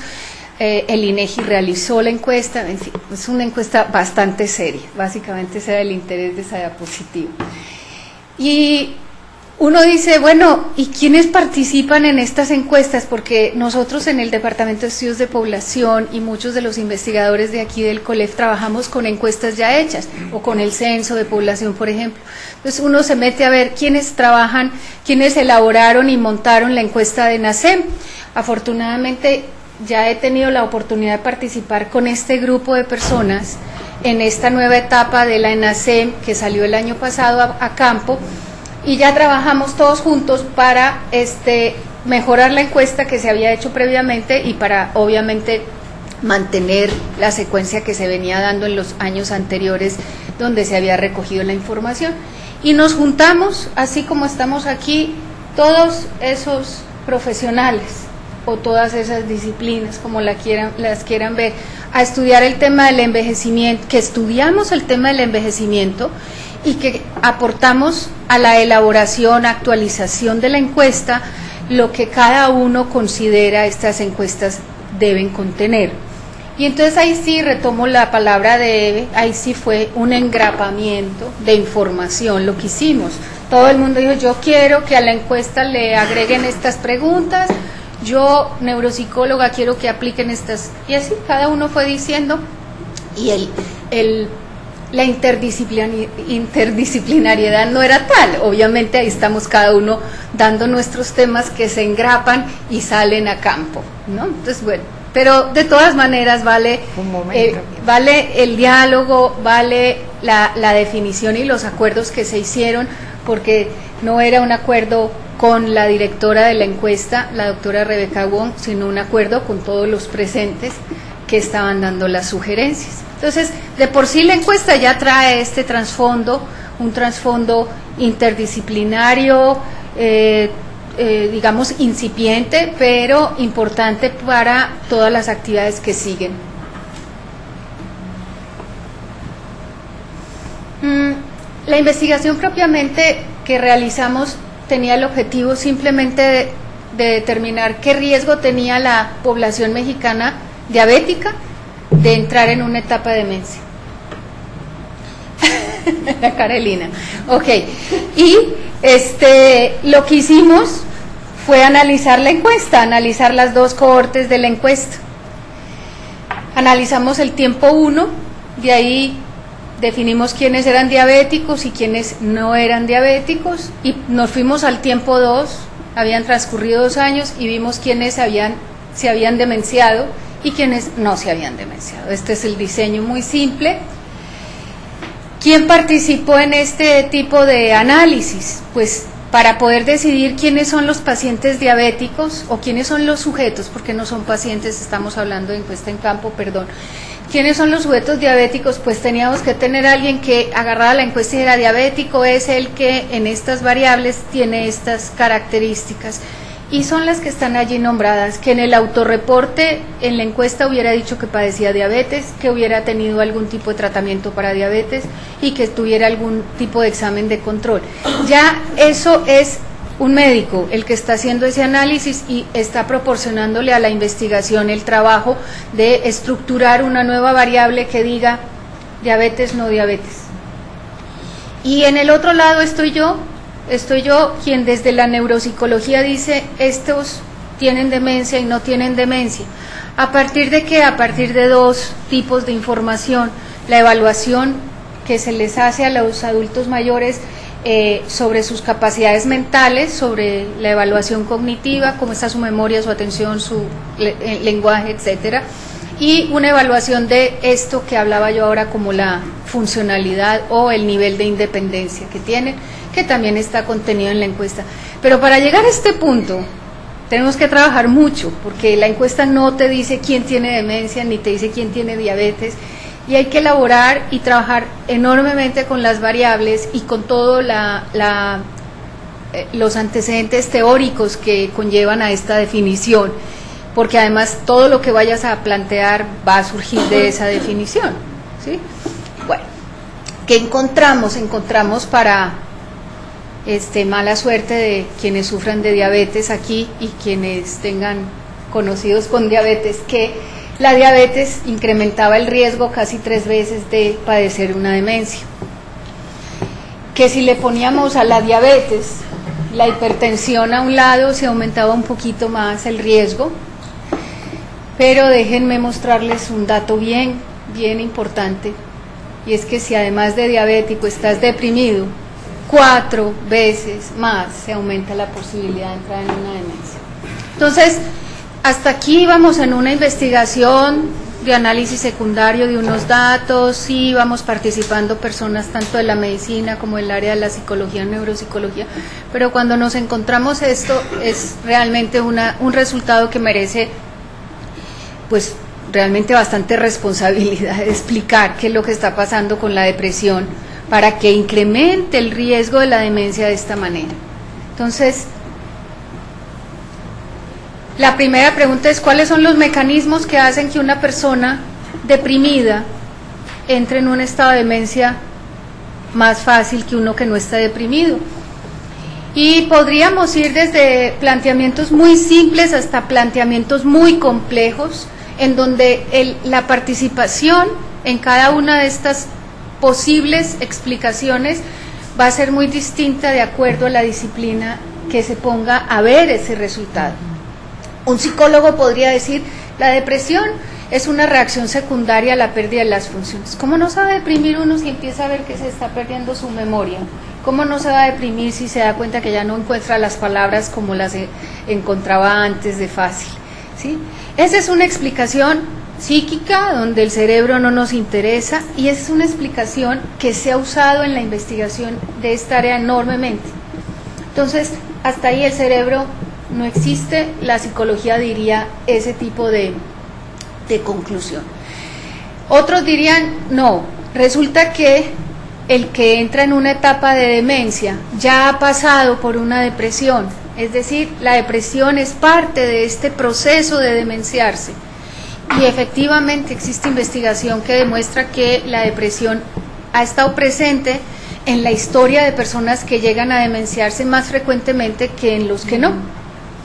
Sin embargo, pues esa es una explicación biologicista, también reduccionista para esa mirada y que no nos aporta mucho más que decir en el desarrollo, si se deprime, usted va a tener más probabilidad de demenciarse que si no se deprime. La otra es una explicación muy de tipo epidemiológica, donde planteamos la depresión es un factor de riesgo para demencia. Voy a dejarlo ahí, ya paso a la siguiente diapositiva para que se entienda. Y la otra es, tiene que haber algún mecanismo común entre la diabetes y la depresión que aumenten la probabilidad de demencia. Entonces, el nivel de explicación o va a requerir la participación interdisciplinaria, porque si la dejamos en la primera nos quedamos con una explicación muy simple. ¿Ya? ¿Se acabó el tiempo? No te vayas a Madre mía. Entonces me voy a ir rápido. Aquí tenemos las, las tres explicaciones que habíamos o que yo estaba planteando inicialmente. Arriba a la izquierda tenemos el modelo psicológico, abajo a la izquierda el modelo biológico y arriba a la derecha tenemos la explicación del modelo epidemiológico, donde son la, es la depresión con una serie de factores que se le asocian como el sedentarismo, como la obesidad y otras, las que llevan a la demencia más que el, el hecho mismo de la depresión. Sin embargo, las neurociencias aparecen, en este caso, a proponer un modelo y a plantear una posibilidad de relacionar el problema de la demencia y el problema de la depresión, perdón, el problema de la depresión y la diabetes con la demencia.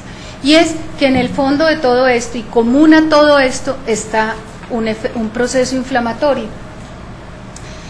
Y ustedes me dirán, le dio trabajo a usted, psicóloga, a estudiar en qué consistía ese proceso inflamatorio. Claro, terriblemente difícil entender que hay un proceso en el cerebro de inflamación por la depresión que se agrava con la diabetes y que termina en una demencia. Esa sería la secuencia. Y ahí encontramos un camino que es común a todos. Yo tuve que eh, elaborar este, la evaluación de estos pacientes, desarrollarla. Eh, participaron otras personas para lograr comprender este resultado. Entonces, esta es mi presentación, yo ahí la dejo, sin embargo señalar que eh, efectivamente cuando entramos en, el, en la investigación de, esta, de estas áreas, es probable que desde el principio haya o no haya interdisciplinariedad, pero finalmente acaba siendo una necesidad para la comprensión del problema de investigación o para el análisis o para la metodología o para cualquiera de las etapas de la investigación. Muchas gracias.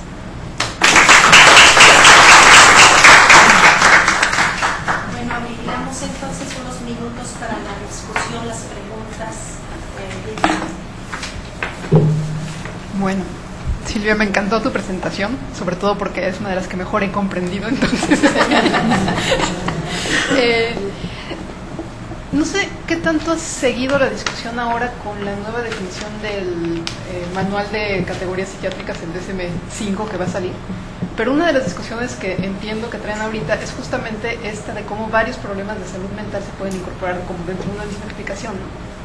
Y lo que te quería preguntar en el contexto de este seminario es que tanto tú ves eso como un riesgo de reduccionismo y de sobresimplificación, donde, bueno, pues es lo mismo la diabetes, la demencia, la depresión, la esquizofrenia y el autismo, ¿no? O, este, o sea, como que, ¿qué, potencial le ves a este tipo de, de empresas de simplificar varios padecimientos como con una misma explicación?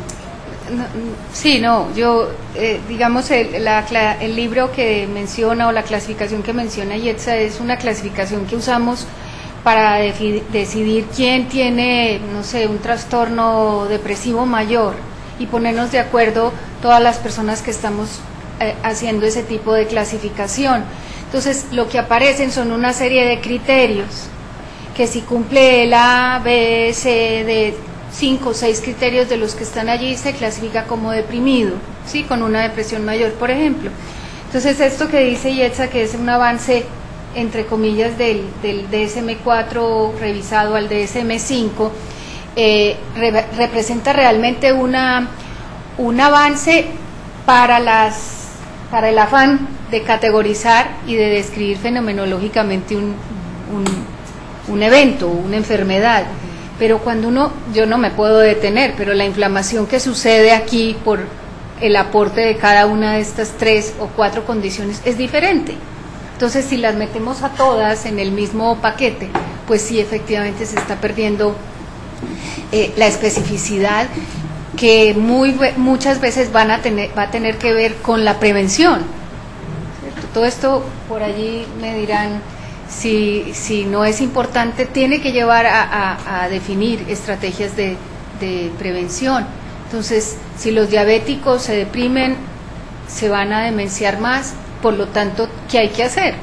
Pues hay que trabajar en pro de la no depresión, de la no diabetes, y con eso vamos a disminuir este parte de la problemática que hay con la demencia. Entonces no podemos meter en un cajón a todos porque pues no podríamos posteriormente hacer ningún tipo de intervención. ¿no? Sí, eh, a mí me, me parecen muy interesantes las dos presentaciones, sobre todo habiéndolas escuchado secuencialmente, pues, porque yo advierto, y a, y a, lo mejor me equivoco, pero me da la impresión de, de que nos encontramos ante, ante perspectivas disciplinarias distintas. Y, quiero explicar qué es lo que quiero decir. Creo que el trabajo de, de Lina e Ileana van construyendo una, una, una articulación interdisciplinaria o quizá transdisciplinaria. Yo tengo mis dudas y a lo mejor voy a parecer muy purista, pero este, se va construyendo a partir de una problemática en la cual lo interdisciplinario no aparece como evidente desde el principio. Sin embargo, creo que el trabajo de, de Silvia parte de un, un, campo, no de una disciplina, sino de un campo eh, ya más consolidado, que es el de las neurociencias. ¿no? Es, es, es algo el que da la, digo, ojalá me, me, me, aclaren si esto es así o no. Es una impresión que me da a partir de las dos, de las dos este, presentaciones.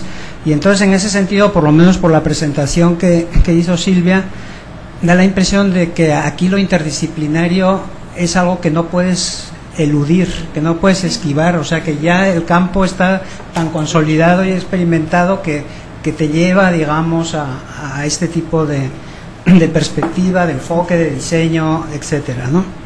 Aunque en determinadas fases también hay que distinguir fases, porque efectivamente en la fase de la encuesta, como tú dijiste, no hay interdisciplinariedad, sino está la famosa engrapadora este, actuando, ¿no? La voy a patentar, a ver, Sí, es la sí. primera vez No, yo creo que es el, hallazgo del, de- a patentar. Bueno, entonces creo que desde ese punto de vista hay, hay una, una diferencia muy, muy interesante a efectos de este, de este, de este seminario. Con respecto al, al tema que ustedes presentaron, a mí me cabe la duda, y, yo tengo mi interpretación, pero da la impresión de que ustedes eh, intuitivamente o en la práctica fueron haciendo una construcción y después encontraron un esquema, ¿no? que fue el de Kenny, ¿no?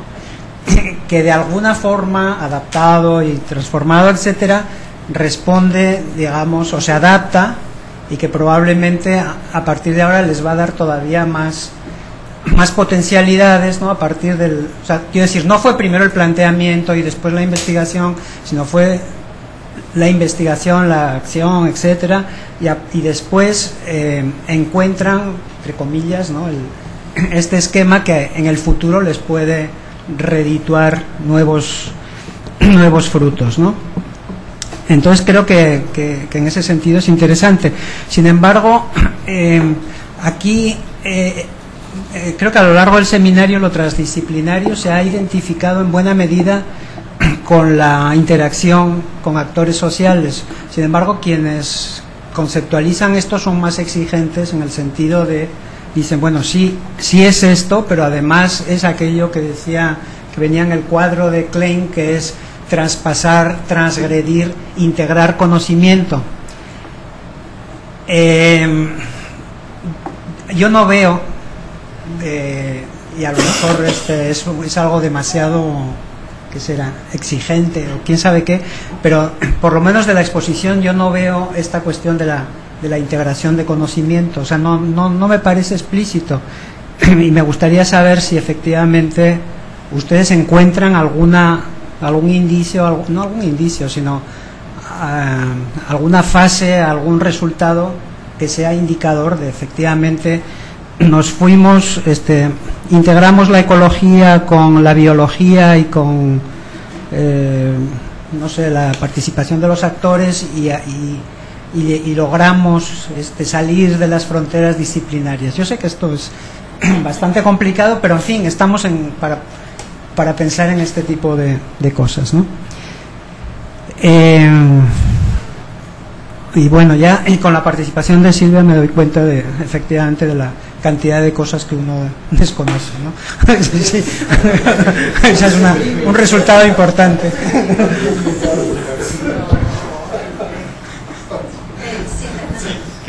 Bueno, gracias a las, a las, dos a las dos exposiciones. Me quedé un poco pensando en la última, en la última exposición, a qué punto todo está tan, tan interconectado que a veces una, de, una, una decisión política territorial podría tener efectos demenciales. Eh, En breve ejemplo, eh, en, en Chiapas se hizo un proyecto de ciudades rurales sustentables hace, un par- hace unos años, producto de un, de un desastre justamente. Y uno de los pequeños datos, em, esto es absolutamente empírico, de terreno que encontré, es un cambio importantísimo en la dieta básica de las personas, que de pas- pasaron de, de- de- del autoconsumo de maíz y frijol a, un alto consumo calorífico, ¿no? De, por producto de, de- de so- de sodas, etcétera, ¿no? Eh, me preocupa, ¿no? Entonces esto me dio eh, un- un- una explicación muy diferente a la que yo le había dado a simplemente una dinámica de mercado, ¿no? Y bueno, es una, solamente un ejemplo de, de cómo, cómo, un- cómo las disciplinas se pueden conectar y cómo los, lo, que una, lo que para mí era una simple observación de terreno puede tener una explicación este, psicológica, médica, biológica extremadamente compleja. Sí, este, hay, hay un... ah, A ver si eh, primero Roberto y luego ya contestando. Es un poco este, después de la, plática tan optimista de Silvia, este, me surge la, la inquietud de, de,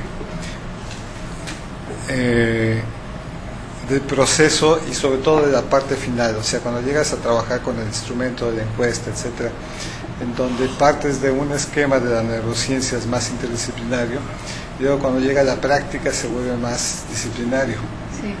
Este, entonces, yo me pregunto si tú has reflexionado en qué medida regresar, o sea, yo entiendo que, las limitaciones de investigación, encuesta y todo esto te obligan a volverte más disciplinario al final, pero por ejemplo, de partir de este de estas esquema amplio donde trabajas con la lingüística, la filosofía, este, la medicina, la psicología y la sociología, te ayudaría a ti a tener otra perspectiva diferente de este primer paso de lo que está saliendo de la encuesta.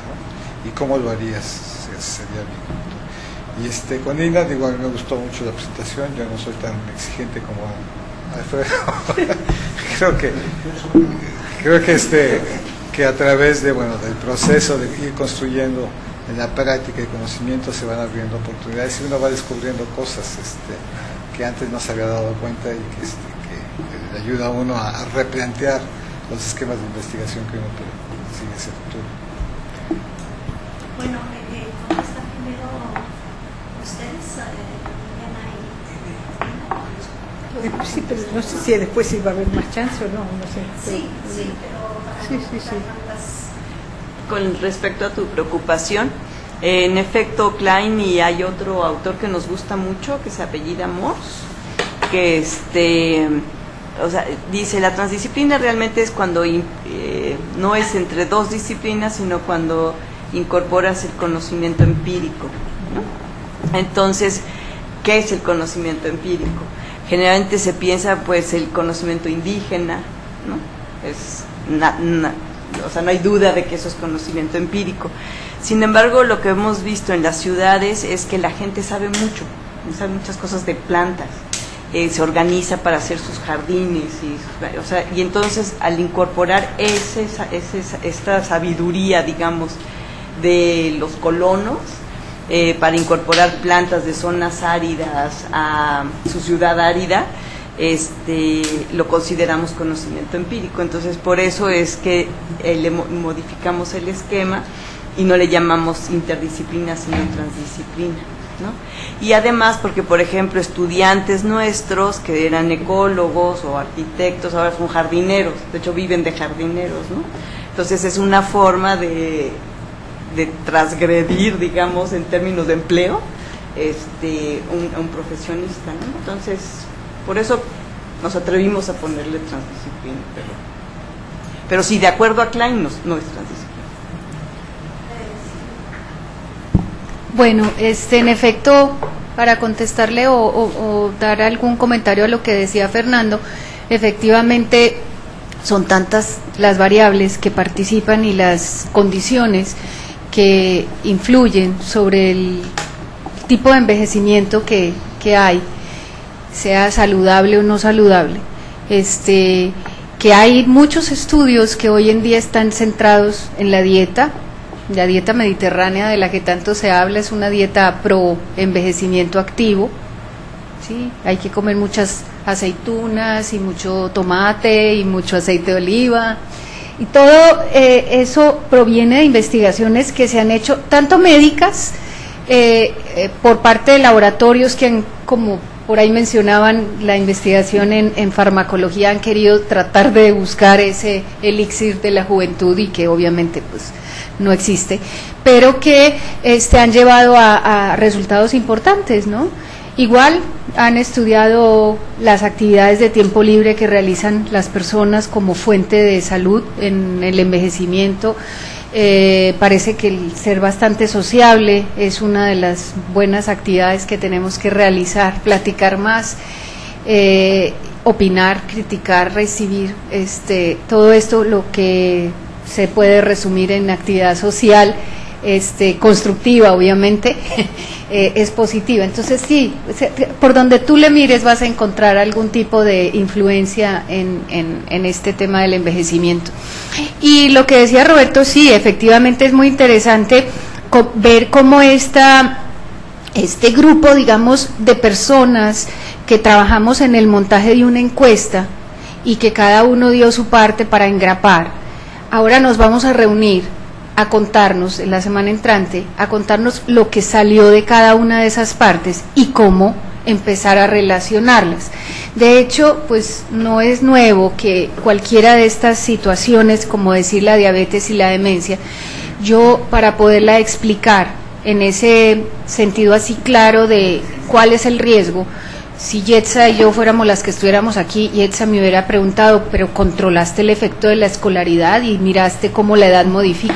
Y tendríamos un diálogo que tiene que ver más con cómo se aborda esta problemática metodológicamente, porque sabemos que son tantas las variables, ¿sí?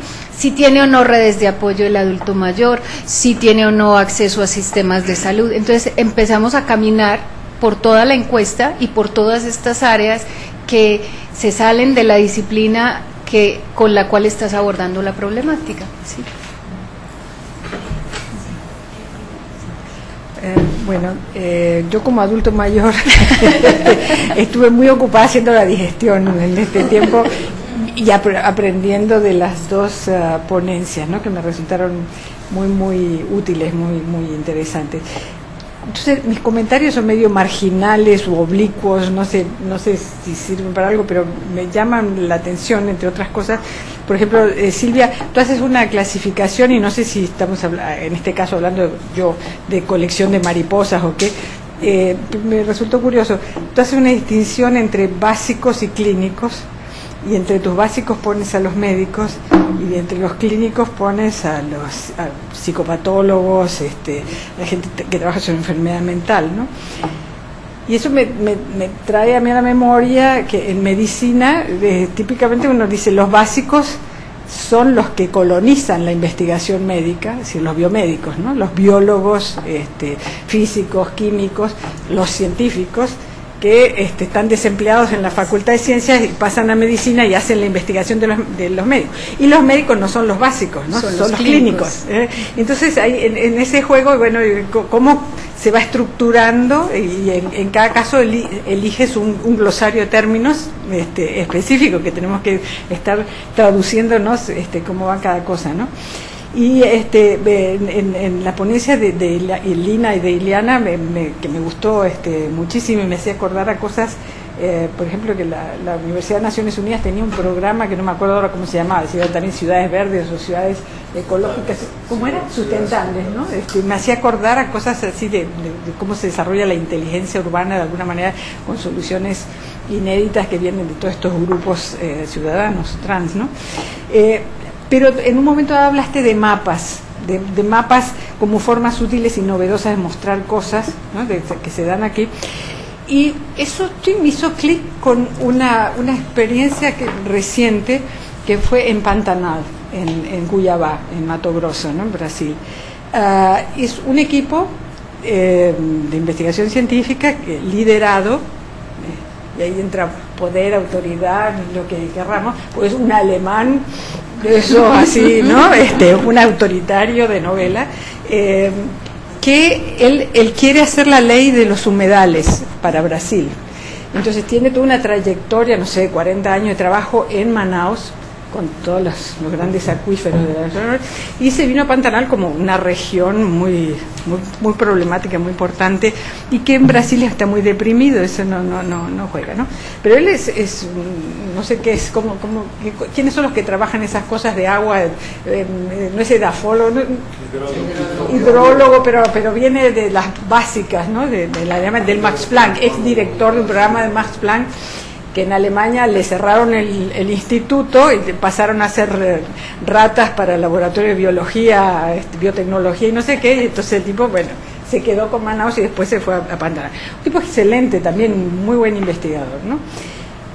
Pero tiene varias líneas de investigación en este centro en Pantanal y hay todo un grupo, que además es un grupo compuesto mayoritariamente por mujeres, que es el equipo social. Y este tipo realmente las tiene muy jodidas las mujeres ¿no? que trabajan allí. No realmente no les perdona nada, no les entiende nada, desprecia todo lo que ellas hacen y hacen cosas muy interesantes. La, la, la líder del grupo de...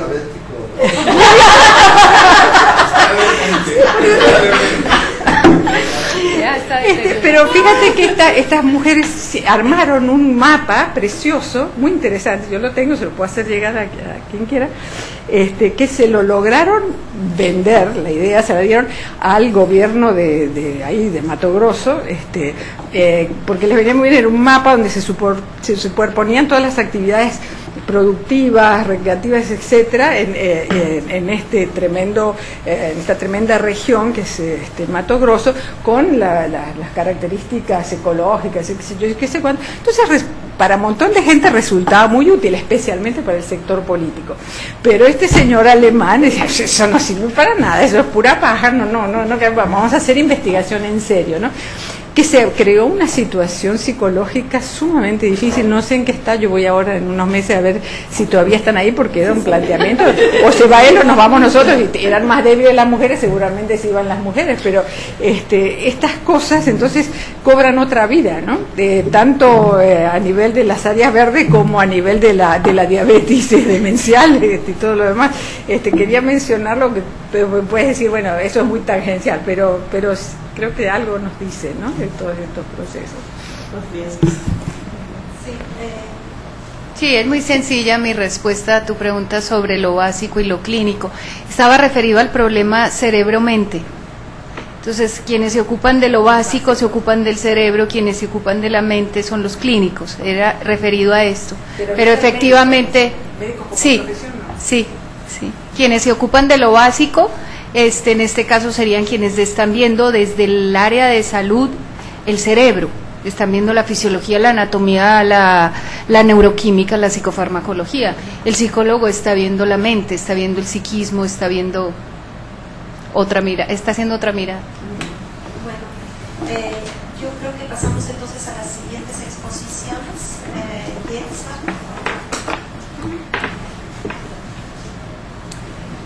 Bueno, yo ahora quiero hacer una ponencia diferente a la que iba a hacer, pero ya es demasiado tarde.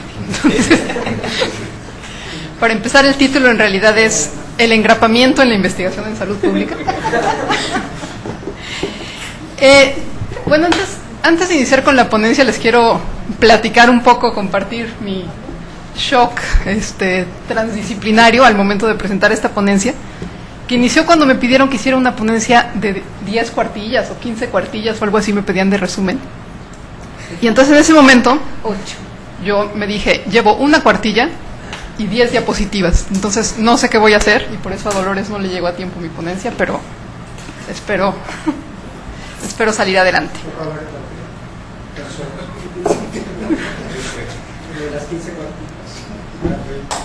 20. Es que aquí no alemanes. Sí, sí, sí, tiene, cada cual carga su alemán. Bueno, eh, el objetivo de este seminario es dialogar acerca de las lecciones aprendidas en el trabajo compartido entre científicos naturales y científicos sociales, al menos este- así lo entendí yo.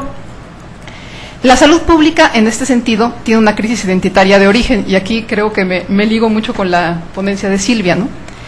Eh, la salud pública parece ser demasiado natural, tanto en, su- en sus intereses como en sus aproximaciones metodológicas, como para contarse como una ciencia social. Pero al mismo tiempo es demasiado social para ser incluida en las ciencias naturales, si no por otra cosa, por el hecho de estudiar fenómenos que ocurren en poblaciones humanas. De modo que al intentar pensar en un ejemplo de investigación interdisciplinaria en salud pública, y en particular uno tomado de mi propia experiencia, me fue imposible pensar en algún caso de investigación en salud pública que no fuera interdisciplinaria, que es un poco lo que mencionabas Alfredo hace rato. Nos estamos como muy acostumbrados en salud pública a incluir toda una serie de disciplinas en cualquier cosa que hagamos. Entonces, eso me llevó a la siguiente reflexión, que de hecho creo que ya se mencionó también esta mañana, que es la reflexión, cuando hablamos de interdisciplinario, donde está obviamente implicado que hay algún tipo de interacción entre disciplinas diferentes, ¿qué es lo que define los límites de una disciplina? Si yo mezclo, por ejemplo, microbiología, genética, fisiología en una misma investigación, ¿puedo decir que estoy haciendo interdisciplina, transdisciplina, multidisciplina o algo que se le parezca? ¿O qué es lo que pasa cuando mezclo sociología, ciencia política y economía? Eh, una posibilidad es usar este término para hacer referencia únicamente a aquellas investigaciones que combinen componentes de las ciencias naturales y de las ciencias sociales. Pero aún en este caso, los que investigamos en salud pública nos situamos en una especie de tierra de nadie o tierra de todos, porque no hay fenómeno de los que interesan a nuestra disciplina que pueda entenderse como perteneciente solo a uno de estos campos. Así, el tema más frecuente de la investigación en salud pública es el estudio de las enfermedades, y las enfermedades pueden diagnosticarse por mediciones de lo que parecería natural, lo biológico, lo fisiológico, lo anatómico, como sería el caso de la medición de glucosa en sangre, pero por otro lado, las enfermedades se manifiestan más generalmente por síntomas, que son experiencias individuales significativas y socialmente formadas. Entonces, ¿la investigación en salud pública es una ciencia natural o es una ciencia social? Bueno, la salud pública opera en al menos dos frentes diferenciados. Uno es el de la práctica o la respuesta social organizada ante los problemas de morbimortalidad. Y otro frente es el de la investigación. Y yo de lo que voy a hablar a continuación no es de la salud pública en general, sino de la investigación en este campo, en el cual la disciplina, la disciplina principal es la epidemiología, desde mi punto de vista obviamente, porque yo soy epidemióloga, y dentro del cual lo que estaba planteando Silvia sería una investigación en salud pública. Entonces, la epidemiología estudia la distribución de las enfermedades o de los estados de salud de enfermedad, sus causas y factores relacionados en las poblaciones humanas. Y la epidemiología tiene una serie de supuestos fundacionales que le hacen la vida bastante sencilla. El primer supuesto es el de que estar vivo es mejor que estar muerto, lo que nos lleva a realizar investigación orientada a encontrar las causas de la mortalidad, si lo pensamos en poblaciones, o las causas de la muerte en los individuos. Entonces no nos complicamos mayormente la vida y asumimos que lo que queremos es mantener la vida lo más prolongada posible. Eh, el segundo supuesto, que está estrechamente relacionado, es que estar sano es mejor que estar enfermo. Pero entonces ahí sí se nos empiezan a complicar las cosas, porque el modelo dicotómico de salud versus enfermedad es bastante útil y bueno, eso relativamente para las enfermedades infecciosas, pero adolece de serias limitaciones cuando tratamos con padecimientos más complicados de definir, como es el caso de la mayor parte de las enfermedades crónicas. Y ahorita estábamos viendo el ejemplo de la diabetes incluso, que aunque uno podría decir, bueno, es una medición de glucosa en sangre por encima de tanto y cuanto, de cualquier manera no es tan sencillo dicotomizarlo. ¿no? Entonces, ahí ya nos metemos en una serie de problemas. Eh, el tercer supuesto, sin embargo, y es en el que me quiero centrar, ha sido la clave para el éxito de la epidemiología en temas tan diversos como el control de una epidemia de cólera en Londres en 1854, la disminución de la fiebre puerperal en las salas de maternidad por la misma época y la comprobación de la asociación entre fumar y el cáncer de pulmón a mediados del siglo XX. Este tercer supuesto se describe en los textos de epidemiología como la no aleatoriedad de la distribución de la enfermedad. Y lo que este supuesto afirma es que la distribución de las enfermedades en la población es una distribución condicional de lo cual se sigue que, analizando estadísticamente la asociación entre diversos factores y la presencia o ausencia de enfermedades, podemos tener una aproximación a la causalidad suficientemente buena para servir de base a la intervención en salud pública. Entonces, en ese sentido, mientras hagamos una buena medición, controlemos por los factores posibles confusores y tengamos un buen método estadístico, vamos a tener algo que se va a parecer lo suficiente a la causalidad como para podernos servir de base para una intervención. Entonces, cuando John Snow tabuló la mortalidad por cólera en diferentes hogares de Londres y encontró que esta variaba según la compañía que proporcionaba agua para beber esos hogares, concluyó acertadamente que las muertes se relacionaban con la contaminación del agua en una época en que el microorganismo causante de cólera aún no se conocía. Entonces, eh, el punto que quiero resaltar aquí es que la epidemiología, con este enfoque reduccionista que, comentaba hace rato con Silvia, de alguna manera y en su época dorada, que es el, siglo XIX y principios del siglo XX, pues consiguió unos éxitos espectaculares. Em, de la misma manera, cuando Semmelweis observó que las muertes por fiebre puerperal eran más frecuentes en las salas de maternidad atendidas por médicos que en las atendidas por parteras, pues pudo insistir en que los médicos se lavaran las manos al pasar de las salas de autopsia a las de parto y consiguió una disminución del 75% en la mortalidad, ¿no? en tan solo un año de, su intervención. Aún sin que se supiera cuál era el microorganismo causal, aún sin hacer ningún otro tipo de, de movimiento ni de investigación, con una intervención muy sencilla consiguió un éxito rotundo. Ahora, el problema es que no todas las, asociaciones detectadas por la epidemiología nos dirigen hacia medidas de salud pública tan relativamente sencillas como esta. Por ejemplo, la relación entre Producto Interno Bruto y mortalidad, que es un clásico de los estudios de epidemiología social, no se traduce fácilmente en una acción concreta a ser promovida por una Secretaría de Salud. Y entonces ahí es donde empezamos a meternos en problemas. Ahora, ¿cuál es la relación entre los supuestos mencionados y sobre todo este último de la no aleatoriedad de la distribución de la enfermedad con el tema de la interdisciplinariedad en la investigación en salud pública? Bueno, desde mi punto de vista, estos supuestos ilustran una característica esencial de esta área de investigación, que es la orientación de la investigación en salud pública hacia lo práctico y a lo que permite intervenir.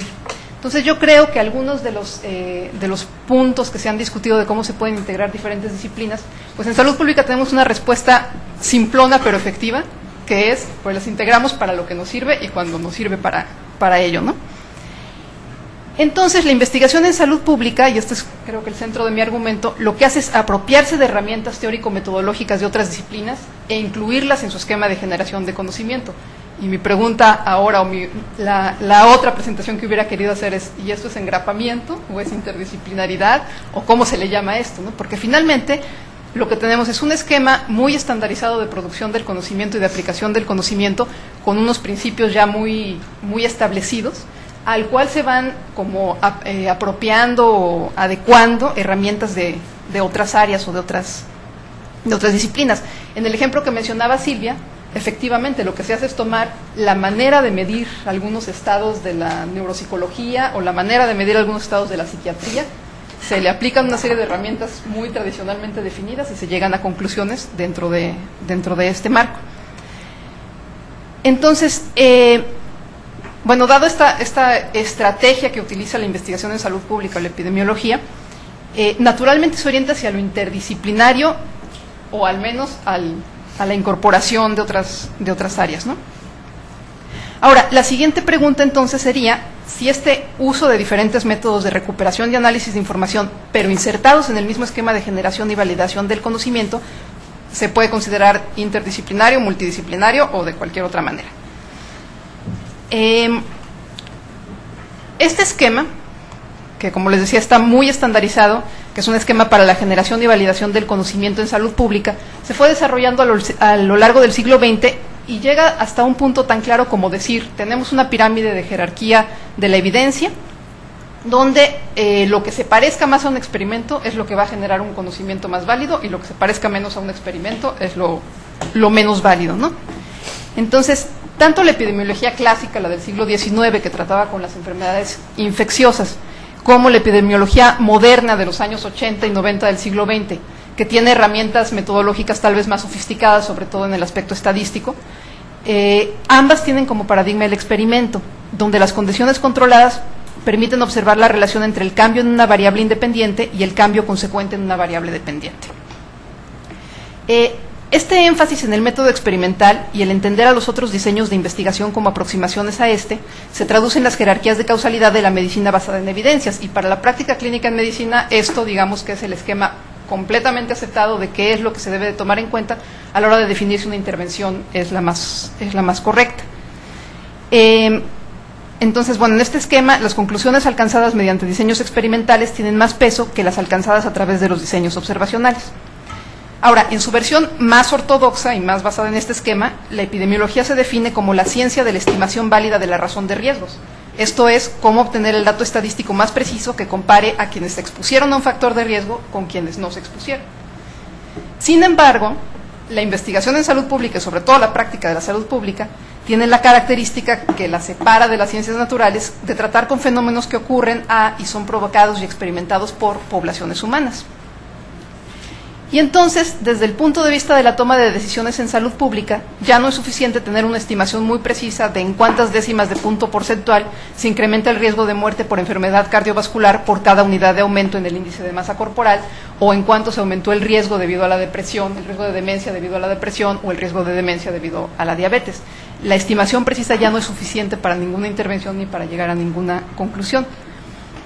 Eh, al haber reconocido esta complejidad, los modelos de causalidad en epidemiología se empezaron a ser más complejos y entonces tenemos modelos como el de los pasteles causales de Rothman, las redes causales y la ecoepidemiología de Krieger, y este modelo que es uno de los más recientes, que es el de los determinantes sociales en salud de la Organización Mundial de la Salud. Y, y, todos estos modelos, bueno, insisten en que hay diferentes factores que se relacionan con los estados de salud de enfermedad y obviamente cada uno de ellos requiere de diferentes herramientas para su abordaje.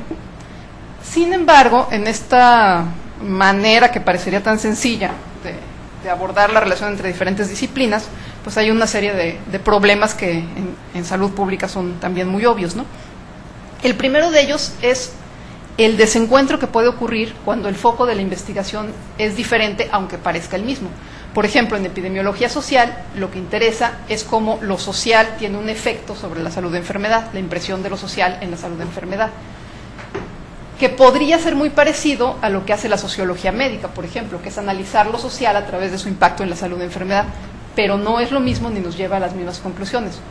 Eh, por ejemplo, en, en una investigación en la que estoy participando con la doctora Olga Oyers, ella como, como socióloga y como experta en sociología de la religión está interesada en ver eh, cómo los centros de, tratamiento para adictos a drogas operados por iglesias evangélicas pues entran en el esquema de las iglesias evangélicas, cómo se relacionan con los procesos de fe, con toda una serie de circunstancias. A mí como epidemióloga me interesa saber si son efectivos y si disminuyen el consumo de drogas. Y eso que parecería eh, una cuestión menor puede realmente llevar a- a desencuentros mayúsculos, ¿no? Em, entonces, bueno, ese es eh, como que de- hay, hay momentos en los que parecería que estamos hablando de lo mismo, pero no estamos hablando de lo mismo y sobre todo el resultado esperado es, es muy diferente. Y ahora un segundo problema que también se, se mencionó en algunas ponencias hace rato es una cierta tendencia, y también hay, confieso que ese es un sesgo muy médico, a creer que el saber un poco de cierta disciplina nos convierte en expertos de ella. ¿no? Entonces, a empezar a utilizar ejemplos, eh, conceptos y cuestiones que vienen de otras disciplinas de una manera pues muy, muy simplificada. Por ejemplo, el caso del capital social, que es un concepto que en epidemiología se empezó a poner de moda hace como unos 10 años y que se utiliza prácticamente como sinónimo de apoyo social, lo cual obviamente si con un poquito de sofisticación desde las ciencias sociales pues no, no es apropiado, ¿no? Pero es algo que sucede frecuentemente en la investigación en salud pública. Entonces, eh, nuevamente esta, esta como aparente facilidad para integrar diferentes disciplinas, pues podría entenderse como tal, pero también como todo lo contrario, como una apropiación simplista y eh, un poco bárbara de, de lo que viene de otras disciplinas. Eh, y bueno, claro, estos dos problemas, estas dos situaciones que he planteado, tendrían al menos dos posibles soluciones. La primera es tener un compromiso como investigadores de tomar a las otras disciplinas con al menos el mismo rigor que emplearíamos con la nuestra. Y la segunda, la formación de equipos interdisciplinarios, donde quienes saben de cada tema o abordaje garanticen que éste se aplique adecuadamente. Pero bueno, otro punto que también me gustaría discutir con ustedes es el de la, la viabilidad de lo interdisciplinario desde un punto de vista epistemológico. Porque podemos entender estas combinaciones de disciplinas entendiéndolas como eh, combinaciones en cuanto al objeto de estudio o en cuanto a los métodos de estudio, y hasta ahí todo parece más o menos, más o menos sencillo. Pero si empezamos a pensar que la diferencia no es el objeto de estudio ni el método de estudio, sino la concepción acerca de la realidad, de la posibilidad de conocer la realidad y de cuál es la mejor manera de llegar al conocimiento de esa realidad, entonces pues ya estamos en, en terrenos más este, espinosos y, y difíciles, ¿no? Y llevada a cierto extremo, esta línea de pensamiento nos diría que no hay interdisciplinaridad posible y que somos eh, visiones del mundo completamente incompatibles.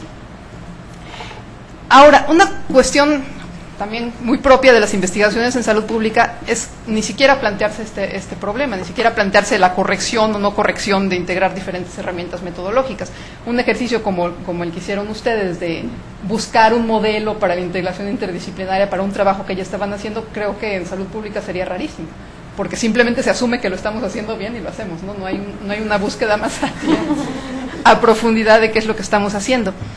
Y eh, mi, siguiente argumento es que eso sucede porque en la investigación en salud pública sí hay un marco que es una aproximación muy cercana al pragmatismo, según la cual las discusiones teóricas solo tienen sentido si sus consecuencias tienen resultados prácticos, pero no es una aproximación que se haga explícita por parte de los investigadores de salud pública, sino que está ahí metida en la disciplina como una especie de subconsciente disciplinar que nos lleva a tomar decisiones basados en ella.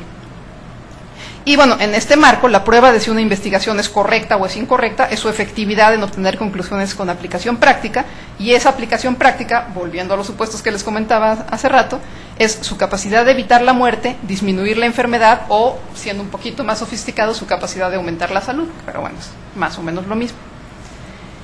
Eh, entonces, bueno, manera de conclusión, creo que es importante sí tomar en cuenta que la investigación en salud pública ha tenido estos éxitos notables y clásicos de los que siempre presumimos como la disminución de la mortalidad por enfermedades infecciosas y luego volvemos a repetir la disminución de la mortalidad por enfermedades infecciosas y la disminución de la mortalidad por enfermedades infecciosas.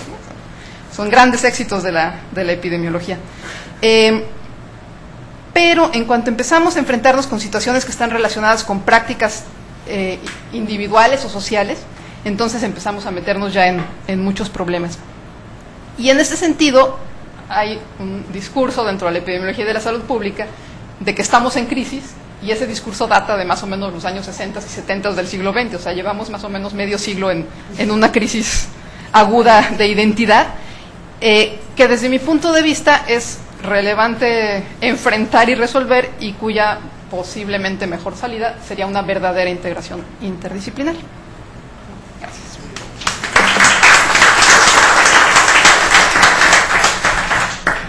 Cristina,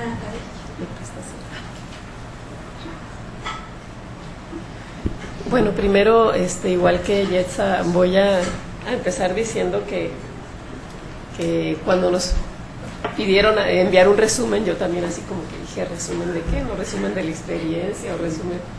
Y después fue más serio cuando nos pidieron un documento ¿no? de 15 cuartillas y entonces ahí sí me dirigí a los alemanes y les dije, a ver, pero ¿de qué quieres que hable?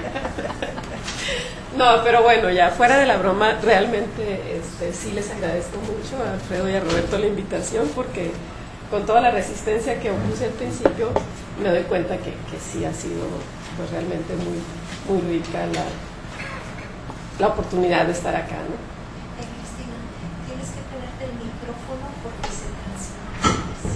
Bueno, según yo lo tenía, voy a hacer un poquito para acá. entonces. Sí. Bueno, entonces eh, me toca hacer la última y eso es, es un poco ingrato porque ya todos estamos un poquito cansados, ¿no? Pero aquí, eh, que también fue otra cosa, después nos dijeron, ah, si quieren manden también una presentación. No la había hecho yo, pero dije, si soy la última, vale más que presente algo para poder ser más eficiente con el tiempo y hasta les puse unos bonitos ahí para que se entretengan. Bueno, eh, empiezo por decirles que por el centro de trabajo donde he desarrollado mi experiencia de investigación, eh, pues es un centro en donde realmente el área nuestra, el área de las ciencias sociales, es una de las partes que lo conforman, pero es un centro especializado en alimentos y están, digamos, la parte más fuerte es de nutrición, eh, un área de ciencias, hay dos áreas de tecnología, tecnología de alimentos de origen vegetal y tecnología de alimentos de origen animal, así están clasificadas. Por el tipo de investigación que se hace, pues sí realmente hay mucha interacción y, e investigación aplicada por el tipo de actores también que, pues, que hay en la región.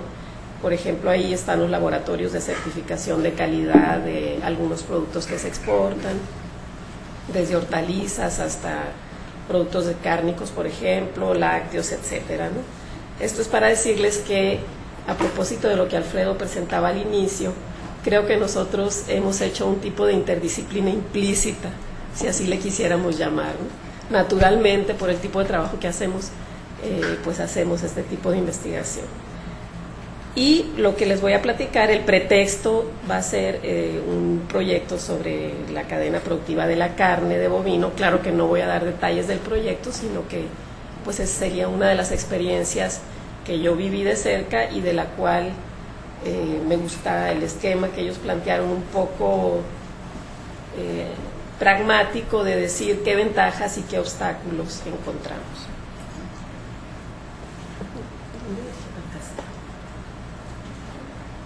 Bueno, quise empezar esto como un primer apunte hacia la reflexión, porque revisando particularmente esto que plantea Maturana y Delgado, otro teórico de la complejidad, lo que dicen es que el reto es que seamos capaces de soltar certidumbres.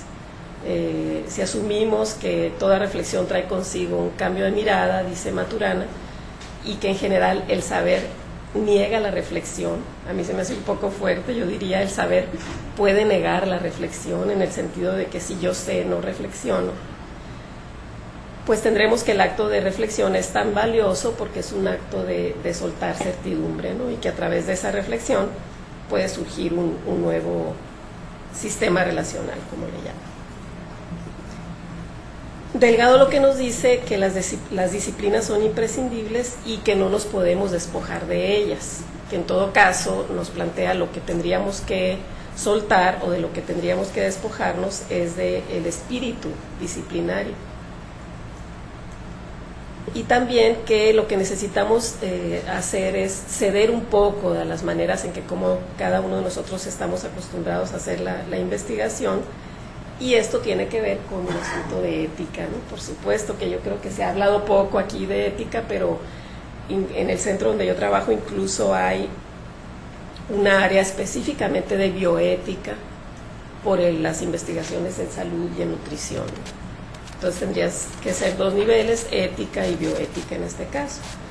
Nos habla también este teórico delgado de la humildad nociológica y de la humildad epistemológica. Aquí sería interesante que nuestro filósofo nos pudiera eh, decir un poco más de, esto. ¿no? no sé si, si sea común utilizar esos términos, pero Delgado lo que nos dice es, tal vez lo que nos haya hecho falta es una humildad nociológica y una humildad epistemológica porque la verdad en todo caso se construye en el diálogo y a través de la escucha con el otro. Ahora, la transdisciplina no niega la disciplina, a propósito de la discusión que había en la mañana, ¿no? que Gerardo decía, a mí me preocupa el futuro de la disciplina. Aquí este, yo creo que es interesante el, el planteamiento de que en todo caso la transdisciplina se nutre de, la, de las disciplinas, pero incorpora conocimientos de terceros. Aquí sería lo que Lina y Leana y que pues también Eve y Fernando y casi todos han planteado de el saber de las comunidades, por ejemplo. Bueno, de la, de la experiencia del proyecto, les decía, no me voy a meter mucho en detalle, nada más para que poder ser clara de de lo que más o menos se hizo en ese tiempo. Fue un proyecto que terminó el 2008, por allá, entregamos el... Quiero pensar que no era un engrapado, pero el producto final lo concluimos por allá el 2008, pero fue un proyecto que inicialmente empezó desde el 2002 y que hubo muchos problemas ahí de interrupción de, de financiamiento. Aquí lo que nos propusimos fue al inicio un grupo muy, muy grande de investigadores eh, que éramos del CIAD y del INIFAP, que es el Instituto de Investigaciones Forestales, Agrícolas y Pecuarias, pues eh, tratar de encontrar explicaciones a lo que estaba sucediendo, que era la, el rezago competitivo de la cadena productiva de, de bovinos carne, así le llaman, ¿no? pues que es de carne de res en el noroeste de México. Y ahí se, eh, nosotros, por ejemplo, en el área de economía, eh, lo que abordamos fue la parte de lo que estaba sucediendo en el mercado. Pero los compañeros de tecnología de alimentos de origen animal de estas áreas que les platiqué del CIAD tenían la responsabilidad de analizar ahora sí que los intríngulis de, de los cortes y de que si cuáles tienen más colesterol, cuáles no, eh, cómo es la textura de la carne, eh, el sacrificio incluso de los animales, etcétera, todo, todos los aspectos que, que influyen en la calidad de la carne y por supuesto para eliminar también el riesgo alimentario y todas estas cosas que ahora sabemos que se cuidan mucho en la industria alimentaria. Esta fue una, una, investigación que se financió por los famosos fondos sectoriales, en este caso era de Zagarpa, de COFUPRO, que son las fundaciones Produce Nacionales, y de CONACYT. Y el financiamiento nada más de la parte del CIAD fueron de casi 4 millones de pesos. En la parte del estudio de mercado, les decía, pues fue un proyecto que abarcó todo lo que es eh, Baja California, eh, Baja California Sur, Sonora, Sinaloa, y ahí se trabajó con un tamaño de muestra de 1.159 consumidores, de Tijuana, Mexicali y Ensenada, en el caso aquí de Baja California, en Sonora, Hermosillo, Obregón y Nogales. y en Sinaloa, Culiacán, Mazatlán y Los Mochis, que estas ciudades pues son los principales centros de consumo de, de la carne en esta región. Se hizo pues toda una metodología y se aplicó para identificar lo que en identificación de patrones se llama matemáticas y ahí entraron varios especialistas también en ese campo de la estadística y matemáticas para identificar las características de los grupos de consumidores eh, y en función de eso determinar eh, pues desde la forma de producir hasta estrategias de mercado, etcétera. Básicamente, en resumen, les diré que se identificaron tres tipos de consumidores, los que tienen eh, preferencia, alta preferencia por consumo de carne de res y también carnes blancas como pollo y pescado, otro patrón, digamos, o grupo de consumidores que son los que muestran preferencia alta por carne de res y en segundo lugar, o sea, menos, pero les gusta también carne de pollo y luego puerco. Y otro grupo que eh, pues es eh, que no le que no consume, digamos, carne de, de res, ¿no? sino carnes blancas como pollo y pescado. Lo importante aquí es que de cada uno de estos grupos pues identificaron muchísimas características, ¿no? No me voy a detener por supuesto en eso. En la parte de procesamiento, que es donde estaban el, los compañeros del área de química, de ingeniería, de los alimentos, etcétera, ahí se evaluaron aspectos que tienen que ver con la calidad específicamente de la carne y ahí se hicieron muestras de carne, tanto nacional como importada, porque hay que decir que en ese tiempo se hablaba de que la carne importada le estaba ganando mucho mercado a la carne nacional y que era una carne de menor calidad, etc. Se tomaron muestras de carne en los supermercados pues más a donde acude la mayoría de la gente, Ley, Soriana, Walmart, etcétera, tanto en, en Sonora como en Sinaloa y en las Bajas, y se analizaron aspectos que tienen que ver con pues la calidad de la terneza de la carne, la jugosidad, sabor, color de la grasa, etc. También los sistemas de producción del animal, o sea, se hicieron pues una serie de entrevistas a los productores y se visitaron las plantas, se vieron las condiciones de sacrificio, etc. Ahí algunas de las cosas que les puedo comentar de los resultados es que no se observaron diferencias eh, importantes entre la carne nacional y, la importada. Ambas tienen características sensoriales favorables y son altamente aceptadas por el consumidor. Eh, de esta manera se encontró que la carne nacional comercializada regionalmente no es mejor que la importada, que era uno de los, de los mitos. También se evaluó el efecto de maduración de la carne, que es pues ahora se comercializa mucho en el mercado en los restaurantes de alto, digamos, de alto prestigio, eh, la, los cortes madurados y que son mucho más caros, etcétera. Igual ahí se vio que ese proceso de maduración eh, no afectaba en forma negativa, sino al contrario a los cortes.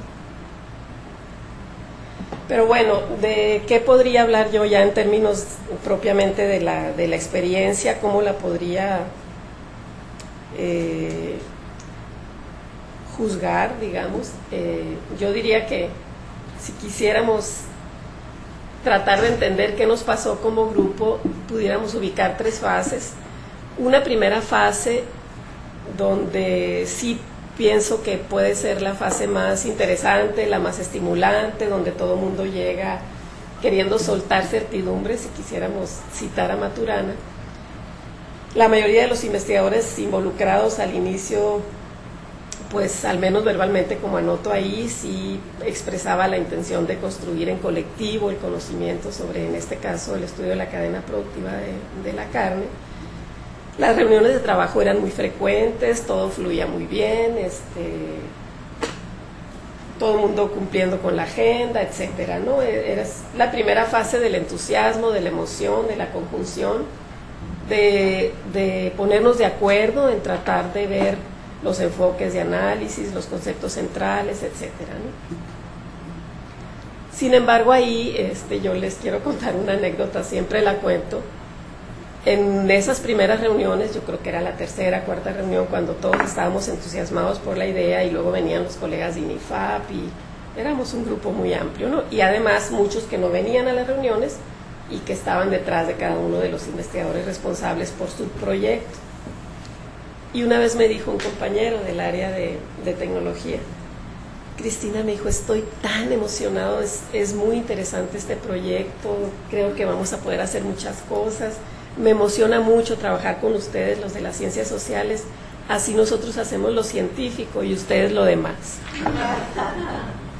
Bueno, esa es una idea de que yo no sé qué tanto este, todos estábamos dispuestos a soltar certidumbre. Una segunda fase, ya cuando llega a su cima ese entusiasmo, diría yo que es una fase cuando cambian las, las condiciones, las reuniones de reflexión ya no lo son tanto, ya se vuelve una, una fase donde nos limitamos a explicar los avances, cada uno de los subgrupos de trabajo, que eran seis subgrupos en el caso del CIAD, tres en el caso de INIFA pero esta fase fue muy accidentada porque ahí hubo un problema administrativo muy fuerte del fondo del parte de Zagarpa, hubo un cambio de directiva a nivel nacional, una cosa así, pero lo que sucedió es que se nos interrumpió por dos años, o sea, por un tiempo muy largo, el financiamiento y eso por supuesto eh, tuvo que repercutir en reajuste de objetivos, eh, algunos estudiantes que estaban incorporados como tesistas pues tuvieron que darse de baja. Bueno, eso fue, se podrán imaginar las repercusiones de tener dos años sin financiamiento. No por un tiempo la institución pudo solventar en el caso del CIAD, pero después ya no fue posible. Y anoto ahí, pues hubo un ánimo, por, un desánimo, por supuesto, consecuentemente. ¿no? Como dice Maturana, la capacidad reflexiva involucra la emoción y la razón. Ya ahí ya no estábamos emocionados. Y en la tercera fase yo diría es cuando inicia el trabajo de conjuntar los resultados obtenidos, de intentar un cierre con una mirada sistémica, de no llevarnos la, la engrafadora grandota, ¿no? Creo siendo, siendo, tratando de ser objetiva, cualquier cosa que la objetividad sea en esta reunión, pues quedó lejos de cumplirse la forma como habíamos planeado, ¿no? Sí es cierto que pudimos cubrir muchos de los objetivos propuestos y logramos resultados relevantes, digamos, en cada uno de los subproyectos, pero en forma separada, no como lo habíamos iniciado, planeado más bien originalmente, de ser algo más integral.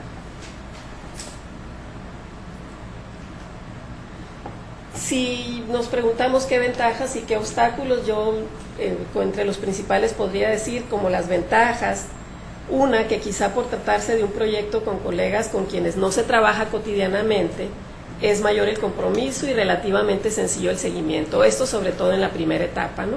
Porque sí, eso es como ahorita aquí, ¿no? Pues difícilmente yo voy a faltar a una reunión al colegio, pero a lo mejor si me convocan mis amigos de siempre del grupito de investigación, pues es más fácil que, que haya una evasión, ¿no? Entonces, esa sería una ventaja que, que hay más respuesta. Una segunda, que se establecen vínculos de confianza y de trabajo y de confianza con colegas de distintas instituciones. Eso también fue muy, muy enriquecedor al principio y algunos de esos vínculos sí persisten, hay que decirlo, ¿no? Porque de ello derivaron una serie de colaboraciones en diversos foros, espacios de trabajo que después nos hemos encontrado. Otra ventaja que el grupo conformado integraba diversas capacidades que permitían responder a invitaciones específicas. En el caso aquí, eh, por ejemplo, de productores pecuarios, de gente de la región que estaba involucrada en los temas, ya nos reconocían como el grupo que está trabajando eso. Entonces, en muchos espacios académicos y también de la parte, digamos, de foros empresariales o de e incluso gubernamentales, pues acudíamos en equipo. En, la cuarta, en el número 4 precisamente anoto uno de los, eh, de los foros que fuimos coorganizadores, fue un foro para la detección de necesidades de investigación y transferencia de tecnologías y se le llamó, ahí impartimos una conferencia y también con base en los resultados de ese foro se definieron las demandas de investigación del próximo año de un fondo financiador muy importante que hay en el caso específico de, de Sonora. ¿no? También eh, a partir de esto fuimos a otros estados, como en el caso de Chihuahua, a otros foros donde nos daban, nos pedían que diéramos a conocer esta experiencia de investigación, la metodología, la forma como integramos el equipo, etcétera. También ahí se nos pidió impartir una conferencia Igual en el Congreso de la DIAT, que ese es algo que algunos conocen mucho, que es un congreso relevante, también se nos pidió este, participar en dando cuenta de esta experiencia. ¿no? Eh, otra cosa importante en términos institucionales es que este tipo de proyecto permite cumplir con la famosa vinculación con los agentes sociales, en este caso los productores, y digamos que son proyectos que desde la institución pueden lucirse adecuadamente. ¿no? Eh, también la entrega de reportes de resultados a los productores, ahí particularmente por los colegas del área de tecnología, que a un productor le dicen, mira, la calidad de tu carne es esta y esta y esta, pues es algo que para ellos es, bueno.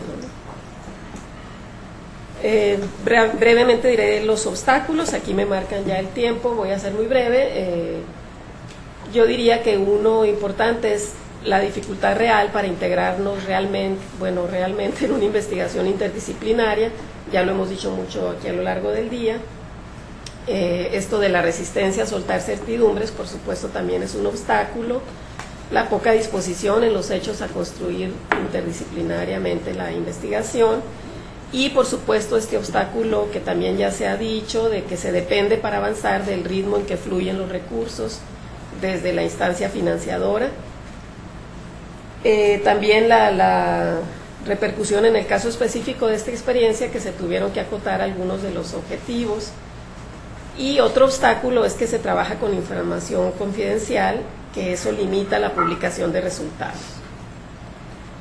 Y para terminar, yo diría que pues algunas reflexiones son importantes. Eh, a mí, por eso les agradezco aquí a los convocantes que es un proyecto que por los problemas que hubo ahí como que ya ni me había asomado a ver qué pasó y ahora veo con la sana distancia de cuatro años de que se terminó que es grato corroborar el pues el amplio trabajo desarrollado y la utilidad que a pesar de los obstáculos tuvo ¿no? lo que yo diría es que tal vez hizo falta una mayor dosis de tolerancia y mayor disposición y ánimo en el equipo de trabajo para reponernos a esa frustración que representó la, interrupción del financiamiento. También una dificultad es que trabajar en grupos tan amplios y de disciplinas y tradiciones de trabajo tan distintas, pues eso también este, fue un problema finalmente. Igual las limitaciones de tiempo ante la diversidad de actividades que estamos obligados a realizar en las instituciones. No les voy a decir algo de lo que ustedes no sepan. Estamos involucrados en investigación, en docencia, en vinculación y eso pues nos rebasa. Y diría, este, lo de, a propósito de la humildad nociológica y epistemológica, yo creo que no existieron las suficientes, ni logramos despojarnos de nuestras certidumbres disciplinarias. En todo caso, yo digo, como desafíos, el reto es encontrar en este, en medio de este modelo de desarrollo competitivo donde nos tienen de pronto atrapados en nuestras instituciones, es que eh, encontremos espacios para la reflexión donde pongamos por delante este compromiso de despojarnos de nuestras propias certidumbres y no despojarnos de nuestra disciplina, pero sí del espíritu disciplinario que se mantiene producto de nuestras formaciones. Como anoto ahí, sería un primer paso de los muchos que tendríamos que dar en la búsqueda del diálogo interdisciplinario y para poder después realmente avanzar hacia la, hacia la investigación transdisciplinaria. Gracias.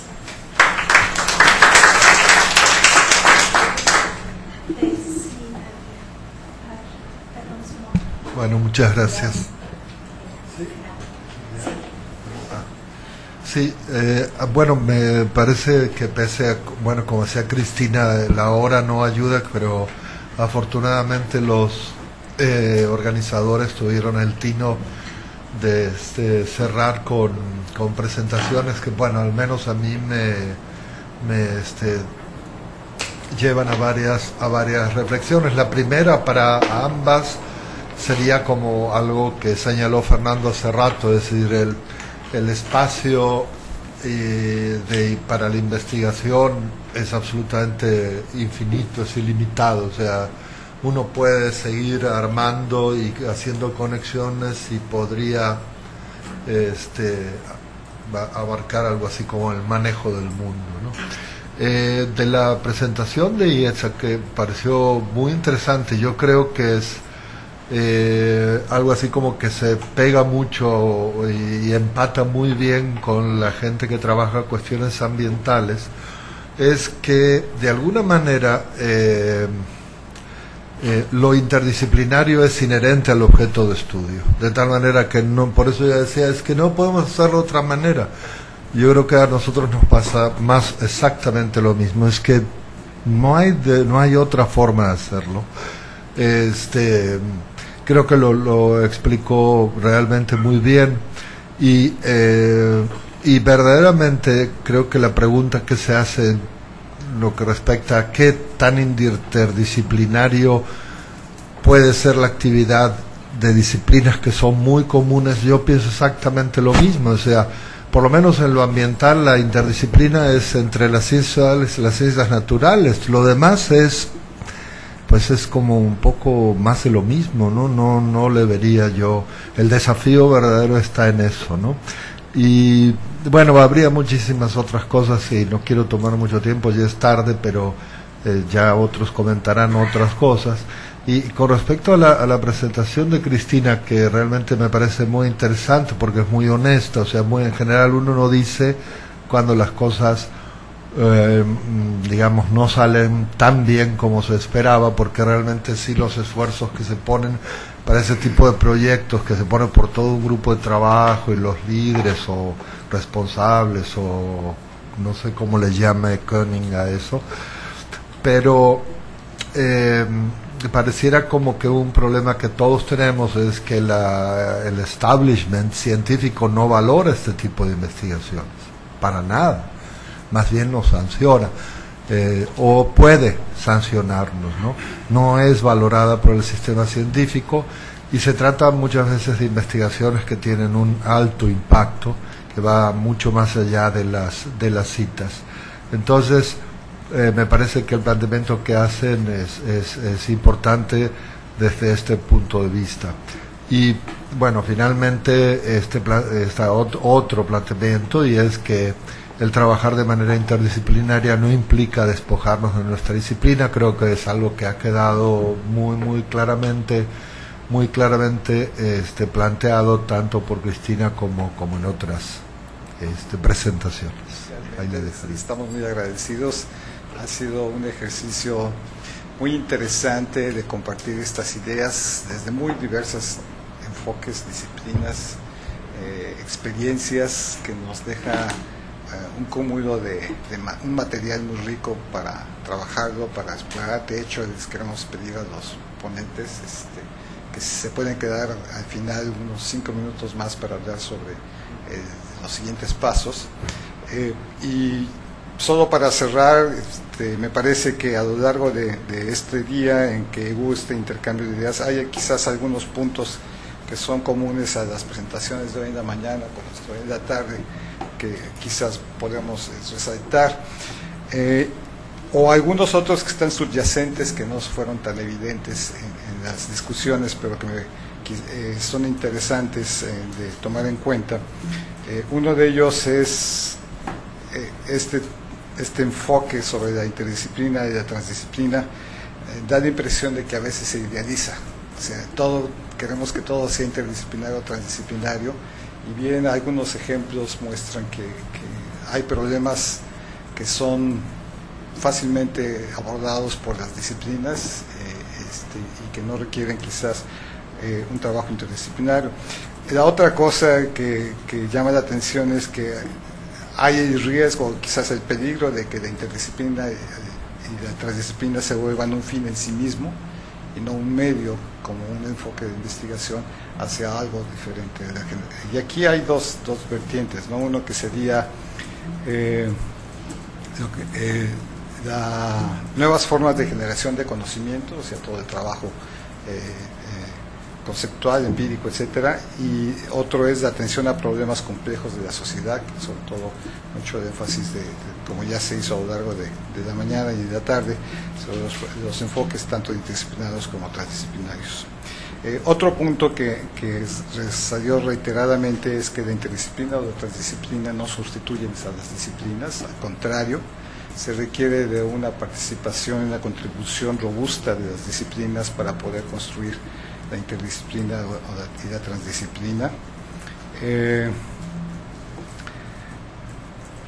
la importancia de la formación del objeto de estudio y de la concepción de la realidad como parte del trabajo eh, de la interdisciplina o transdisciplinas es también uno de los temas subyacentes en todas las, todas las presentaciones. La importancia de la formación de equipos de investigación, lo que mencionaba Yetza, por ejemplo, de que hay gente que por hacer trabajo interdisciplinario se apropia de conocimiento superficial de otras disciplinas, en realidad la parte importante de trabajo interdisciplinario y transdisciplinario viene a través de los equipos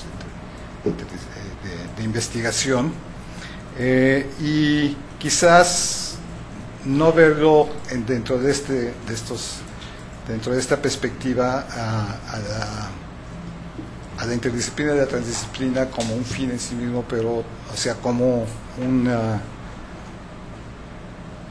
como un objeto final, sino como un proceso de aprendizaje. O sea, creo que esto es otro de, los puntos que, que, salió, proceso de aprendizaje, en donde quizás eh, estamos en una transición interesante en lo que está sucediendo tanto internacionalmente, nacionalmente como local, en donde esta búsqueda de nuevos marcos conceptuales y metodológicos, eh, de cómo estudiar realidades complejas, los procesos sociales, eh, eh, surgen elementos interesantes y quizás hay un papel importante de la interdisciplina y la transdisciplina en ello, eh, tomando en cuenta, por ejemplo, las crisis de disciplinas, o sea, la salud pública está en crisis, bueno, pero igual la geografía ha estado en crisis más o menos desde la misma época, la, este, la sociología ha estado en crisis también por, durante varias décadas, la propia planeación, aunque sea un esquema profesional, ha estado en crisis desde los 70 y es interesante ver cómo todas estas crisis de disciplinas, sobre todo de disciplinas que tienen que ver con la sociedad, con los problemas complejos sociales, en realidad está el, planteamiento de qué sucede, o sea, qué pasa después de estas crisis, hacia dónde van estas crisis y qué nos están diciendo las crisis. Y aquí parte de la apuesta o de lo que es interesante es el surgimiento de nuevos enfoques disciplinarios, o sea, probablemente quizás más receptivos al trabajo interdisciplinario, quizás más abiertos hacia la interdisciplina y la transdisciplina.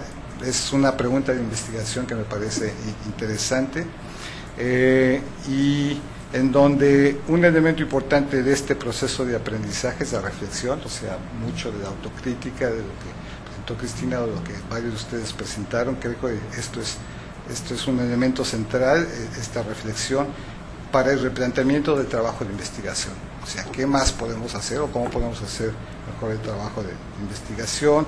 Eh, su vínculo con la docencia, un elemento muy importante que también de alguna forma también lo discutimos en la mañana y en la tarde.